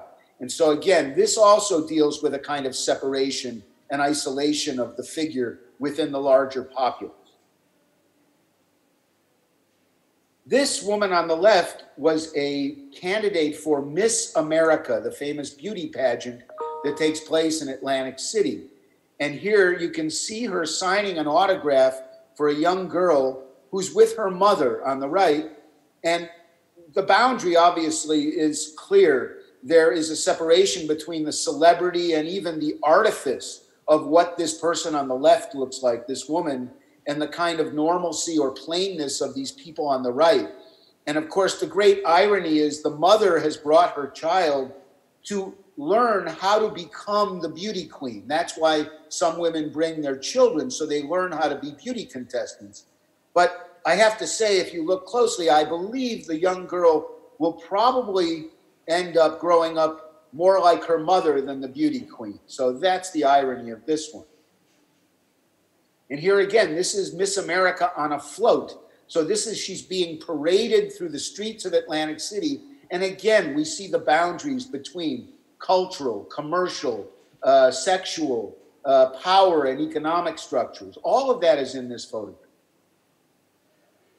And here's another similar one. The man up in the uh, banner up there is a very famous prize fighter. And this was one of the most famous fights that happened in 1988 in Las Vegas. And again, we see the populace and all the fans. Uh, they still want to go to the event, but they're not going to go to the event. All they can do is stand outside the hotel where the event is taking place. So the symbol of the man in the banner is uh, symbolic of them crossing over the boundary and being in the space, but of course they can't be there. Here's another boundary between a, a man who is obviously not in the limousine with all the crushed velvet, but is uh, gawking at it. And then finally, this is a man getting off a bus in Atlantic City, and you can see the layering of all of the symbols that represent different types of states um, that this person hopes to be able to conquer during his trip in Atlantic City. So those are those photographs. And they basically discuss more of the emotional and psychological boundaries. The next body of work, which I am now working on, in fact, I'm here in Atlanta shooting more photographs, and it's um, it, it, has a very uh, a very boring title at the moment. I'm, I'm I'm working through my list of titles, but right now the working title of this is called Building Place, and of course, place has a great deal to do with things like boundaries. Um, and even something as tentative or as temporal as this little rope signifies a boundary. So these photographs are done with four by five, and they're all landscape architecture. Some include some figures in it, but they are really meant not to include the figure as the primary motivator of the image or the driver of the image, but rather concentrating on artifact, architecture, and especially how nature is affected by man made incursions. And a lot of this has to do with the earmarks and artifice of how place is defined. And here we see these, these definitions as clear boundaries in the landscape. So I'll just go through some of them.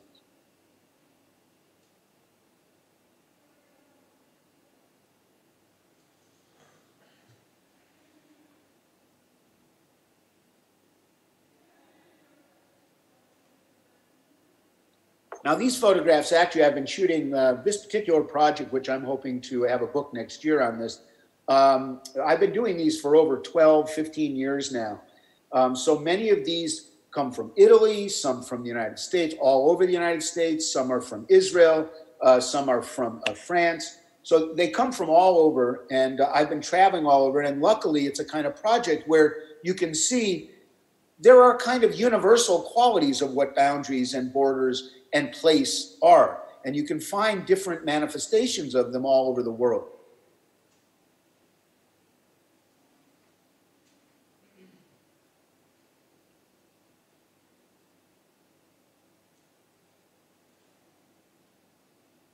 I don't have images of this project with me today, but one of my uh, first projects, which was a five year uh, photographic uh, documentary of the most busy and dangerous expressway or highway in the United States called the Dan Ryan Expressway, and it's called Along the Divide. And in fact, that was all about how a road becomes a linear boundary, one that separates rich people out in the suburbs and poor people in the city. And these roads were designed in order to bring more affluent people away from the city and essentially separate them from the city and still allow them to come in to work. So the reason I say that now is because you're looking at some, this is uh, down in Calabria in Italy, and here is a, an abandoned tunnel. So obviously somebody had the same idea of uh, trying to create a, a boundary or a border that could get them out of this space, but it was abandoned. So I guess they're still there. This is a 2,000 year old Roman mausoleum uh, and it was it's a ruin along the Via Appia in Rome. And here we see uh, actually a blue mattress, which is being used by a prostitute, and uh, that person is taking uh, clients all day long into this 2,000 year old mausoleum. Um, and again, if, the idea of even historical boundaries come into play Here's another set of, um, of contrasts that deal with history. On the right is a World War II um, lookout tower during the war, and it still has its barbed wire around it and everything. And right across the street is a multi million dollar villa. So, again, the idea of historical and physical boundaries coming together. This is sort of a funny one. This one is in uh, Trieste, up in the northeast of Italy. And here is a family who has their home, and in this case, a little playhouse for their grandchildren. And they're right next to the highway and the factory. And here again, we see this, this pushing together of various artifacts that creates this tension between boundaries. That's part of this project. This is a very recent one I did uh, just a few weeks ago uh, in um, uh, where was this? Pittsburgh, Pittsburgh, Pennsylvania. And we see, uh, you can tell there's people camping under a, a viaduct, a bridge here, and all of these other states of the city uh, unfolding behind it. This is in Israel. This is a little exercise area, a very strange little place uh, where I guess people go to exercise, but it, has got a very a tentative border or wall here. This is just your average fiat inside of an apartment building.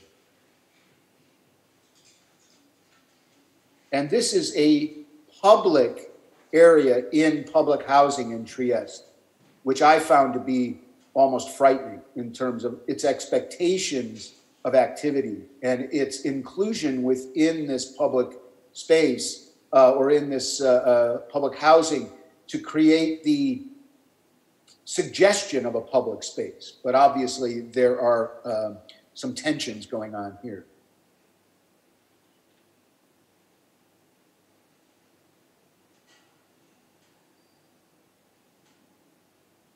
This is in Miami, Florida.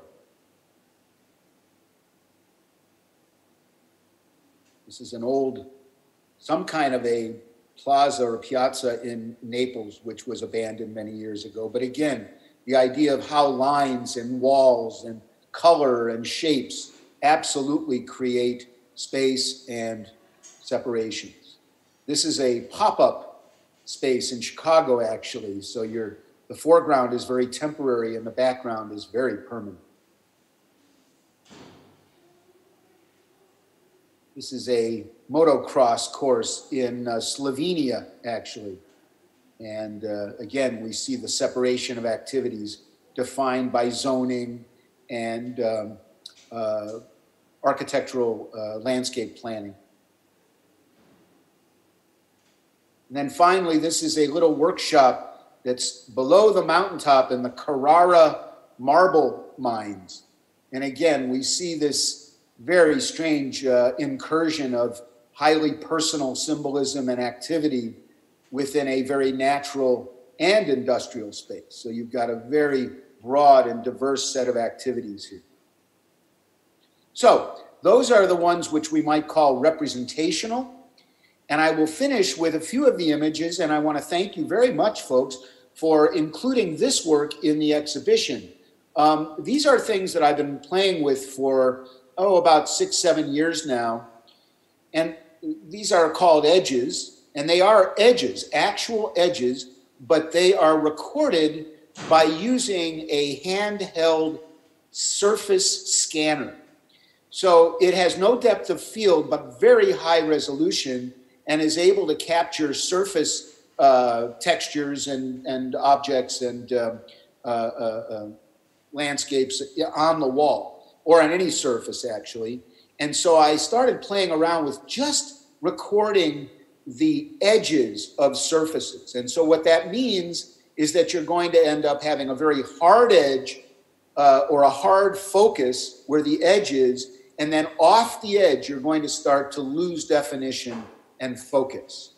And you mentioned earlier this idea of, uh, of tension in these pieces, and these pieces are all about cognition. In fact, these borders, these boundaries, have as much to do with perceptual boundaries as they do the physical ones that they are recording. And by using this instrument, I'm able to create what I consider a first person kind of narrative, as though you are the scanner or you are literally sitting on the surface of these materials and and you are on the edge. And that's how these are created and what they're intended to be uh, projected as.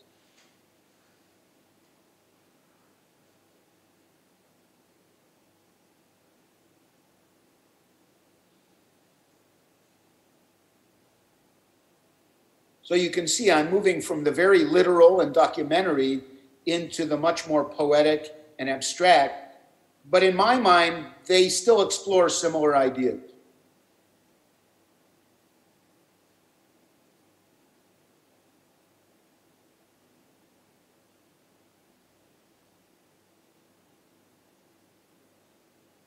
These are also made over time. So what you're seeing here is actually the recording over about a 45 second period. So say I start from the left here, I actually decide how I am going to choreograph my recordings or my surface scans over the 45 seconds that I have to make those scans. So I can actually decide, or what I call it a score, like a musical score, that I will actually record certain things in time or over time to create this long linear temporal document of that recording. So this is also similar to um, a musical performance or a dance performance. There is a temporal concept to this work.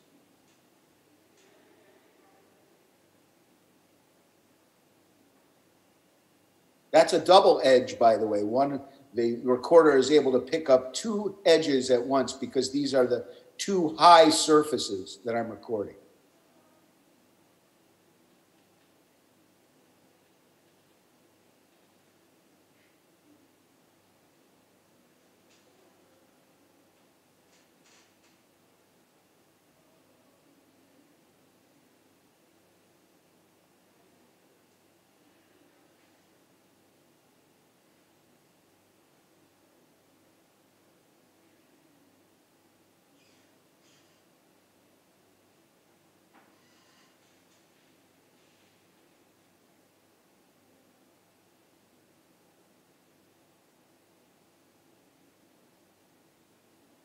So those are the images that I wanted to share with you. It covers a very long period from about 1987 to now, but um, and there's been a few other photographs I've made since then, but these these I think are most appropriate for this discussion. So, thank you.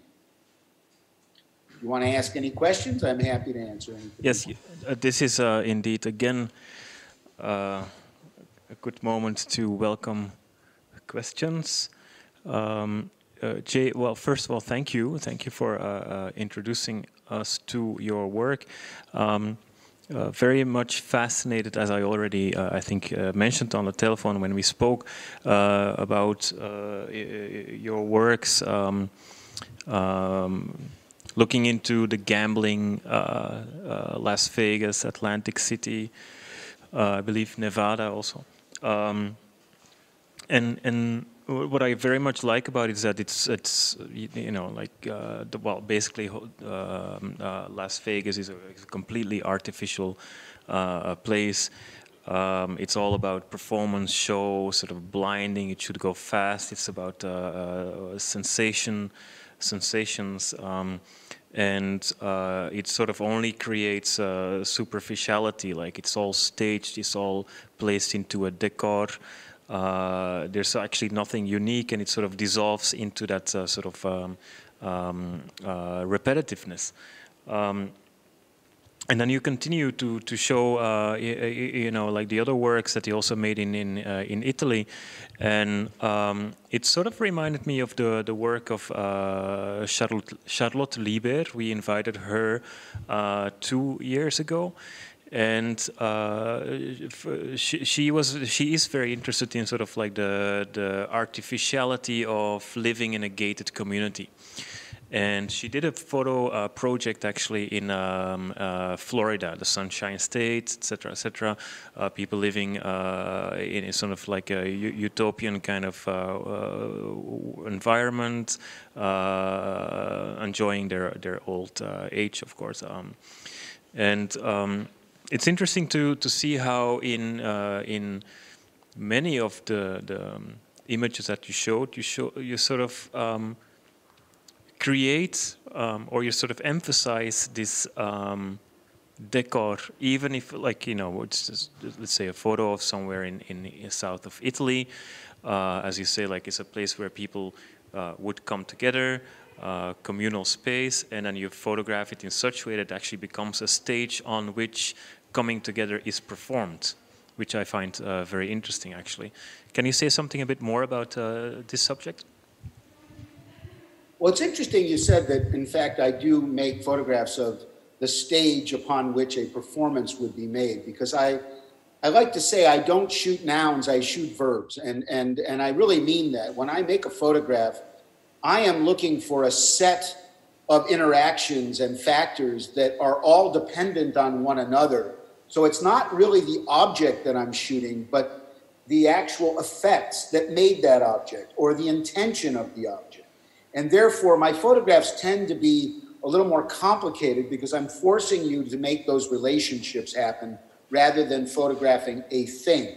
Which, I mean, I, I think there are beautiful nouns, don't get me wrong, but I am very interested in that kind of a temporal uh, aspect to the work uh, and, and a uh, conversational aspect to the work as opposed to an artifactual one. And so these places, like you said, uh, a a place like Las Vegas, which is completely artificial and is made up of artifact, um, is actually a stand in for a series of activities rather than a standalone uh, phenomenon in itself. Obviously, those things are meant as stages, they are stages.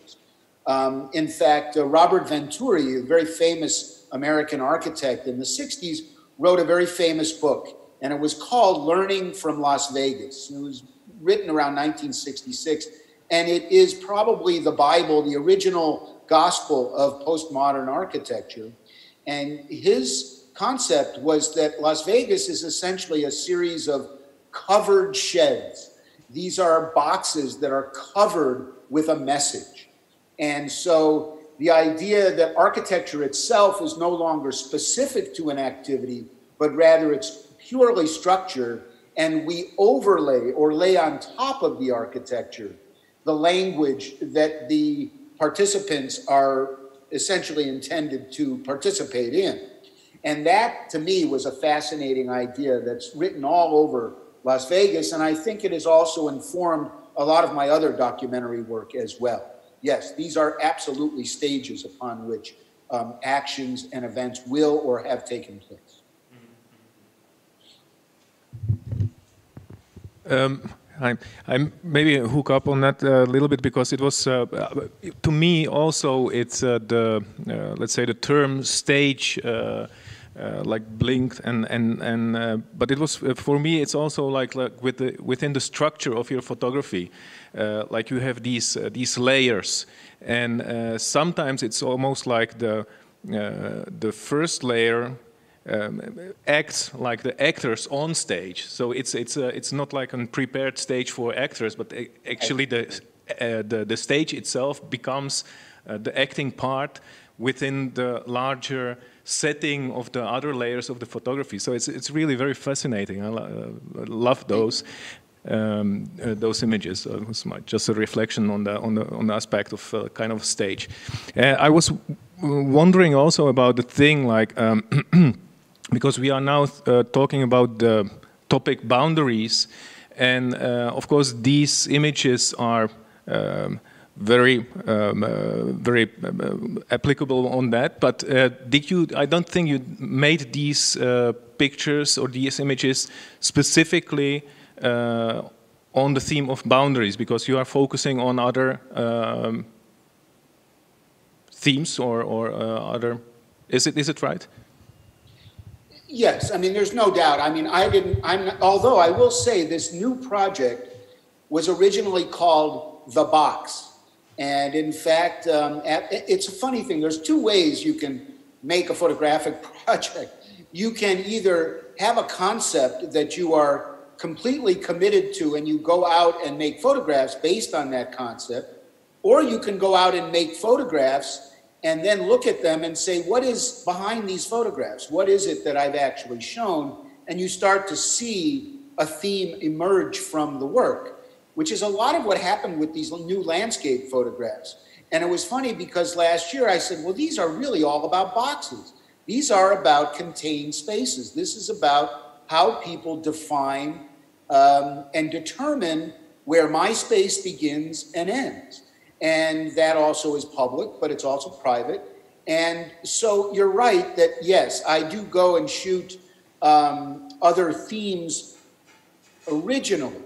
But what I have found is that this idea of borders and boundaries is endemic to my thinking in general. And so I can see throughout all of my career that these projects, while they might have been about a highway, in fact, as I said, that highway in and of, of itself is a boundary. And it was the, the title of the project is called Along the Divide. So it was about that separation.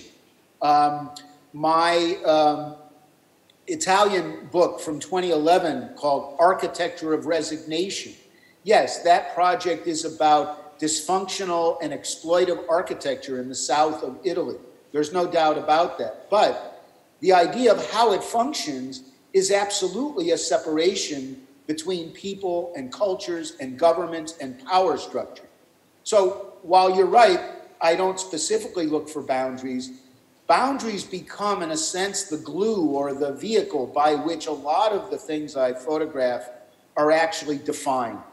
And so that's why I think the work applies to this, to this theme here. Yeah.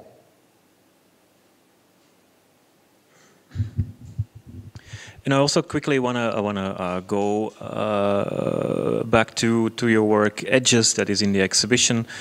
Um, uh, you know, when when I was looking at your uh, website some some weeks ago, uh, I think I told you also like I was um, very interested in the works of uh, the south of Italy.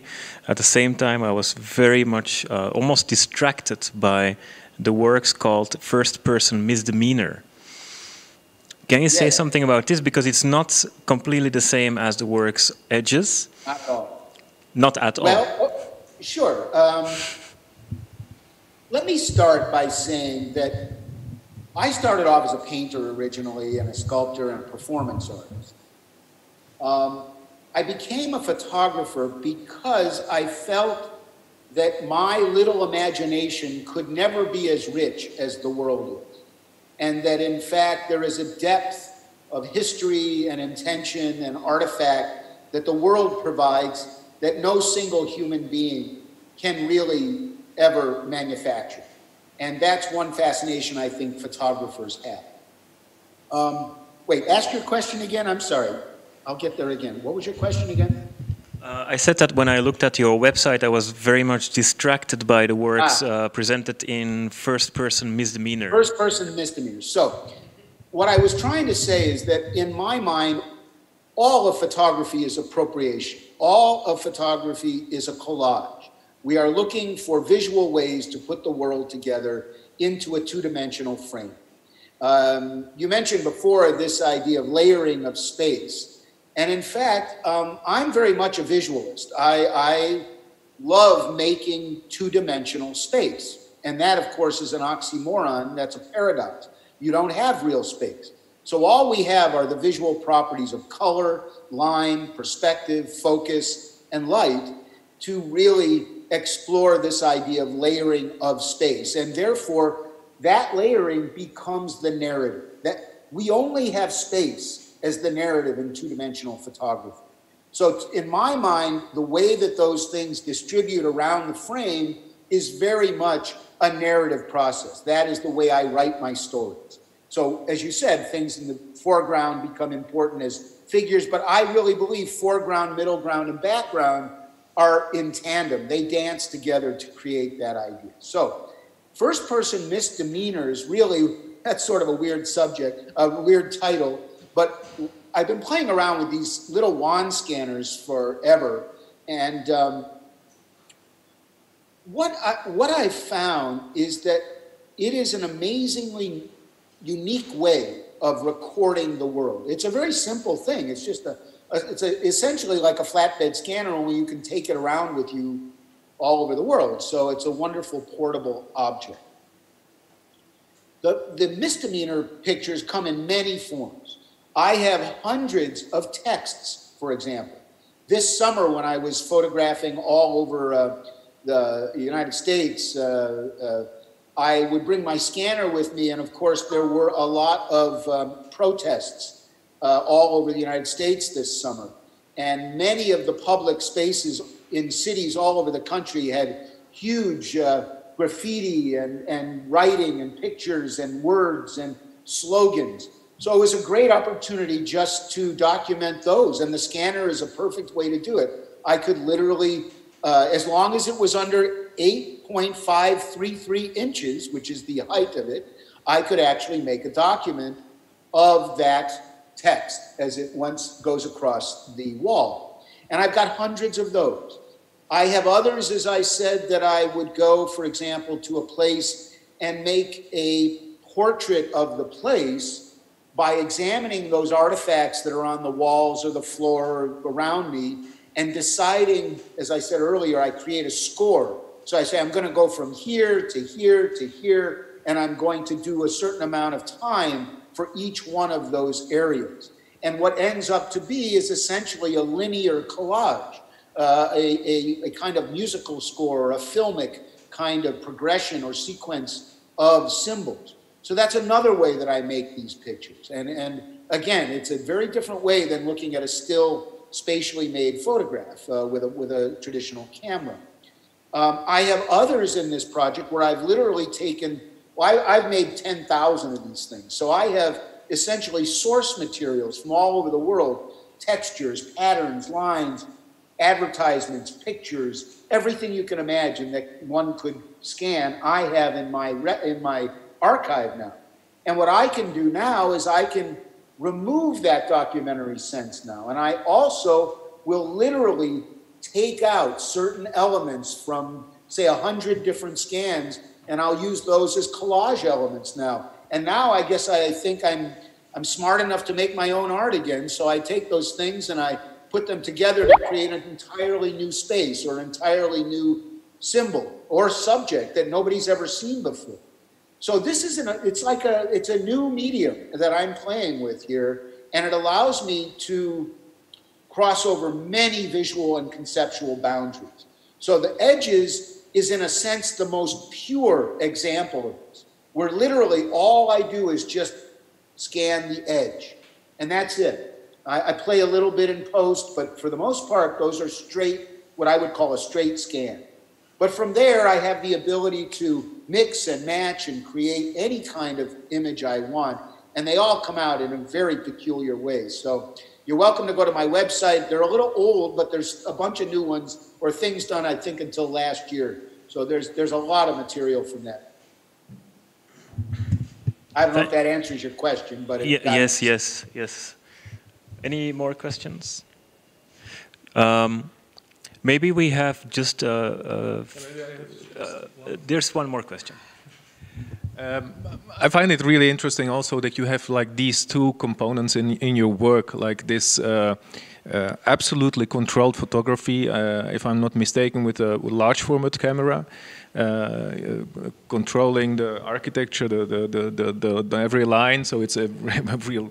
Also, uh, I admire the professional uh, approach. It's beautiful, uh, and and you have this this this freedom uh, working with the scans and uh, and uh, relying on uh, on uh, well what will happen because uh, it's not not really in your hands uh, not not not perfectly in your hands so it's a, it's quite the opposite thing. And and it's also interesting how you uh, yeah how you see uh, this material that it's uh, maybe not definite but it's also like a material for for next uh, pieces of art. So i think it's also very inspirational for uh, a lot of our students how to that all these kind of uh, working methods uh, can be combined in one uh, artistic personality. So thank you. Thank you for for sharing that with us. My pleasure, my pleasure.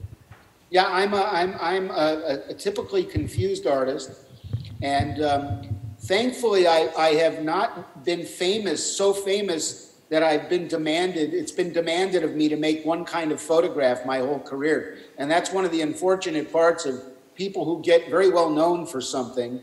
Um, and even if I were, it would not stop me. I've been changing my approach since the day I started making anything visual. And in fact, if there was anything to define me, it's don't make me do that again. You know, I constantly tell myself, show me something I don't know. That's what I say to myself on every trip. I mean, I've made thousands and thousands of visual images, but each time I have to ask myself, what is it here that I have not seen before? And so the wand scanner start I'll tell you how that all started because it, um, you know, I, I'm one of the last students of the Institute of Design at IIT, the new Bauhaus. And in fact, I was the last head of photography there before they closed that in 1999. And so I come out of the Moholy tradition of experimental photography, of light, of space, of shadow, of making things that do have definitions of their own. In fact, when I was studying at the ID, the word art was a dirty word because the idea was that photography has its own aesthetic, it has its own motivation, its own recording method, and that it is not the same as the other plastic arts. I'm not sure I agree with all of that, but the truth is, by looking at it that way, you start to examine photography as a vehicle by which one can explore many different uh, avenues of your own creativity and of your own observations. So I have not let medium become uh, an impediment to experimentation. Um, I've made the, the, the Las Vegas pictures were made with a six by seven. I did a project after that, which was six nine and six seven. I've used a panoramic camera, an X-Pan, uh, four by five forever. Uh, and now this other thing. And what I was saying was before I started making what I called scanograms instead of photograms, which was a typical 20th century silver based activity, obviously. And I started with those many years ago and taught them when we still taught darkroom. That was the first thing. You go into the darkroom and you make a, a photograph without a camera. And you understand that this material is sensitive and will record uh, the shadow or highlight of that object. So in 2013, when uh, I got rid of my color darkroom, actually, uh, I started playing around with a flatbed scanner the way one might think of a photogram. So you become the glass, you look up. And I defeated the, the uh, depth of field issue and the light issue by pouring tons of light above the scanner. And I was able to build up things over three feet high on top of a, uh, flatbed scanner. So I was creating all these abstract, essentially photograms in my mind, but they were made with a scanner. And after a while, I said, I got to get out of here. I can't do all this in the studio. How can I bring this thing outside and play with the world? And I started by doing it with like a cheap flatbed, like a cheap, uh, um, what do you call it, a laptop computer and a cheap uh, uh, scanner that I could take around with me. But that did not work. that was uh, carrying a, flat, a, a, a MacBook uh, and, and a flatbed scanner around on my back and trying to make scans in Istanbul was not going to work. Whereas this little wand scanner was the perfect way to take that idea outside. I can't do the same things, but like any material, you learn its dynamics and you play with it. I just want to say one last thing, and that is the idea of accident. Um, you know, when we look at the real world, what we're seeing is a confluence of many accidents anyway. Um, but I don't have control over those accidents. I have to take advantage of my objectivity, of my outsiderness to look at those accidents that the world provides. The scanner, in a way, I am creating the accident. So it's a matter of agency. And I'm just willing to switch that agent from the world to me. And maybe it's a little more of a collaboration between me and the world and the scanner. So that's what that instrument does. As, this little scanner, by the way, is meant for grandmothers to scan their grandchildren's pictures. It is not meant to do the things I've done. And I've destroyed many, many of these scanners because I, I roll them across surfaces that one should never roll across. So they inevitably become filled with grit and stones and crap. And I have to throw it out and buy another one. But luckily, they're pretty cheap. So um, it's just been a lot of fun. The way to change it up a little bit. Thank you, Jay. Uh, I think we have to uh, move to the the, the, the discussion, uh, the last part of the, uh, uh, because we, we are out of time with this Zoom, I believe. Huh? Yep. We will be back with you in a couple of minutes, if that's okay. Thank you so Thank much, you Jay. much. Thank you very Thanks much. for, uh, for inviting me. Thank you. I'll See you soon.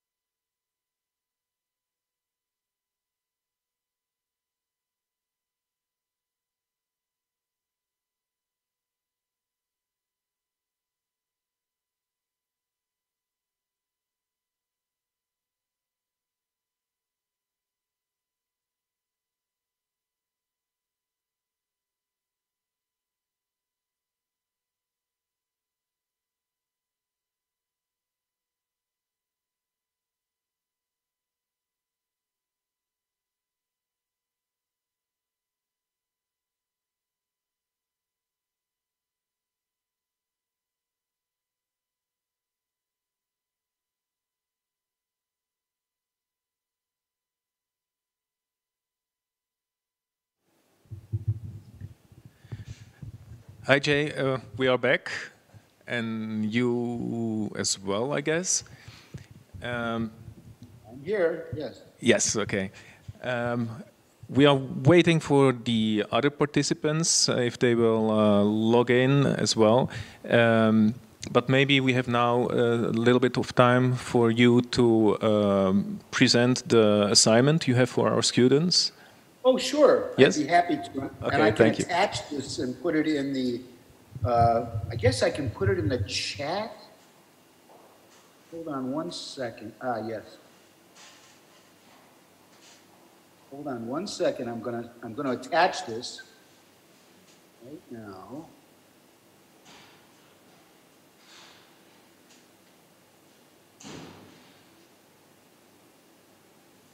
All right.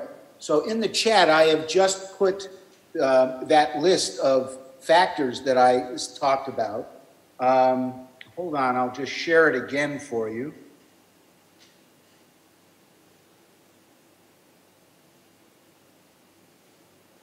So, as I said earlier, these were all factors of possible boundary-driven ideas um, that I wrote out. And you might have to look at a few, uh, look up some of these definitions, but I know they're pretty, they're pretty common. So there's probably about, I don't know, 30 different kinds of borders or boundaries that I could think of. And by the way, I'm not going to say you can't think of any as well. Maybe you'll want to have some of your own. So I know you're getting assignments from a lot of other people. So in this, you see at the bottom, make images that address two of these type of boundaries. So you can take any two of these qualities and make some images for comparison to see how you might handle these different considerations. Does that work for you? That sounds fine. Thank you. My pleasure.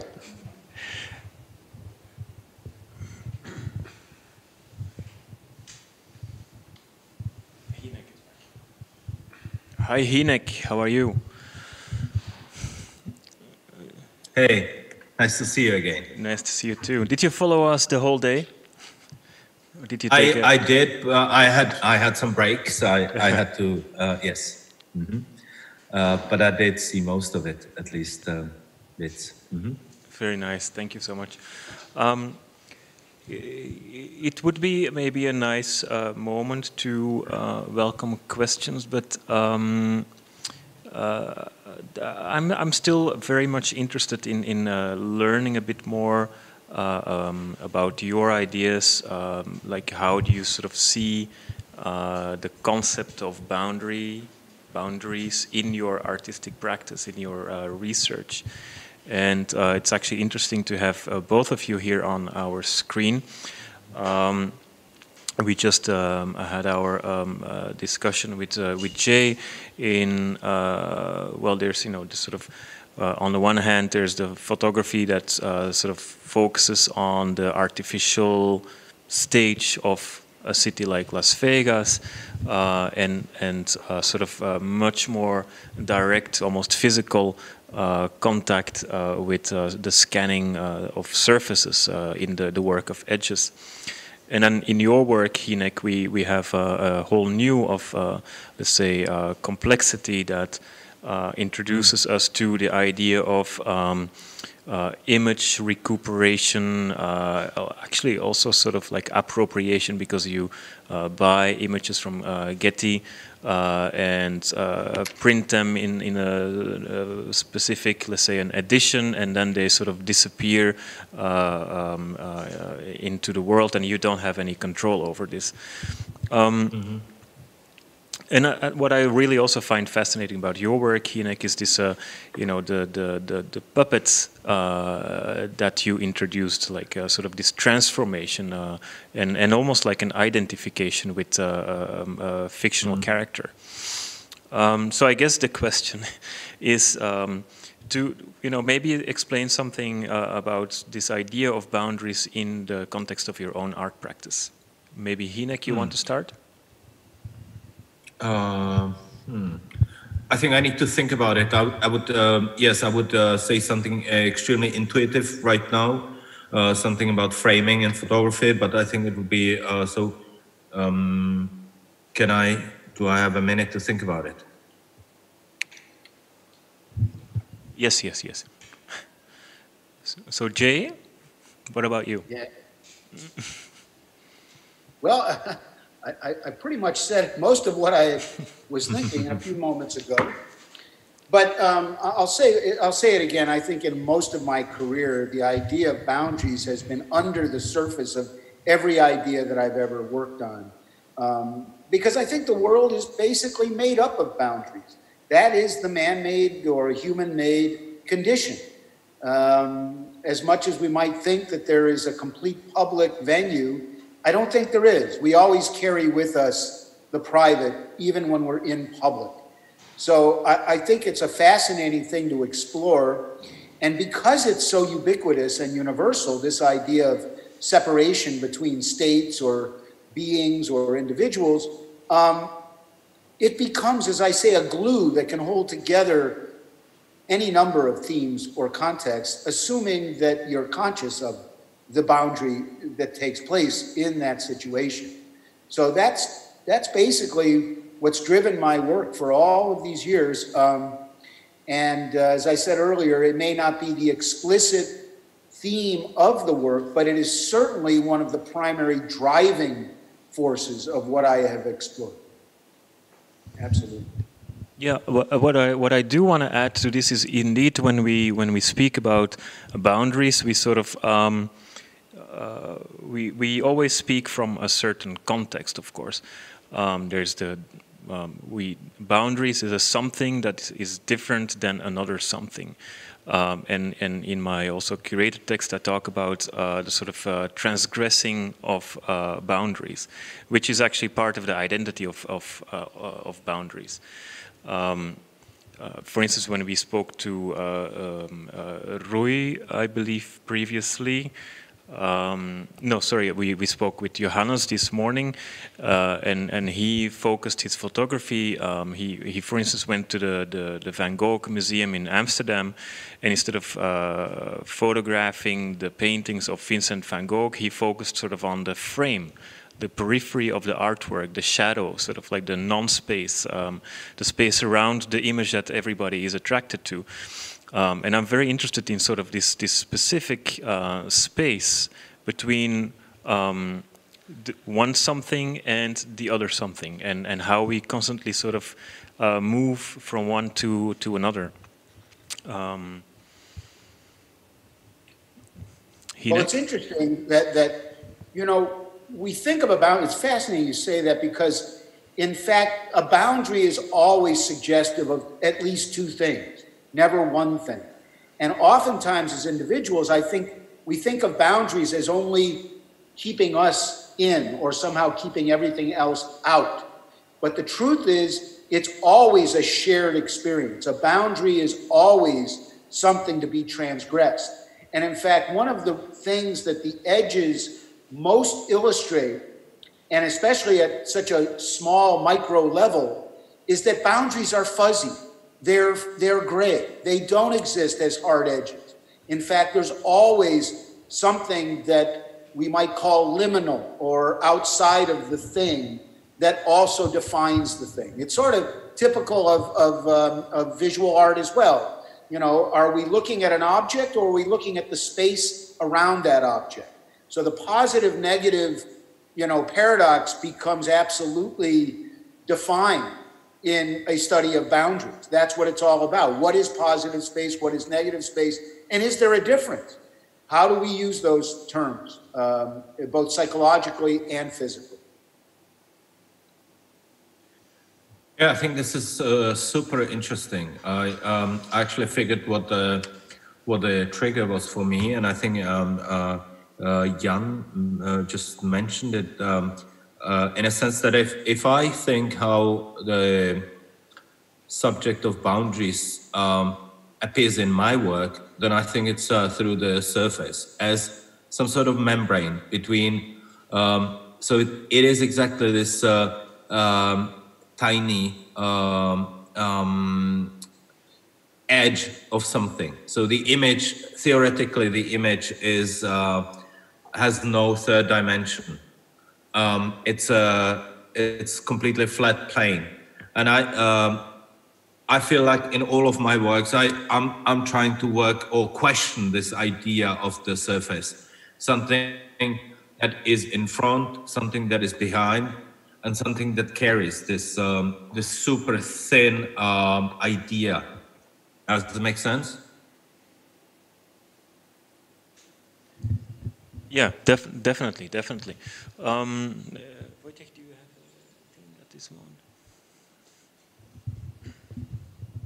Well, I, I don't have, uh, I think I have no question at the moment, but I, I was uh, really thinking about uh, today's uh, uh, symposium uh, when we are talking about boundaries. I find it so fascinating that um, photography seems almost to have no boundaries because we have so many approaches uh, presented today and and it's it's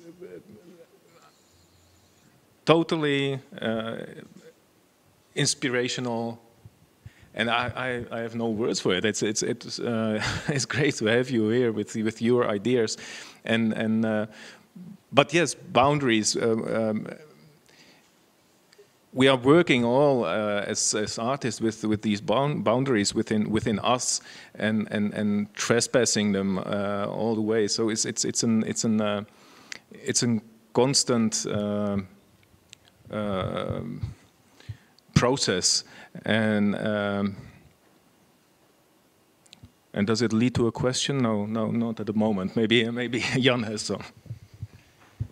Um, I, I, just noticed that uh, Roei is uh, joining us again. Thank you so much, Roei. Um, because during the, the, the, presentation of Jay, uh, who is in the United States and, and traveled a lot in the United States for his uh, work and for his art and photography, um, I uh, had to think about you because um, you mentioned a couple of times the, the, the sort of uh, idea of a road trip, uh, American road trip, you said specifically, and um, uh, I, uh, you know, I see it in some kind of a, let's say, a romanticized uh, idea of uh, a road trip, perhaps um, maybe stimulated by Jack Kerouac or the 50s, 60s, etc., Hollywood, sort of tapping into this idea of of uh, freedom, uh, the the vast open space, etc.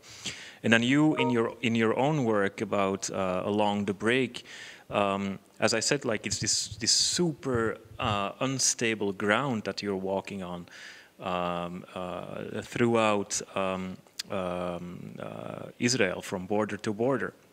And there's a, a lot of symbols and, and um, um, references to war and, and politics and history and, and ruins and uh, minefields, and it's it's super super loaded with uh, with so many meanings. And uh, then on, on, at the same time we have Jay, uh, who uh, photographed uh, the, the, this, the atmosphere, the you know the the activities in Las Vegas, Atlantic City, etc., like in the in the field of gambling, and we talked about how um, uh, the whole uh, city of Las Vegas is basically a decor, like a stage. It's sort of a fake, uh, but it becomes a reality because there's um, uh, sensations happening, and they're like happening again every day, every day, every day. Um, so I sort of suddenly noticed a contrast between uh, the work of Roei, who talks about um, the idea of an American uh, road trip um, and the sort of way that Jay introduces um, his his way of seeing a place like Las Vegas, which is, you know, you know, like I would probably say, completely artificial. So it's it's very far away from this this uh, romanticized idea of the vast open space and and uh, romantic uh, sort of um, uh, American road trip. Uh, Roei, I don't know if you uh, saw the presentation of Jay, um, but if you want to maybe expand a little bit on um, how do you see this this um, sort of road trip idea? I'm very curious about this. yes, so First of all, I did see uh, Jay's presentation, and I am almost embarrassed to say that I, I was not familiar with this uh, amazing body of work before. So I'm really glad that I am now. And there was something from the very first image that Jay shared that I immediately kind of strike me in the ways that he compose uh, whatever it is that he's working with um, in a way that I, I could kind of really relate to.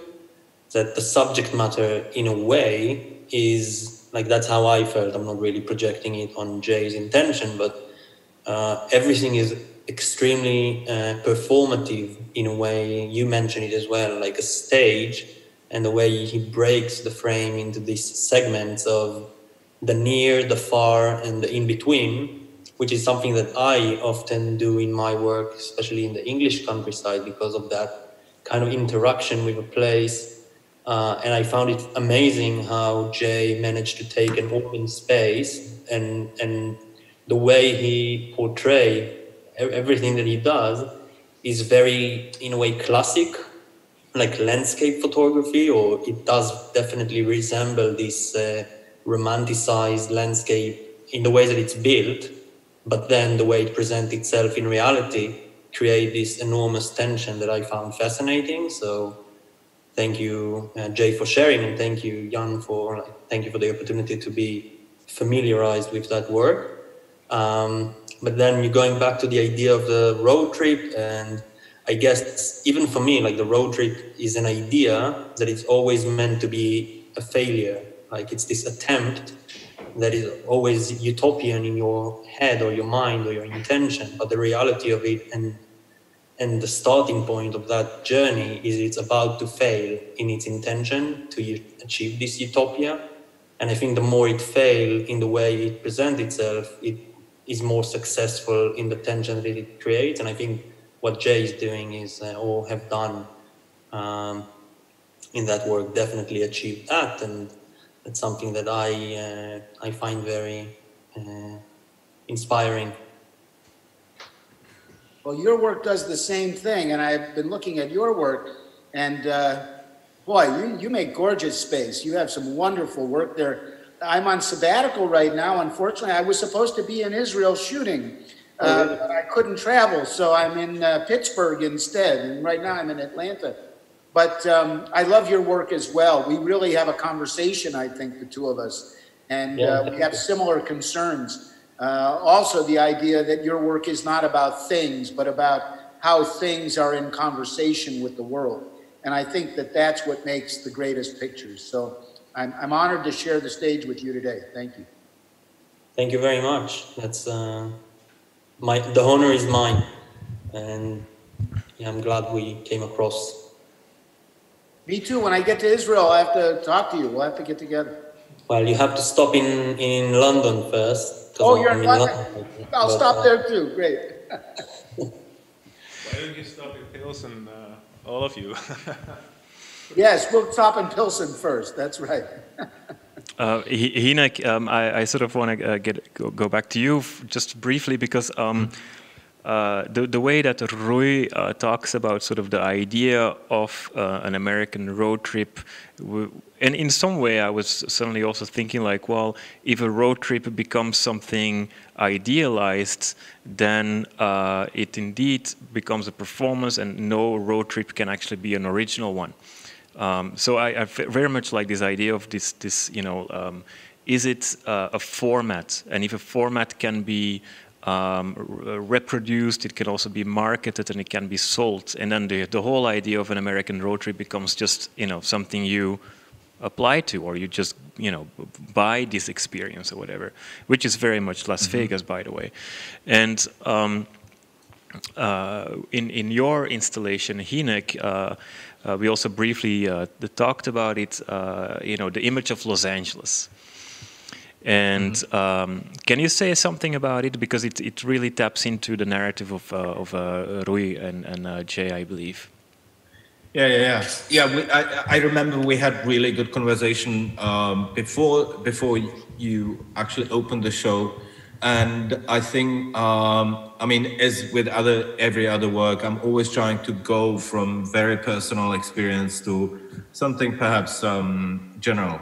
And uh, what uh, this image was actually triggered by uh, just my uh, memories of uh, uh, my uncle living in Los Angeles since ever, since I was born, he he escaped Czechoslovakia back then, and he was living in Los Angeles.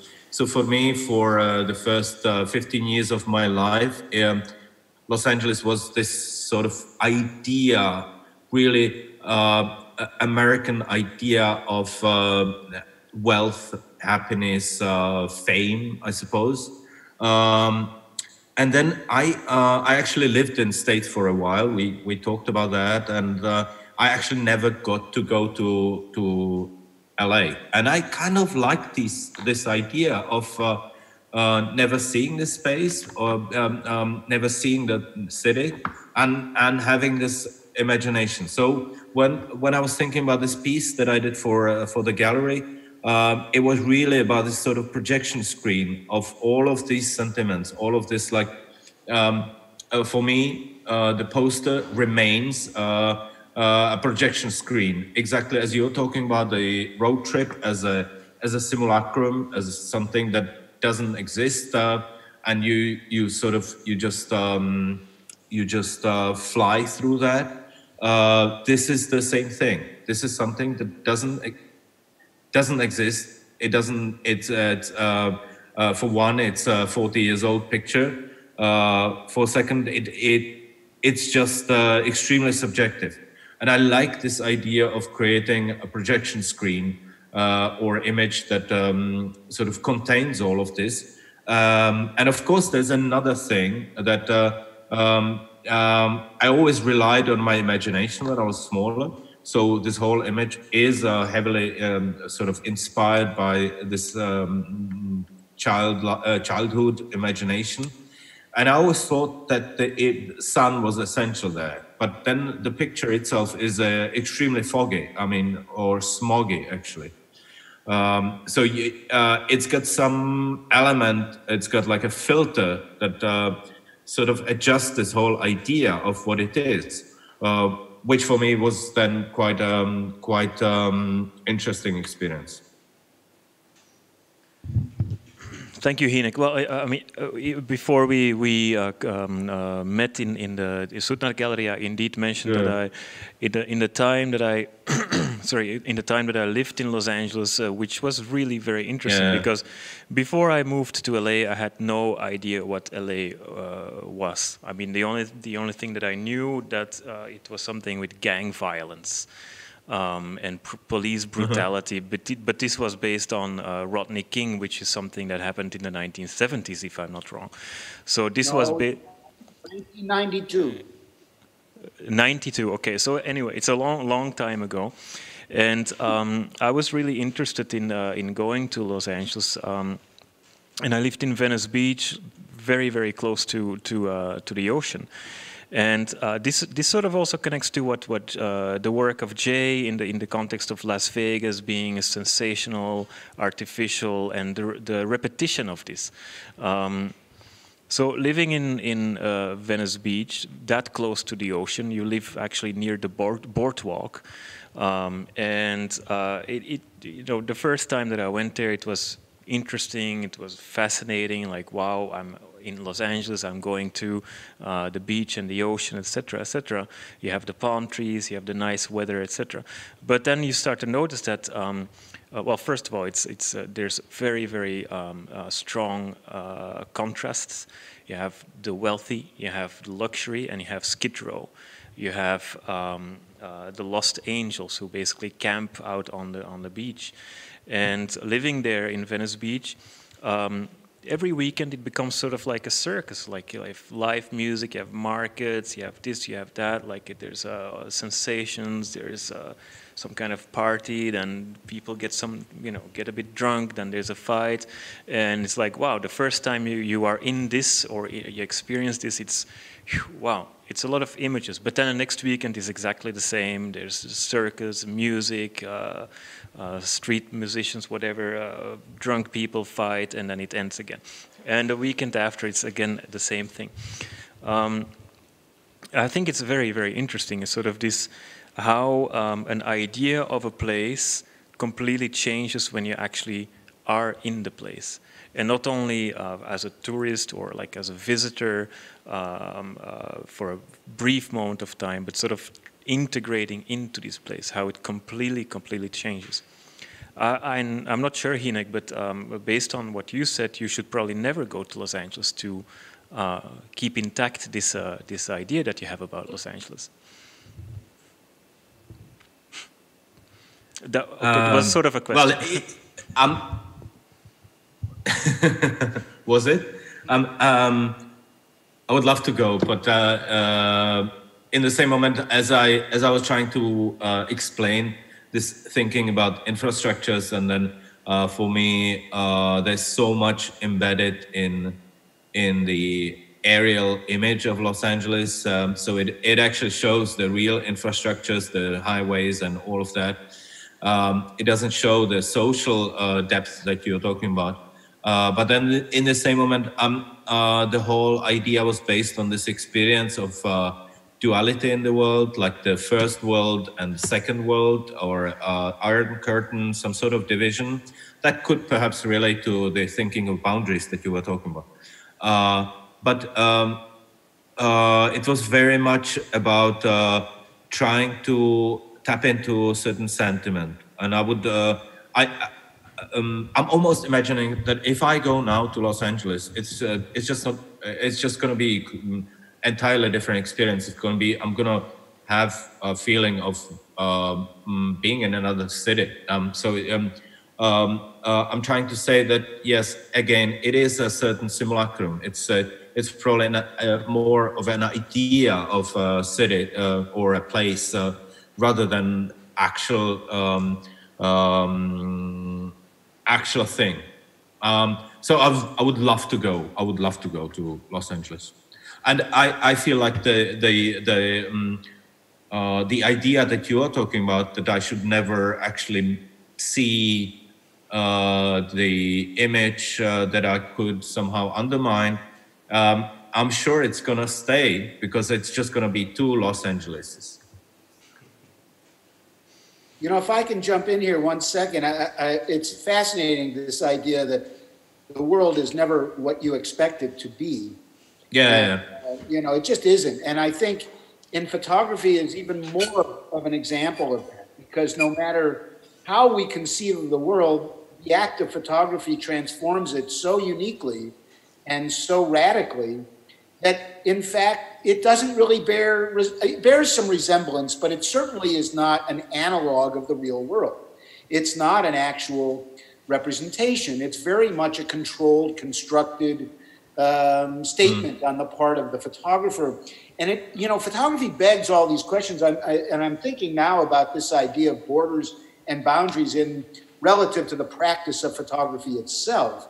And you mentioned this earlier you know um, in some ways, the exhibition and symposium really is about how photography defines the border and how our activity as photographers defines the border, much more than the borders themselves. It has to do with our definitions, um, which, you know, is fascinating in and of itself. Again, it's about agency and how photographers always cross over. I also think it's interesting. We're talking about the road trip, and I myself have this difficulty a lot because I mean, I've gone all over the world making photographs, but there's always a question in my mind Am I just being superficial? Am I just going someplace? And, you know, for a day, I see a couple of things that look good together. I make a photograph. Even though I can say I spent four hours making the photograph, it's only four hours, it's not 40 years. And if I were there hmm. for 40 years, I'd be making a very different kind of photograph, probably. Um, Absolutely. So the photographer themselves is always questioning, I think, um, the legitimacy of the activity, the photograph, what right or what boundary am I crossing over? How, as an American, what right do I have to go to south of Italy and Calabria and make value judgments based on that landscape? But this is the nature of the beast. I think photographers have always been voyeuristic in many ways, even intimately. We are, even if we are there forever, we are still our job is to be separate on some level. As much as we try to be personal, I think we always have a separation from the world. Mm. So the action of a, of a photographer themselves mm-hmm. is a boundary issue uh, all the time, all the time. Yeah. Yeah, I, I completely uh, rely to this feeling of uh, uh, how you how you described it, like uh, almost like something is fake. Like I spent years working in Israel with a very familiar landscape, but I would wait for a very, very, or go back to a place for a very specific moment in time and light and weather condition to capture this place in a very, very specific light that is alienated to the place itself 99% of the time of its existence or visual appearance. Uh, so in a way, yeah, I think it is in the core of being a photographer or uh, I don't know, visual artist. Like there's this uh, trick that you can apply that have to do with light and composition and a moment in time that basically erase everything else about this place in that time, Mm. which is why photography is so strongly used to describe things, but also why you should be very wary of it, that it's not reality and almost have nothing to do with reality.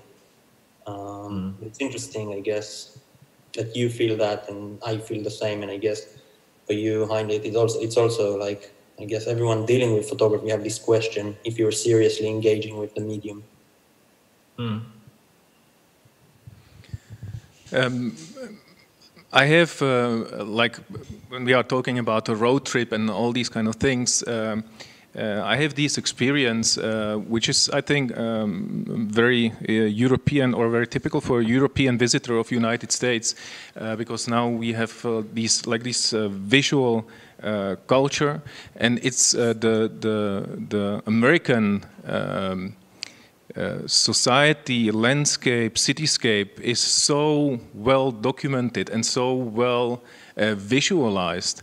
And, and we have so many experiences through the media, etc., uh, that it's, for me, it's always very different experience visiting the United States than any other corner of, of the world. because mm. United States is for me a constant deja vu in a, in a way.